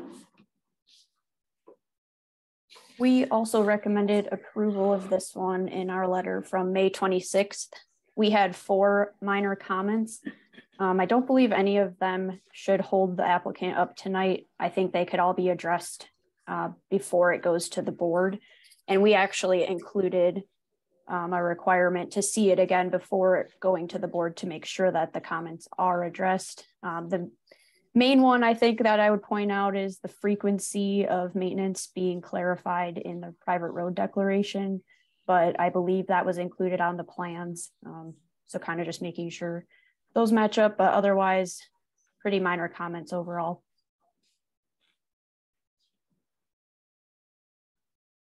Okay, thank you. One thing with regards to um, Stacy's review letter, she, she also had in here that we could make this a 33 foot wide easement. Um, we actually felt comfortable leaving it as a 66 foot wide easement because the road does meander through there. Um, and the small uh, forebay is actually within that easement as well. So that means that the homeowners both share in maintenance of the roadway and that um, forebay. So that was one thing we wanted to leave as a 66 foot wide. She, she said you could go smaller. Yeah, we could go smaller, other, yeah. Yeah, we just want to keep it quiet. Yeah. I should clarify something as well. Uh, we noted that it was a class C private road and I'm not sure if it did say class B on the plans and we overlooked that. That easement width, I believe only applied if it was a class C. Uh, but if you're looking to keep it anyways, then that comment is essentially addressed. Yeah, our intent was to be a class C roadway.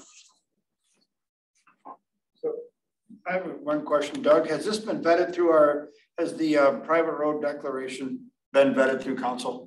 No, not yet. Okay, I'll make that a, I have a proposed motion that's going to include that. Okay. At, at the appropriate time. Yeah, that's fine. Uh, Questions? I do have a question on the road declaration document. Item 11 on page four and then five. I'm, I'm a little confused by the wording, and it could be that I'm just not reading it right, but because if any additional parcels, can you read that and see if it makes sense? I didn't bring that with me. Oh. So, If any additional partial parcels are created from the property, they will not have access to the private road, comma, each such parcel shall be bound by this agreement and will be deemed a parcel owner hereunder and thereby permitted to cast a single vote per parcel and be responsible for a share of the cost for maintenance and improvements of the private road. So if they're not going to be, if there will not be, have access to the private road, why would they have to pay? oh, it's to limit restriction from neighboring properties to connect to this. If any additional parcels are created from the property, no, we're talking about this property, I believe. That's how I'm reading it. So that's, so I don't think you're gonna have any additional parcels. So why is this future parcel statement in here? And if you are, why are you saying they won't have access to the road, but they have to maintain it? So I'm just, your document, I just don't understand. Mm-hmm.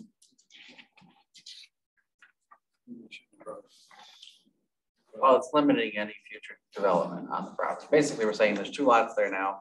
That's all that should be there in the future. That would be a simpler statement.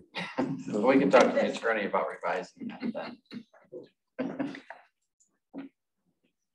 I have a, a couple, uh, just a, a question. The, I mean, the reason there's the buffer of thirty feet to a wetland is to protect the quality of the wetland.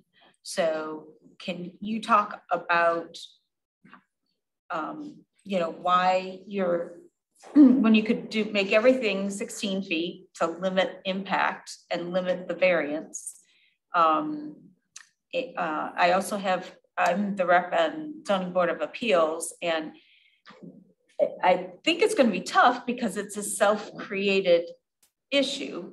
And so the hardship, you know, of, you know, you're sort of creating your own issue. Um, so that, uh, set that one aside just to prepare yourselves. But how, how are you mitigating, you know, the, um, the fact that you're so close to the wetland and the whole issue of the thirty, the thirty foot setback is to um, protect it. Well, let me start by saying the existing driveway is in the thirty foot setback. Um, so we really don't have much choice um, to put a driveway on this property. Um, we worked closely with the fire department in establishing the size of the roadway. And their requirement was, they, they do need to have two trucks to be able to pass on this roadway in order to properly service it with fire, which is one reason why we're at twenty-two foot. Um, and skinnying down just in the area that we really had to.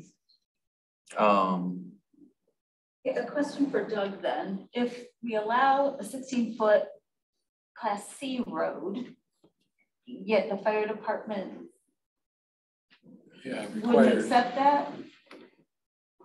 They could, no, the fire, fire department does, does, uh, well, we, we've approved sixteen foot wide private roads in the past. With passing area regions? Not necessarily.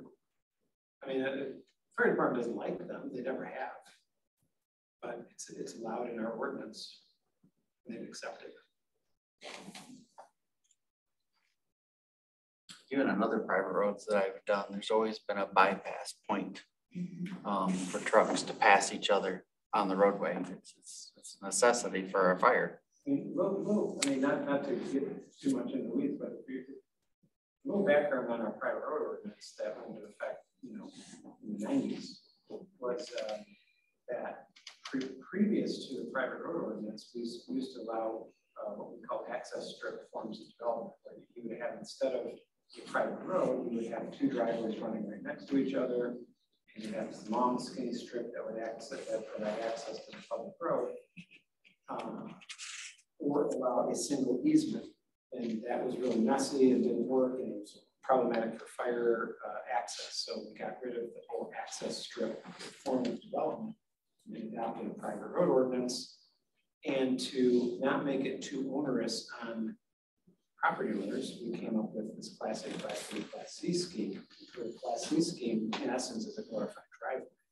Um, so in this particular case, it's tailor-made for gravel, you know, for, for not a very substantial road because it's basically providing access to one additional home um, that will actually be existing home is still going to have to use the entire new home is going to actually use the shorter road. So, you know, there's not many, I agree, there's not many options. So going back to the mitigation, how can we Yes. mitigate impacts on the wetland? So what we'll do is for the ZBA meeting, I'll have our landscape architect come in. Um, I know the wetland is heavily infested with buckthorn and a lot of invasive species. Um, the owner's already gone through a great expense having a lot of that cleaned out. Um, if you haven't been by there lately, a lot of it's been now removed and cleaned out. And they're actually in the process of um, replanting some of that with more native species to keep those buckthorns out. Um, he can go into more details. I mean, that's not on the plan. That's just something that's happening on site to help mitigate that and protect that wetland in that area.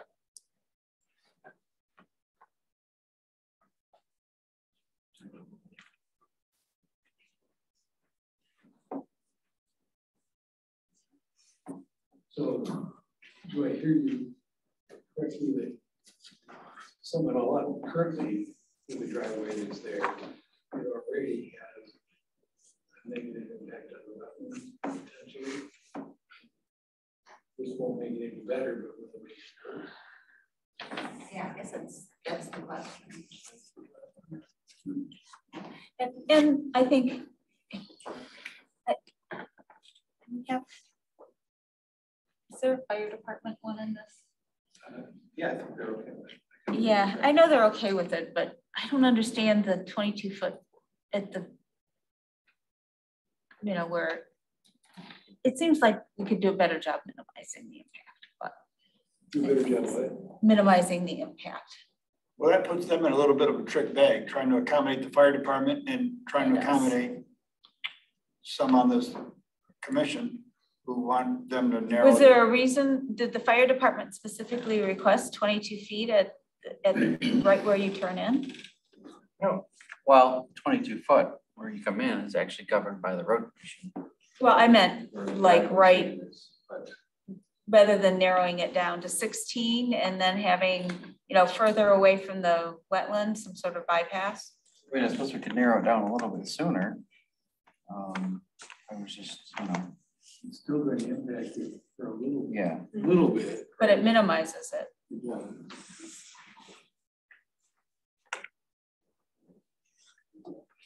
Because I'd be interested in, in, you know, of, approving it with a, um, to um, keep it at sixteen feet for as, as, as, um, as much as possible to minimize the additional impact on the wetland. What's, what's the fight, what's the chief gonna say or the marshal gonna say about that?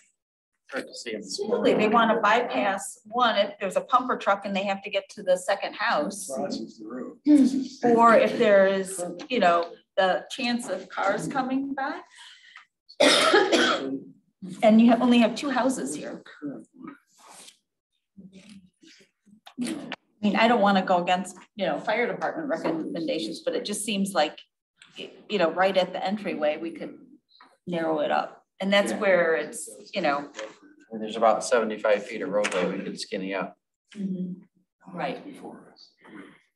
Which is less impervious surface, more distance for, you know, um, water quality, you know, hitting the wetland. So So to answer your question, fire department. Still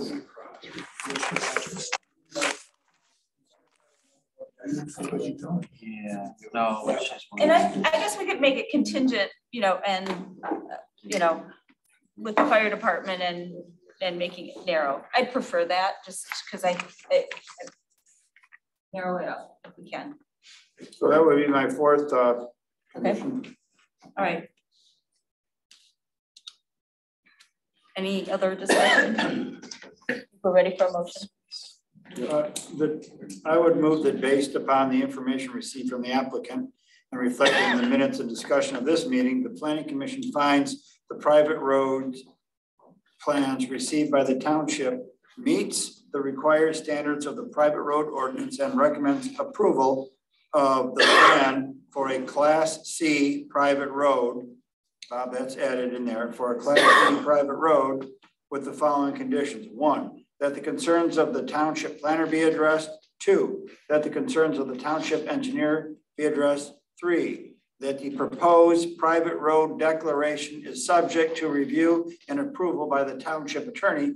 And four, that the applicant work with the Scio Township Fire Department to uh, narrow the private road um, as, as much as possible. Or, or as, as private road, maybe I'll just leave it to narrow the private road, period. Because, you know, the, it'll be up to you and the chief to decide how you get trucks through there. And you're talking about near the entrance to the road, because that's where it, Yeah, narrow, yeah, I was gonna leave it to him and the fire department to figure out where to, how to. how to do it. I mean, I don't mind, but I didn't want to step on, the chief knows more about how well, his you trucks. need to get mention through. wetlands in there, in that statement. To, to, yeah, to- Narrow to protect the wetlands. Yeah, that. To narrow the private road so as to protect the wetlands. Thank you. And you don't have to talk about where, it's just what. I, I like that. Mhm. Okay, uh, is there support? Support. Okay, Support with Moore. Commissioner Moore. All right, any further discussion? Roll call vote, please. Yes. Commissioner Sharma? Yes. Commissioner Reiser? Yes. Commissioner Chang? Yes. Commissioner Moore? Yes. Commissioner Thomas? Yes.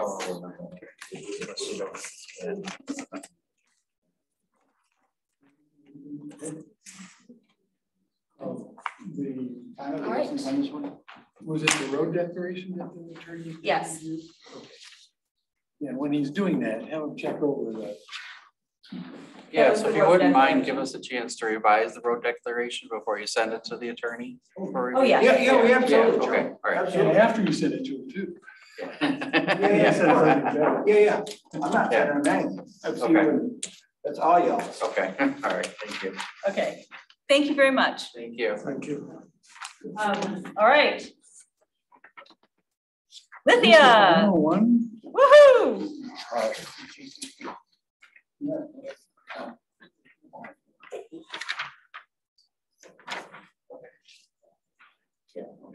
We could do some calisthenics if you want.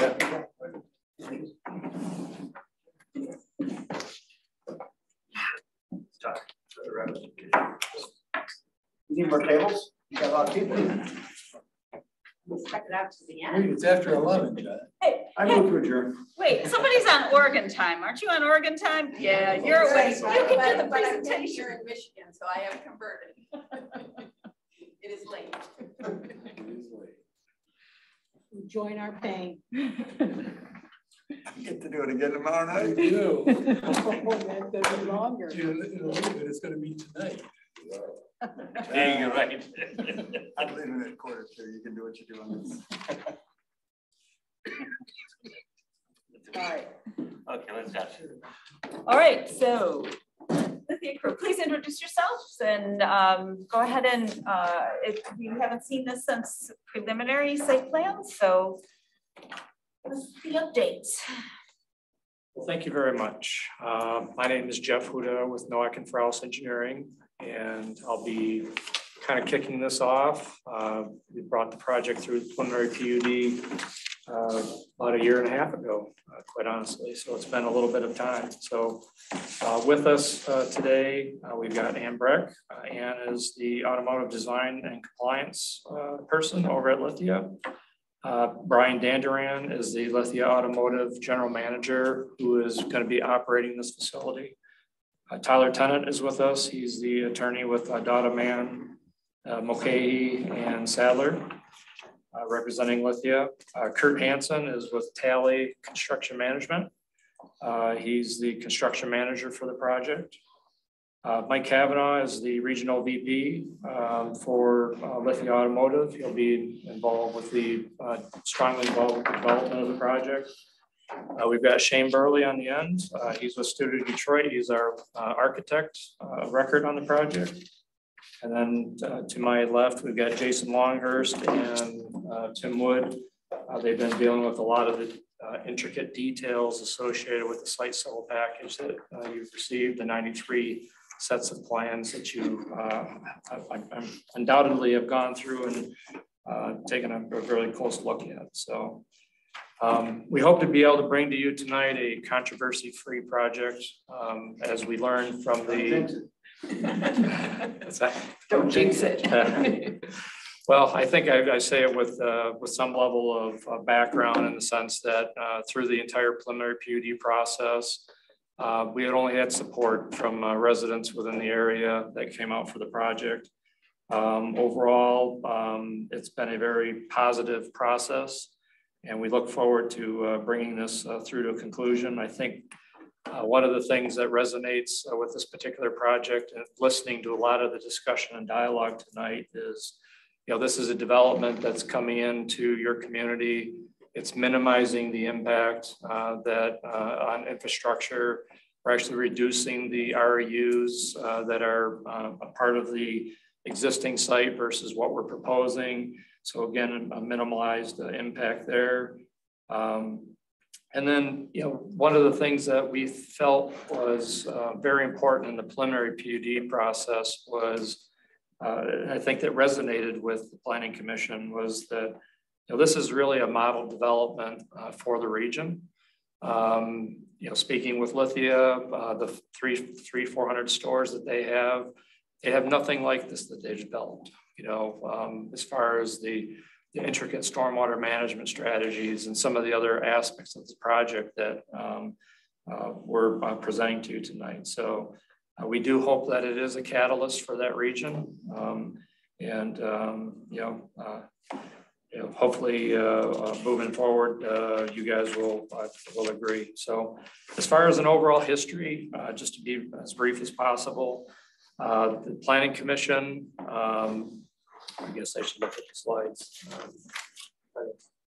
So this is site that we're looking at here. Um, it's between uh, Zeeb Road and Wagner Road on the, uh, the north side of the street there. So um, zoom in on the next slide. There's um, the uh, building that used to be there.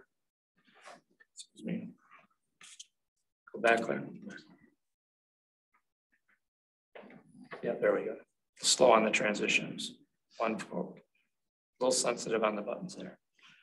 So uh, we're looking at uh, 18.14 acres um, on the north side of Z Road, Z Road or on Jackson Road. We've got Delhi Road to the uh, to the east, and we'll be talking about that in a little bit uh, more greater detail as we go through the presentation. Um, overall project timeline, PUD was approved um, in December of 2021 uh, by the Planning Commission. Uh, Township uh, Board of Trustees approved that uh, same uh, preliminary PUD uh, on uh, January of 2022. since then, we have secured approval from MDOT, which was a very key approval as far as stormwater management goes. we've also gotten approval from the Washtenaw County Water Resource Commission for stormwater. that approval was received in May. Uh, we also have the soil erosion control permit approved by uh, Washtenaw County uh, Water Resource Commission. Uh, we have uh, engineering approval uh, from OHM. that letter was issued in May.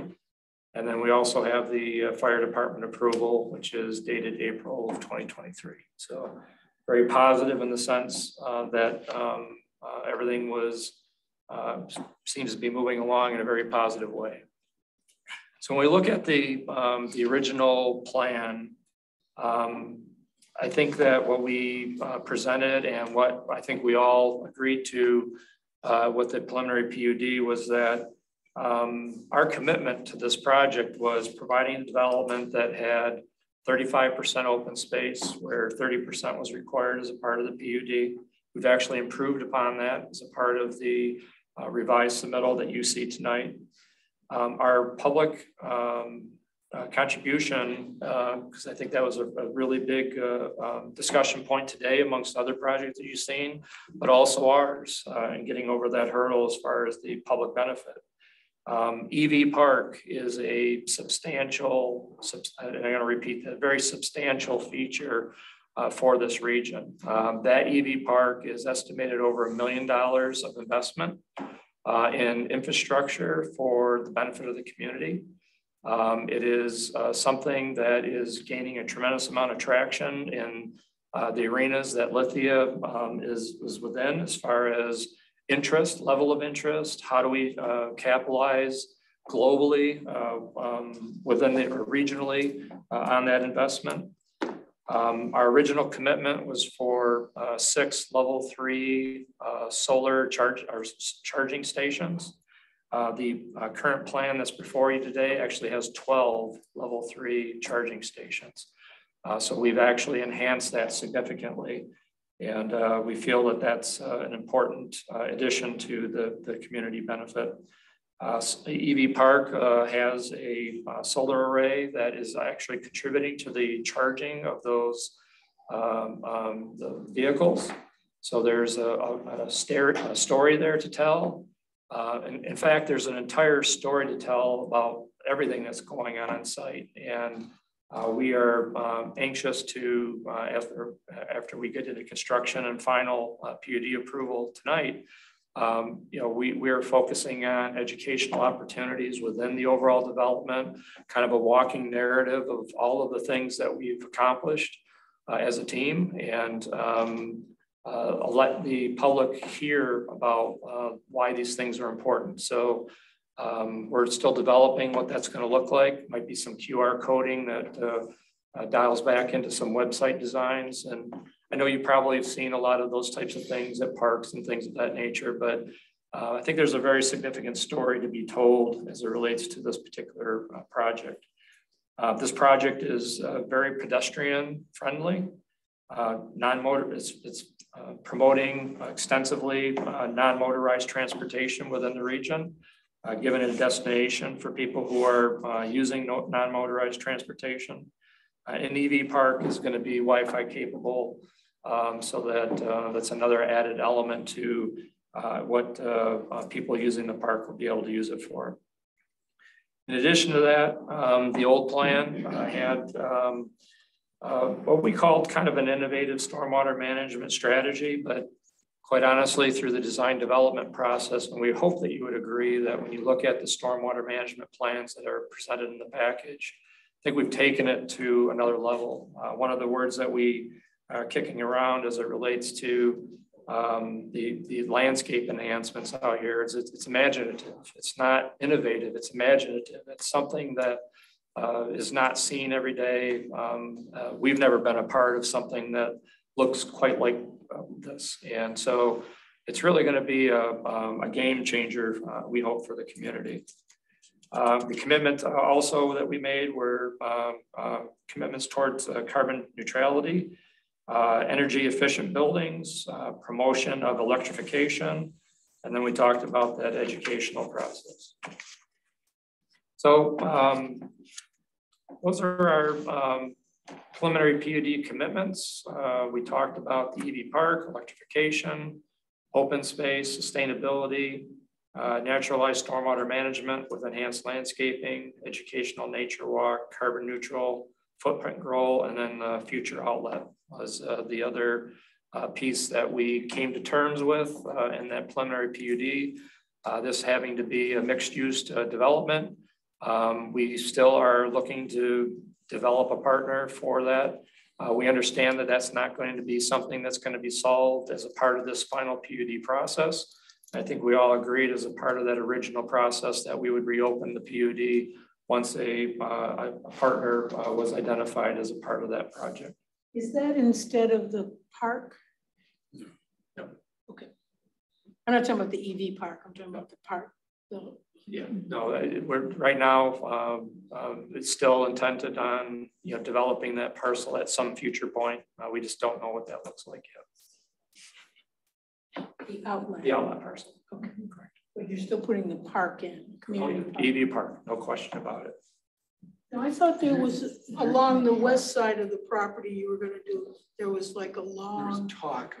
linear piece of property. We talked you were about gonna put in a converting, Park. we've talked about converting that whole piece into a park, but there was an interest on the part of the Parks and Recs folks here at the township. to Take over that as maintenance. They declined.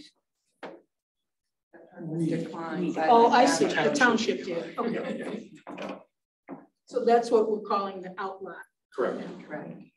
Okay, so project enhancements, uh, since the preliminary PUD approval. um, So we uh, rearranged the dealerships uh, to accommodate construction phasing. So before uh, BMW was on the very western side of the site, Jag Land Rover was in the middle, and Mercedes-Benz was on the east side. Uh, Based on phasing, we know that um, Mercedes-Benz and BMW are gonna go first in the construction phase. We didn't want to have a construction project in the middle of those dealerships. So we swapped the uh, Jag Land Rover and the uh, BMW store so that Jag Land Rover is really on the, the west side of the site. And it just better accommodates the overall uh, uh, project phasing. Uh, We've actually, Is Jag Land Rover for sure going to be in there? Jag Land Rover right now, um, and, and can jump in on this, but what we've, what we've learned is, is that Jag, Jag Land Rover has put a halt to uh, development across the country right now because they are revamping their imagery and design standards. So we fully expect that it will be on board. Um, we, that's why they are a second phase to this. We just think that that's probably going to lag behind by six months to a year before we can get those standards. But that's, that's the best information that we have right now. So I sort of say unnamed, but it's really, you're not naming it, but you know who it is. Yeah, We expect it we fully to be. expect, that's our expectation, but it's actually the design process for that OEM has been on hold since April of twenty-one. I, I- yeah, we can't design something that we don't have direction on. And we thought it was unfair to present images and things of that dealership when clearly there's an understanding that they're revamping that program. So as soon as we have that data and information, but whatever that uh, ends up being, it will be a high-end dealer uh, consistent with, you know, uh, that type of a development. So we've increased the open space. You'll see that a little bit later on. We've gone from thirty-five to thirty-seven percent. Uh, we did eliminate the pervious pavers, and, uh, we know that that was an issue that was raised by, uh, Doug's, uh, review letter.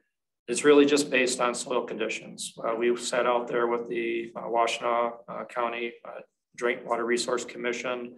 We did all of the soil borings out there. We took all the perc tests, water infiltration testing, and um, it just does not promote the ability to have pervious pavers on the site. So the strategy shifted to uh, more of a, um, if you look at, and we'll see it, uh, the um, the northernmost, um, we called it kind of a uh, detention area, is now more of an enhanced bioswale. We wanted to promote the groundwater filtration and things of that nature. So uh, that facility, rather than being a hole in the ground, is I think what we originally were planning, is really a- an enhanced bioswale treatment system. It's going to be uh, very well landscaped, and we we we felt that that was a comparable uh, uh, change in in how we were handling that.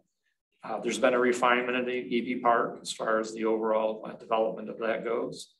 And then uh, we talked about the addition of uh, educational and wayfinding amenities that will be incorporated as a part of the project.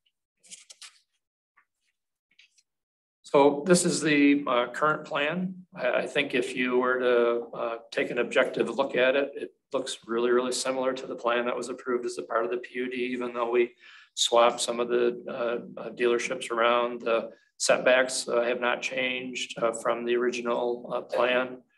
Uh, you can see the, uh, what I was mentioning on the northern basin there, um, the, the, the rock um, uh, swales that we've got with some check dams and creating little nodes of, of how the water is going to infiltrate. Uh, one of the major challenges of the site was just grading. I think it came out in the PUD process. We had thirty-two feet of grade change from one side of the site to the other. So you just can't drop a detention basin in the middle of it and, you know, get all of that to work. So um, uh, how the uh, stormwater management uh, strategy really unfolded uh, really is going to be dynamic uh, when you take a look at it out there. I'm a little confused. Which dealerships are these ones now, left or right? Yeah, so um, uh, Close, closest to you would be the Mercedes dealership, then the BMW, and then the proposed Jaguar Land Rover. Okay. And where's the EV park? Um, It is. The cars can play on swings. Right there, What yeah. do they do? Mhm. So that's charging and just green space? And it's, yeah, park, you could there's benches, there's picnic Benches. tables, there's um, walk your way through that. Yep, solar arrays uh, for the, uh, the charging stations. I think the, the, the intent of it, and um, I, I couldn't remember if you were on the township board when we uh, looked at the, uh, did the final PUD approval, but uh, the whole intent is making this a, a potential destination spot. You know, you're gonna grab a sandwich down the road. Where do you go if you've got an electric vehicle? You're able to come to EV Park, uh, park your car. The outlet?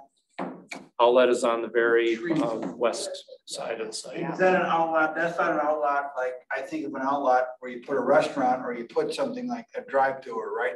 Is that just a, it- or is that an outlet like that? It is an outlet like that. It's for future development. Okay. It's just not defined right now what that is. There's some challenges to that piece. So do you have a, do you have in mind the kind of things you want? Because as part of this PUD? That was spelled out in the PUD. Yeah, we, we invited the township to identify the uses that you did not want to see on there. Yeah, we were focusing on the things that you do not want to see on that. Mini storage.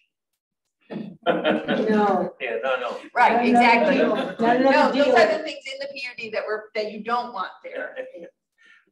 No And I believe helipads. that's, Well, was what's that an acre, that outlet? Uh, it's Two a point- two and a half. Yeah, it's Two and a half acres, okay. Good question, what's that in the back there? On the way top? The top left?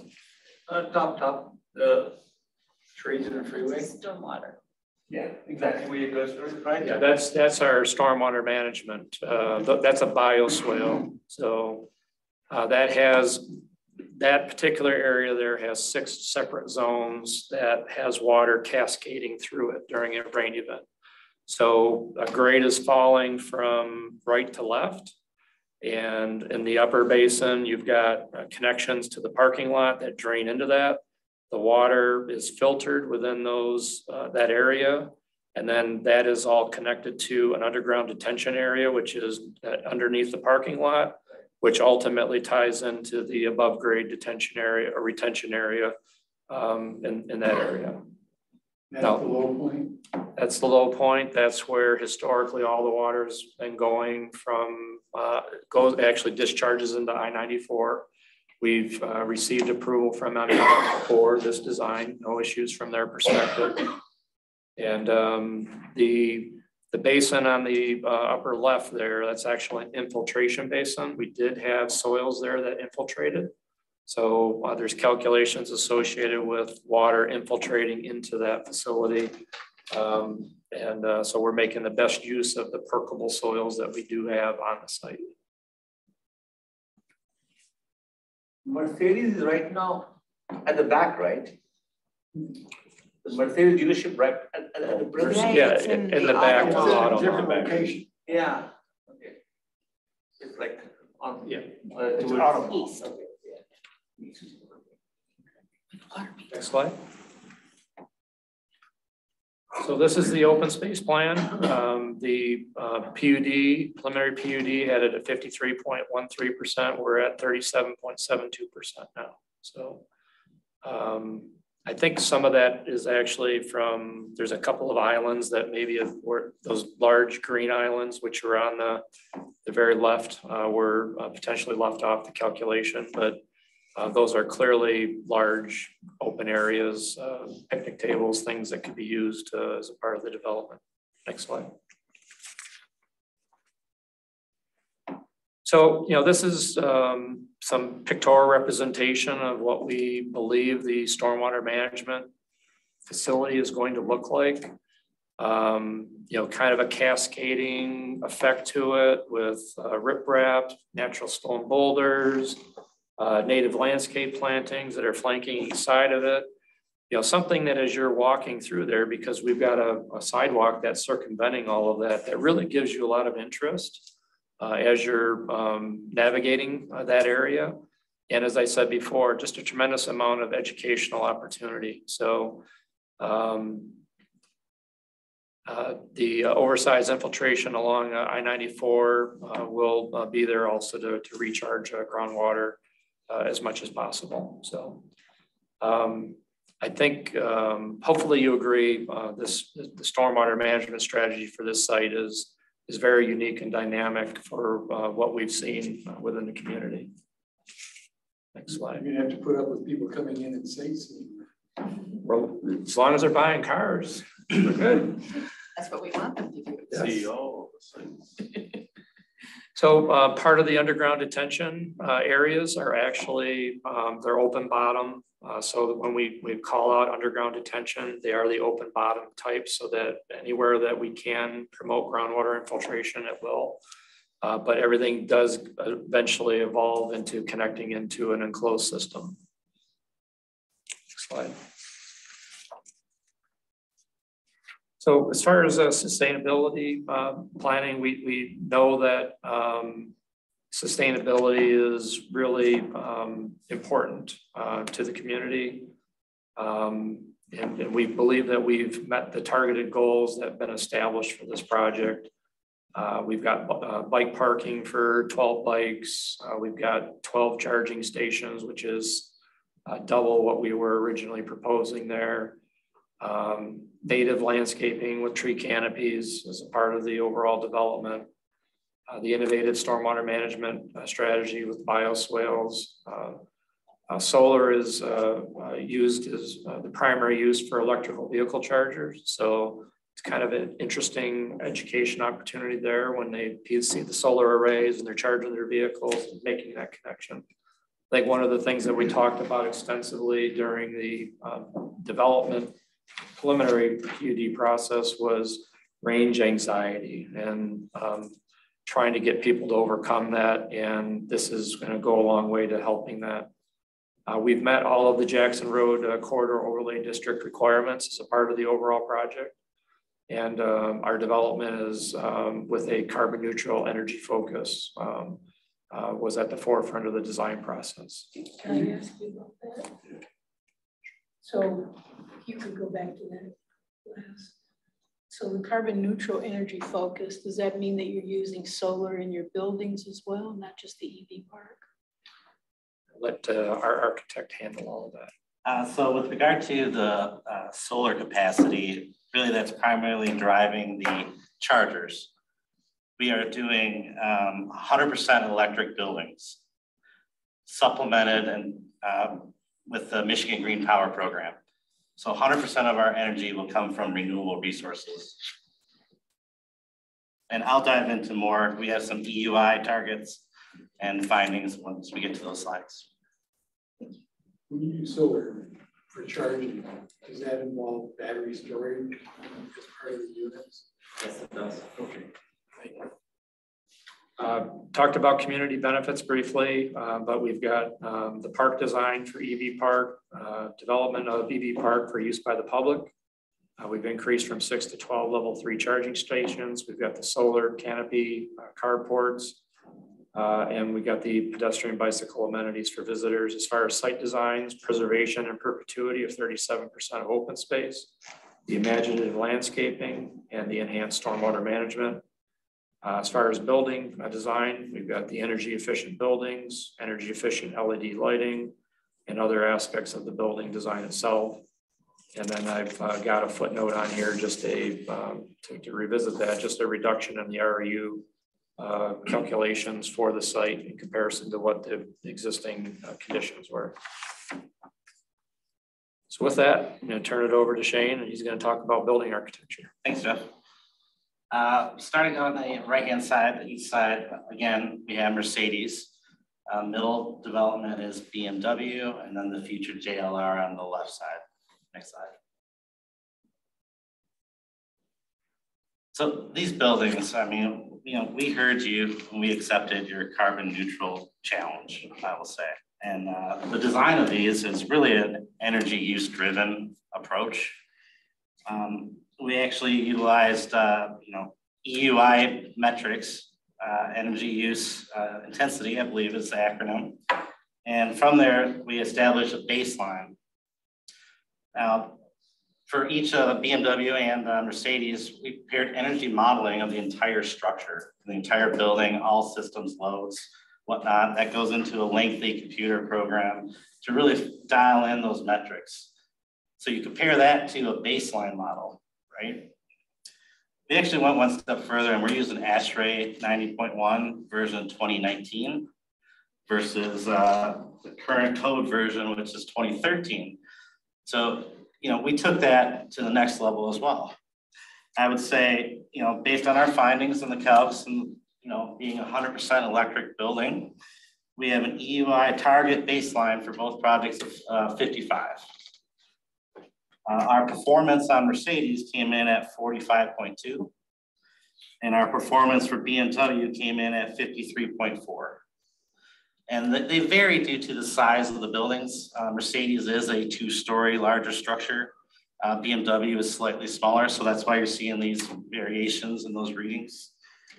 I would also like to add, you know, that's 17.8% better than the baseline for Mercedes. And it's also 8.3% better than ASHRAE 90.1 2019. So, I mean, like I said, we really took your challenge, you know, accepted it and pushed our engineering team to see what they can do. You know, to that end, it's an all electric heat pump HVAC system. Uh, we're using variable speed ECM exhaust fans. You know, we have multi-stage heating cooling. So these things can dial up, dial down, and really respond to what these buildings need. Uh, we have ultra low leakage economizers. You know, when we have the opportunity on a nice 55, 60 degree day, maybe we can pull some of that outside air and reuse that. We have high efficacy, efficacy LED lighting. You know, the light fixtures that we spec exceed 100 lumens per watt. So we're really getting that watt to really drive a lot of lumens. Uh, we also are implementing a combination wired and wireless networked lighting control. So all our site lighting would be able to be dimmable, controlled. Uh, you know, we can dial it down at night, but if somebody arrives on site for security and safety reasons, you know, these zones can come back up. You know, obviously expensive brands, expensive cars, we don't want any mischief. Um, we also have a, a, building automation and control system. You know, with all this technology, the electrical, the uh, wireless, lean management system to kind of display those metrics to understand, you know, when to turn the lights on and off, how, you know, how much energy are we actually saving with the use of electricity? Um, again, you know, I know the, the solar canopies, you know, in order to do a, an installation that would supply enough power for all these EV chargers, this would be a large installation. So what we propose as project team is, like I said, 100% of our power will be purchased through Michigan Green Power Program, DTE. And that's power coming straight from renewables, be it wind, solar, uh, whatever else DTE offers. But it doesn't stop at energy you know, we're, we're taking a look at materials within the buildings. You know, high performance solar control glazing systems. I mean, we're, we're trying to find um, glass systems that have U values in the 0.24 for assembly. What value? 0.24. No, what value is that again? Uh, that's a U value. It has to do with the insulation capacity of the glass. So there's products, newer products that use like triple glaze, or not triple glaze, sorry, but triple silver films that really lower those U values. And the lower the U value, the better. You know, most of our commercial projects we're seeing around a 0.32, maybe 0.3, somewhere in there. But Solarban makes a product, Solarban seventy-two, that we can get down to a 0.24 winter U value. High SRI roofing, you know, white roofs reflect that heat back, you know, so it doesn't sit there on that building and create additional energy load and additional energy demand. Water conservation, I mean, low flow plumbing fixtures. But we also have a car wash. You know, we're recycling our water from that car wash, reclaiming that, reusing that in that system. And lastly, I just want to add, you know, challenge accepted, but we think that this could be a benchmark for future dealerships, future commercial projects within the township to really, you know, say, hey, what is possible? What's not possible? I mean, there's give and take between those two things, but you know, we can strive to, to do it. And uh, you know, thank you for the challenge, I guess. But I'd also, you know, not only are we doing electrical, you know, buildings, but we want to sell electric cars. You know, both BMW and Mercedes, they're like they're moving into that electric electrical vehicle manufacturing. That's the next wave. You know, how are we going to do this as a society? What does it mean to have electric cars? But not only that, I mean, we offer, you know, 12 level charge or level three chargers that you could charge your car in 30 minutes. Under an hour, basically from, uh, you know, zero up to maybe 80%. So yeah, you can come off the highway, right? Come in, sign up, sit there. plug in, hour done, charge, walk the park. So you know, really that's what I had to add about the electric vehicle and the, you know, carbon neutral, trying to be carbon neutral.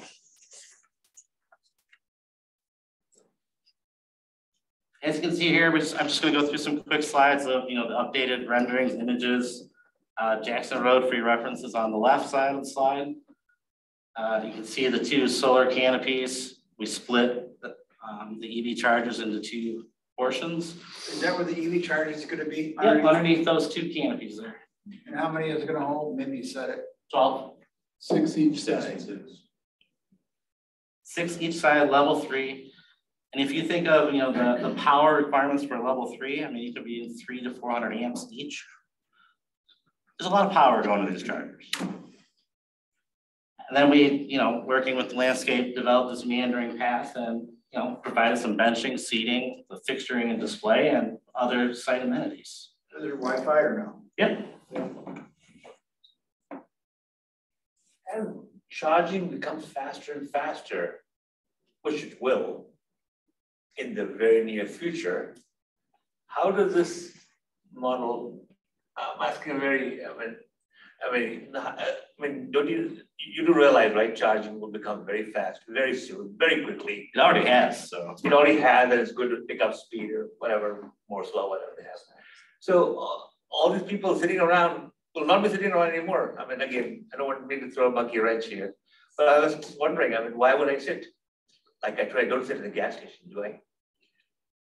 And nor will I sit here going forward. And the charging stations are going to be very fast, very powerful very soon. There's no doubt about that. So these are state-of-the-art charging stations that we're putting in, and today uh, a level three will take you about 30 minutes to get to a full charge.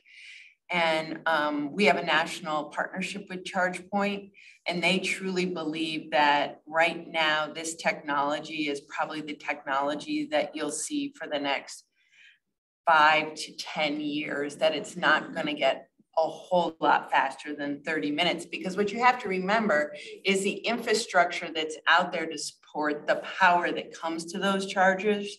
There's only so much infrastructure to get the power to the charger.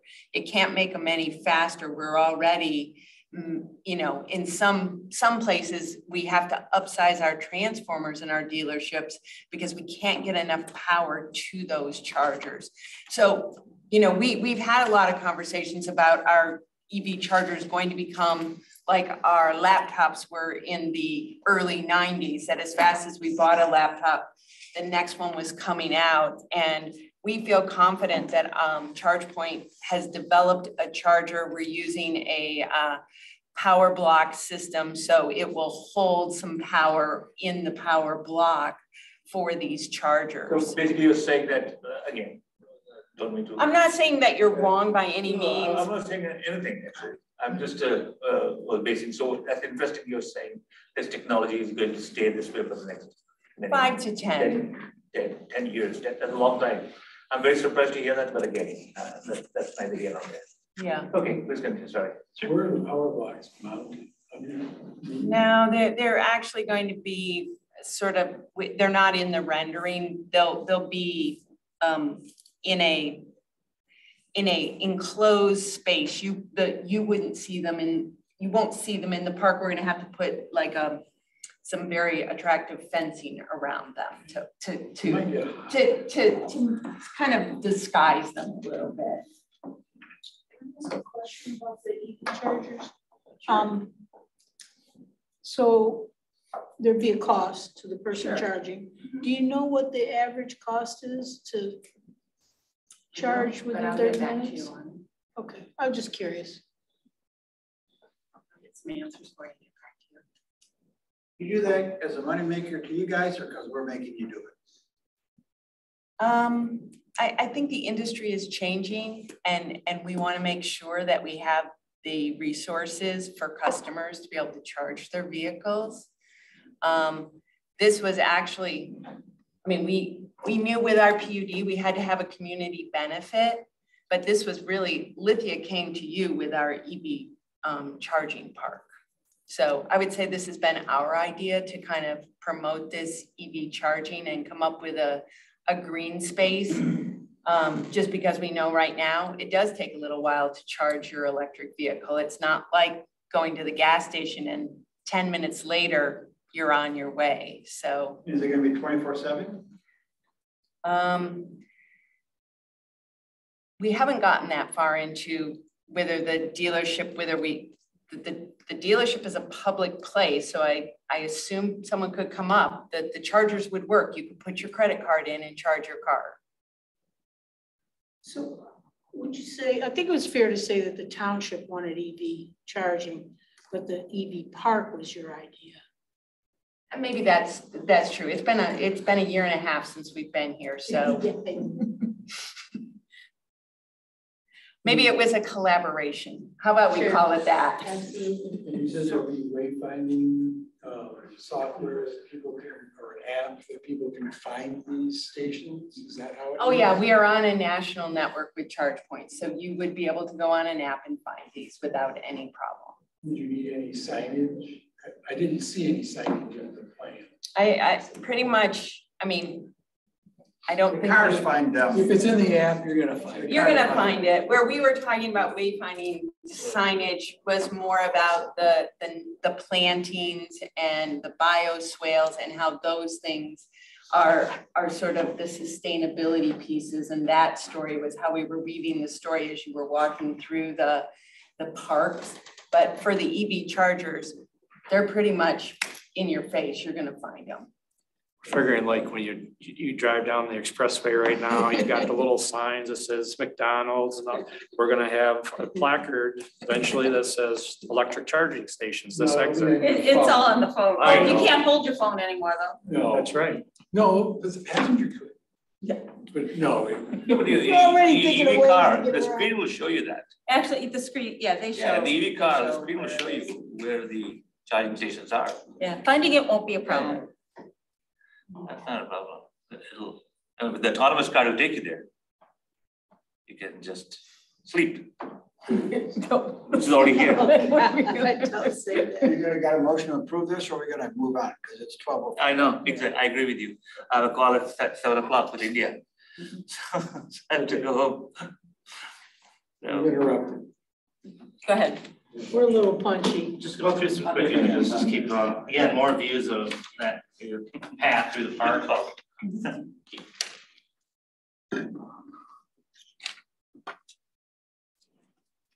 Yeah, as you work out the, the landscaping too, I would encourage some, uh, it doesn't look like it's very well shaded, but just think about, you, you've got a lot of heat island there with the asphalt and, and so forth. I think, um, you know, making sure you have some good shade trees in that park. Um, We do, yeah. Okay, good. Coordinate those. with- Yeah, I think it's, it's kind of hard with the renderings to show Yeah, everything I- I think it accurately, just but. didn't Show that, that in the rendering. Yep. We actually had to move one of the solar canopies because the tree was going to Yeah, block it, so they're there, promise you. And again, I just want to, you know, reiterate, these buildings are of high quality and finishes. You know, this is ACM, this is glass curtain wall. You know, nice materials, quality materials that I think really, you know, enhance that overall aesthetic. Why did one building look like it had roof units, and the other building? Pardon? Can you go back one? The Mercedes is the far one. Yeah, Mercedes is on the right. There's a lot of roof units in the, on the BMW one there. aren't there? Well, I'll have to yell at my rendering people to, you know, add some more rooftop units. And you can see they have the parapets, uh, Yeah. around for screening. Well, actually, we, we did study, you know, how far set back they are relative to that roof edge. And, you know, these are tall buildings as well.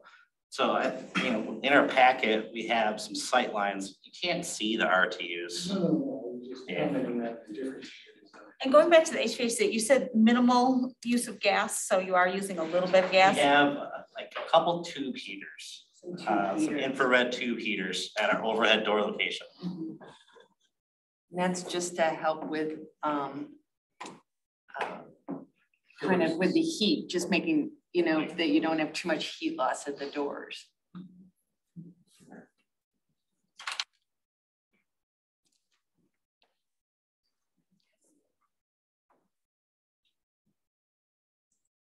There's a reason why you have a number of trees per parking space, so that you can provide shade to the parking lot, not just to the grass. So just uh, diving back in, um, EGLE Part forty-one permit has been applied for, uh, Act three ninety-nine permit for water main extension's been applied for. Uh, NPDES permit has to be applied for by the contractor once they're on board, so those permits and approvals are, are imminent. Um, easement documentation, uh, will be prepared and provided to the township engineer for, for approval at the appropriate time. Um, County Road Commission right of way, um, they've been engaged in this process, uh, since twenty twenty-one. Uh, with the preliminary PUD approval. Uh, they have provided us comments in the past with respect to the development. Um, the traffic study, we did a traffic study, uh, part of the preliminary PUD. Uh, that traffic study required us to put the acceleration lane and acceleration tapers, uh, going into the approaches. Those are identified on the plans, so no, uh, no, nothing changes there. But what the road commission has come back to us with is that your traffic counts are now out of date. So they've asked us to just update the traffic counts, update the traffic report, and then resubmit that for approval. We're, we've already done the updated traffic counts. They've, they've changed negligibly. Uh, we do not expect any issues at all from the road commission, but clearly whatever the road commission needs, uh, we'll provide. Uh, but we know that that's an outstanding issue as a part of what we're talking about tonight. Um, and then, uh, the Delhi Road vacation, we know that that is also an outstanding issue, uh, with respect to this package. We feel that both of these issues are issues that hopefully you guys would see your way uh, uh, to uh, doing a conditional approval to the township board, and we'll resolve those before we go to township board. Uh, As it relates to Delhi Road, uh, we've submitted actually dual applications. Uh, One is to vacate the right of way. That is our desire. That is, we want the uh, Delhi Road improvement to be a part of our development. Um, And, uh, but we do have one of the property owners um, on Delhi Road has objected to it. Uh, the road commission's taking that up next week. Uh, We've had a uh, public comment uh, about three weeks ago. And then we've got another meeting in uh, July for the final July decision. eighteenth for the final, and in the meantime, the road commission has, is preparing the public road improvement application for us. So we're, we're actually with them, we're taking parallel paths. It's either gonna be one or the other. Uh, if it goes, uh, as a vacation, the plan, as you see, is exactly what you're going to get. If it goes to a public road improvement, Uh, very slight changes, the roadway width changes by a foot. And then we'll probably end up having to put a cul-de-sac at the end of the road, which really has no impact to the plan as it being presented tonight, other than it's a change in, in how that road's gonna look. The, the cul-de-sac will stay within the right of way of, of Delhi Road. Is there only one other user of the other, of that road right now? There's two, There's there's, one in the front, yeah, I believe that's MEM is the landowner, and then the Michigan Credit Union is the, has, at the back they have. And we've been working with the credit union and they've been very cooperative. We're having um, some pushback from the front property owner. So that'll be resolved with the road commission. Um, I, I just, I don't think it really impacts the decision tonight as it relates to what we're proposing. Uh, and then uh, going through quickly the uh, review letter by uh, Mr. Lewan. Um, we understand and no, no issues with the combination of parcels. We, we can't move forward with that land combination until we resolve what's happening with the uh, road right-of-way uh, dedication. Because if we, we do all the combinations, is the right-of-way in or out? So uh, that will follow up in due time and it's a, a something that's uh, very easily handled. Uh, we did, uh, Mr. Lewan's letter um, was had an extensive narrative regarding tree replacements. Um, well, we're before you tonight. Um, we, uh, I think we've come to a conclusion with uh, Mr. Lewan's office that uh, right now there's 323 replacement trees that are required that we cannot fit on site. Just not enough areas to plant that landscaping. So the commitment tonight is to uh, make a contribution to your tree fund to resolve that, uh, that issue. Um, the uh, right-of-way and silver maple trees uh, have been accounted for in those revised calculations uh, that were worked out with uh, uh, Mr. Lewan's office.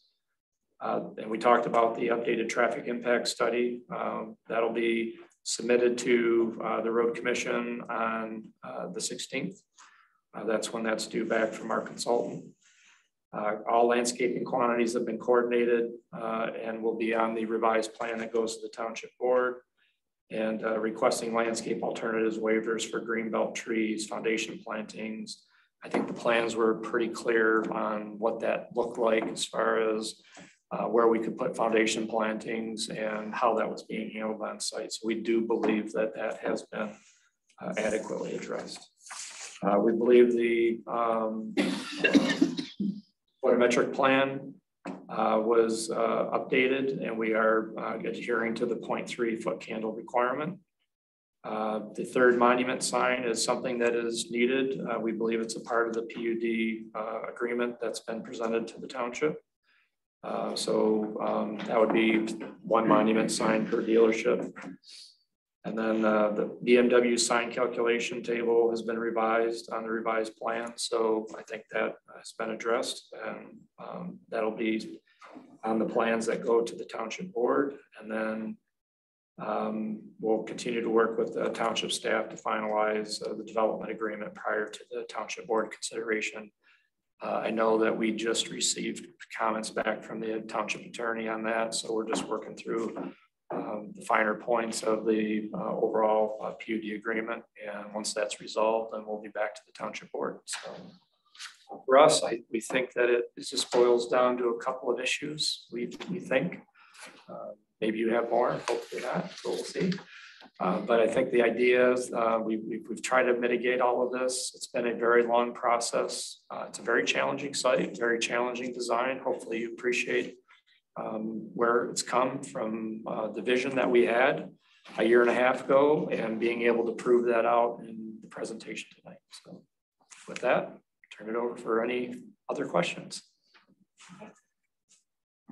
Questions of the applicant or should we just go to, uh, can you kind of hop through, just maybe confirm that what they said has been taken care of, has been any um, yeah, they, they, their office has been working, our comments were primarily uh, some tree count comments that, that we Greenbelt. And um, the applicant has been cooperative in going to calculate the trees way that we, you know, that we believe they should be calculated. Which required some additional uh, tree plant, you know, replacement tree on site. I think that's addressed. I think one of the things that, so yeah, the landscaping, we, we will recheck that before we move forward. But it sounds like they're willing to uh, work with us on those comments. The one thing that the planning commission would have to do tonight is, is uh, agree to the PUD waivers for the greenbelt plantings.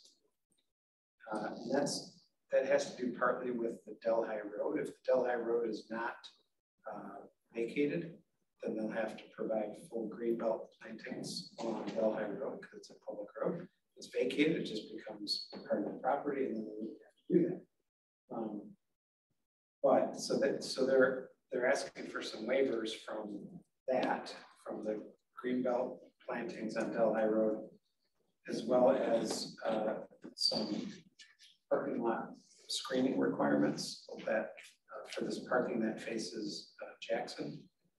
And uh, Parking lot screening what? Some parking lot, parking lot screening. To plant less trees, right? Yeah, it's in shrub, most, most like a three foot shrub hedge, because they say that we already require some plantings along Jackson. So is that part of the public benefit to do less for the environment? It's twelve fifteen and I'm a little cranky. Yeah. Well, don't slow them down then. Yeah, okay. I appreciate your point, Bob. My, my apologies. Um, So anyway, that, that, that's what part, part of what they're requesting is a waiver for, uh, some of the landscape requirements. Applicant can go into more detail on that, but aside from those waivers, and that's something that the planning commission, the ultimate township board would have to agree to put into the PUD if you want to do that. Requirement that you do that. Um, It sounds like the applicant has uh, either made changes and or is willing to calculate tree replacement the way that suggested. I do have a question about the greenbelt plantings. Um, Is that for parking lot headlight screening from shining onto the roads? yeah. So, I mean, what's gonna keep, I mean, if we waive the need to put that in there, is there something that takes its place? You want to address the waiver? We don't have. Specifically on Delhi, Delhi Road is gonna be about five or six feet higher than the parking lot. So all of our, our parking lot that is abutting Delhi is going to be below road grade. There's gonna be a landscape berm in between the two with a pretty substantial differential down to it. And we're only talking about along East Delhi.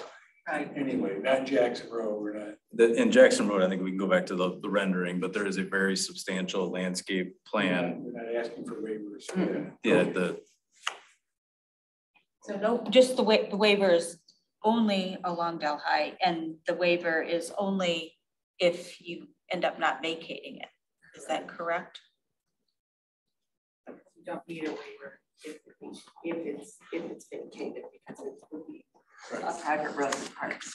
So one, yeah, so the one, the perimeter parking lot landscape, the parking lot is visible from public road required to be screened from view with a landscape berm varying in height from two to three feet along the perimeter of those sites, which are visible and shall be planted with a one tree and six shrubs per thirty-one feet. No perimeter parking lot landscaping is proposed. The Applicant has requested that the following waiver with regard to perimeter parking lot trees, the area along Jackson Road, which abut, which abut the parking, each have portions of underground retention system directly abutting the curb. This is severely inhibits the ability to plant in addition to frontage.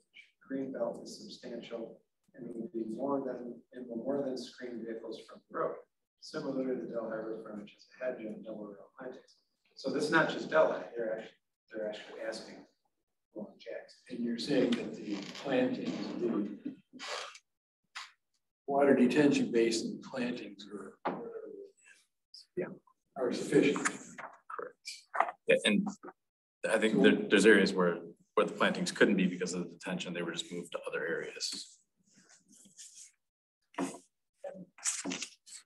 Or what you, is- are you saying that the numbers are on the site, you're supplying Same amount. the same amount, but it's just not, Because you're doing more grasses Yeah, It, and, it, it got very complicated, and that was one of the comments from, from Carlisle Wortman was to identify which plantings were uh, adhering to which requirement, because they are all spread out around. So our landscape architect came up with a kind of a key designation for foundation plantings and greenbelt plantings and, and parking lot plantings, and they're all noted on the plan so that we could clarify for, for Carlisle Wortman how we were meeting all of those requirements and where they were, especially in those areas where we had to take plantings from where we couldn't put them and move them elsewhere.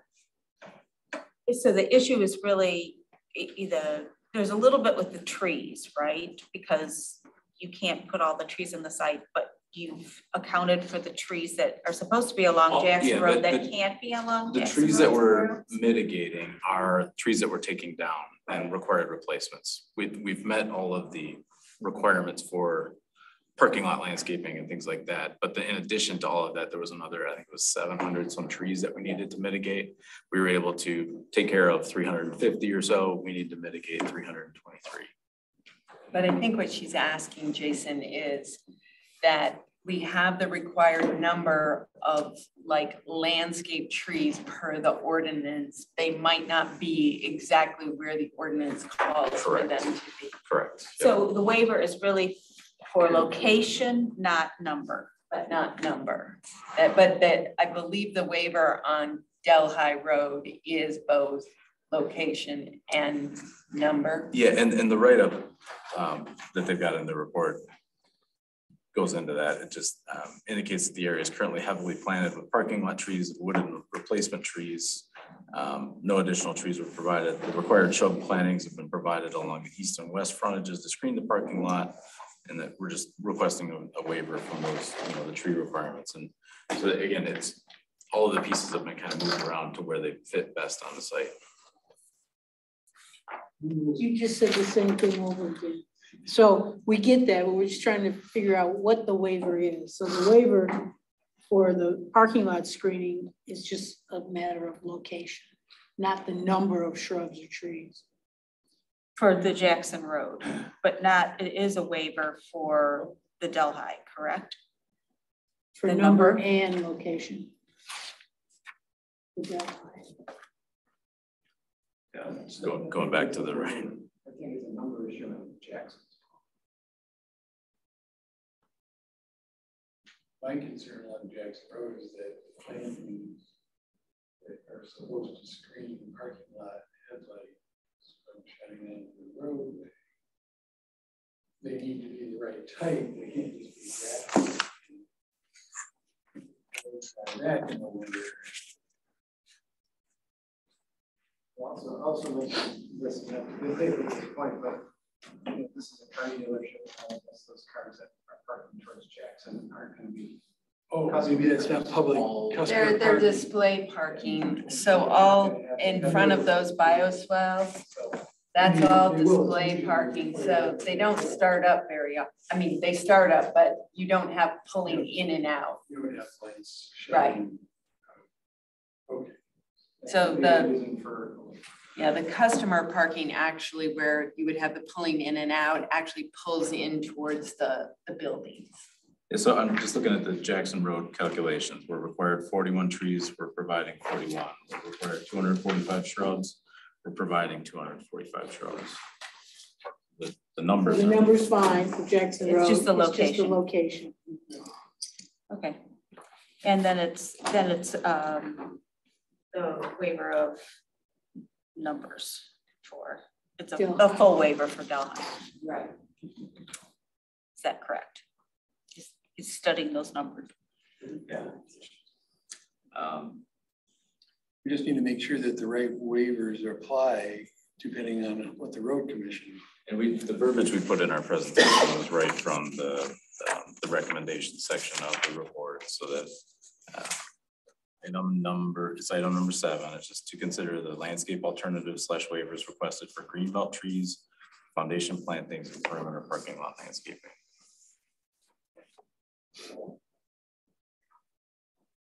Yeah, that's pretty vague. For our purposes. Yeah. But I think we can, we can do, because the Delhi waiver is only if it's not vacated. Right. And it's a full waiver for um, screening and trees. And then the other one is just for waiver of location for Jackson Road. Does that make sense? I'm gonna call on you when you, Mhm. when you make your, and and we'll have to have Carlisle Wortman.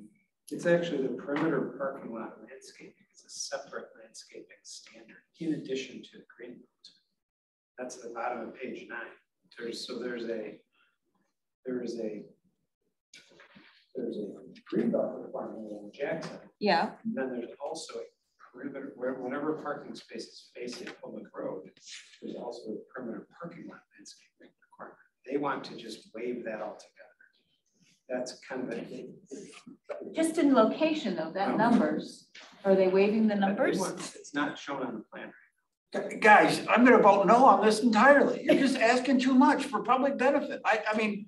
I- No, that's I'm- not public benefit. That's my point. You don't want a waiver. We're doing really good to delve into these details. And, and it's hard at twelve thirty at night, to be honest with you. I move, I move to table this until our next meeting. Yes, I think so too. There's I been a move and a support. I, I, I'm, I'm out of. I call a question. Okay. So roll call. Roll call. Table. Or postpone. I think we're close. We're gonna find out. Non-debatable. Great, they called the question, so. Roll call vote on whether we're Who postponing. it. seconded that? Was it you? No, It was, Prakash. The other cranky guy in the room. okay. I mean, they deserve better than And who called the question? We'll focus. Verizon. Riser called the question. So roll call. Okay. Commissioner Hyde, No. Commissioner mm-hmm. No to what, sorry? Calling the question. Not, Voting right away, calling the question. we're The motion is to postpone to to our next He to meeting. our no. next meeting. He said no. Okay, okay. Are we voting on that or are we calling the question? We're Calling- voting. We're voting. We're just doing it. So Commissioner Sharma, I'm thinking, yes, we postpone and table it. Commissioner Riser, Yes. Commissioner Moore, Yes. Commissioner Chang, yes, Commissioner Culbertson. No. Two, carried. I mean, these people deserve commissioners who are thinking straight and aren't lashing out. I want to give them the benefit of the doubt. And I don't think I'm able to do that. And I apologize to you. I know you came in from far. No, I just need to ask a question though, because we now can't get back on your agenda till July tenth. So we now have sat through all the other um cases that came up. So is it possible to request a special meeting? Because um we are up, we really want to get, we really want to be part of this community and we really want to get this project started. And that's why it's taking you all this time to come here with this final site plan. I mean, we were wondering where you've been. well, we But I hear begged, you. we submitted. All right, let's not get into an argument and No, I mean, I, I don't think we're opposed to I'm opposed to a scheduling a special special meeting. Okay, so um, how do we do that? Sorry. Do we, who do we contact to set that up? I'm good night. Fran at the township to start with. All right, guys, good night. I have to wake up at six six o'clock. Determine you're gonna vote I'm sorry, it's really hard to hear you. Um, start with, uh, Fran Zuma at the township, and she will pull the planning commissioners about five.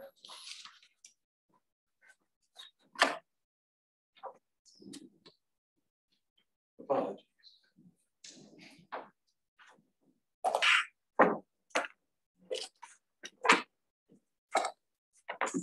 That'll help us get the numbers straight too.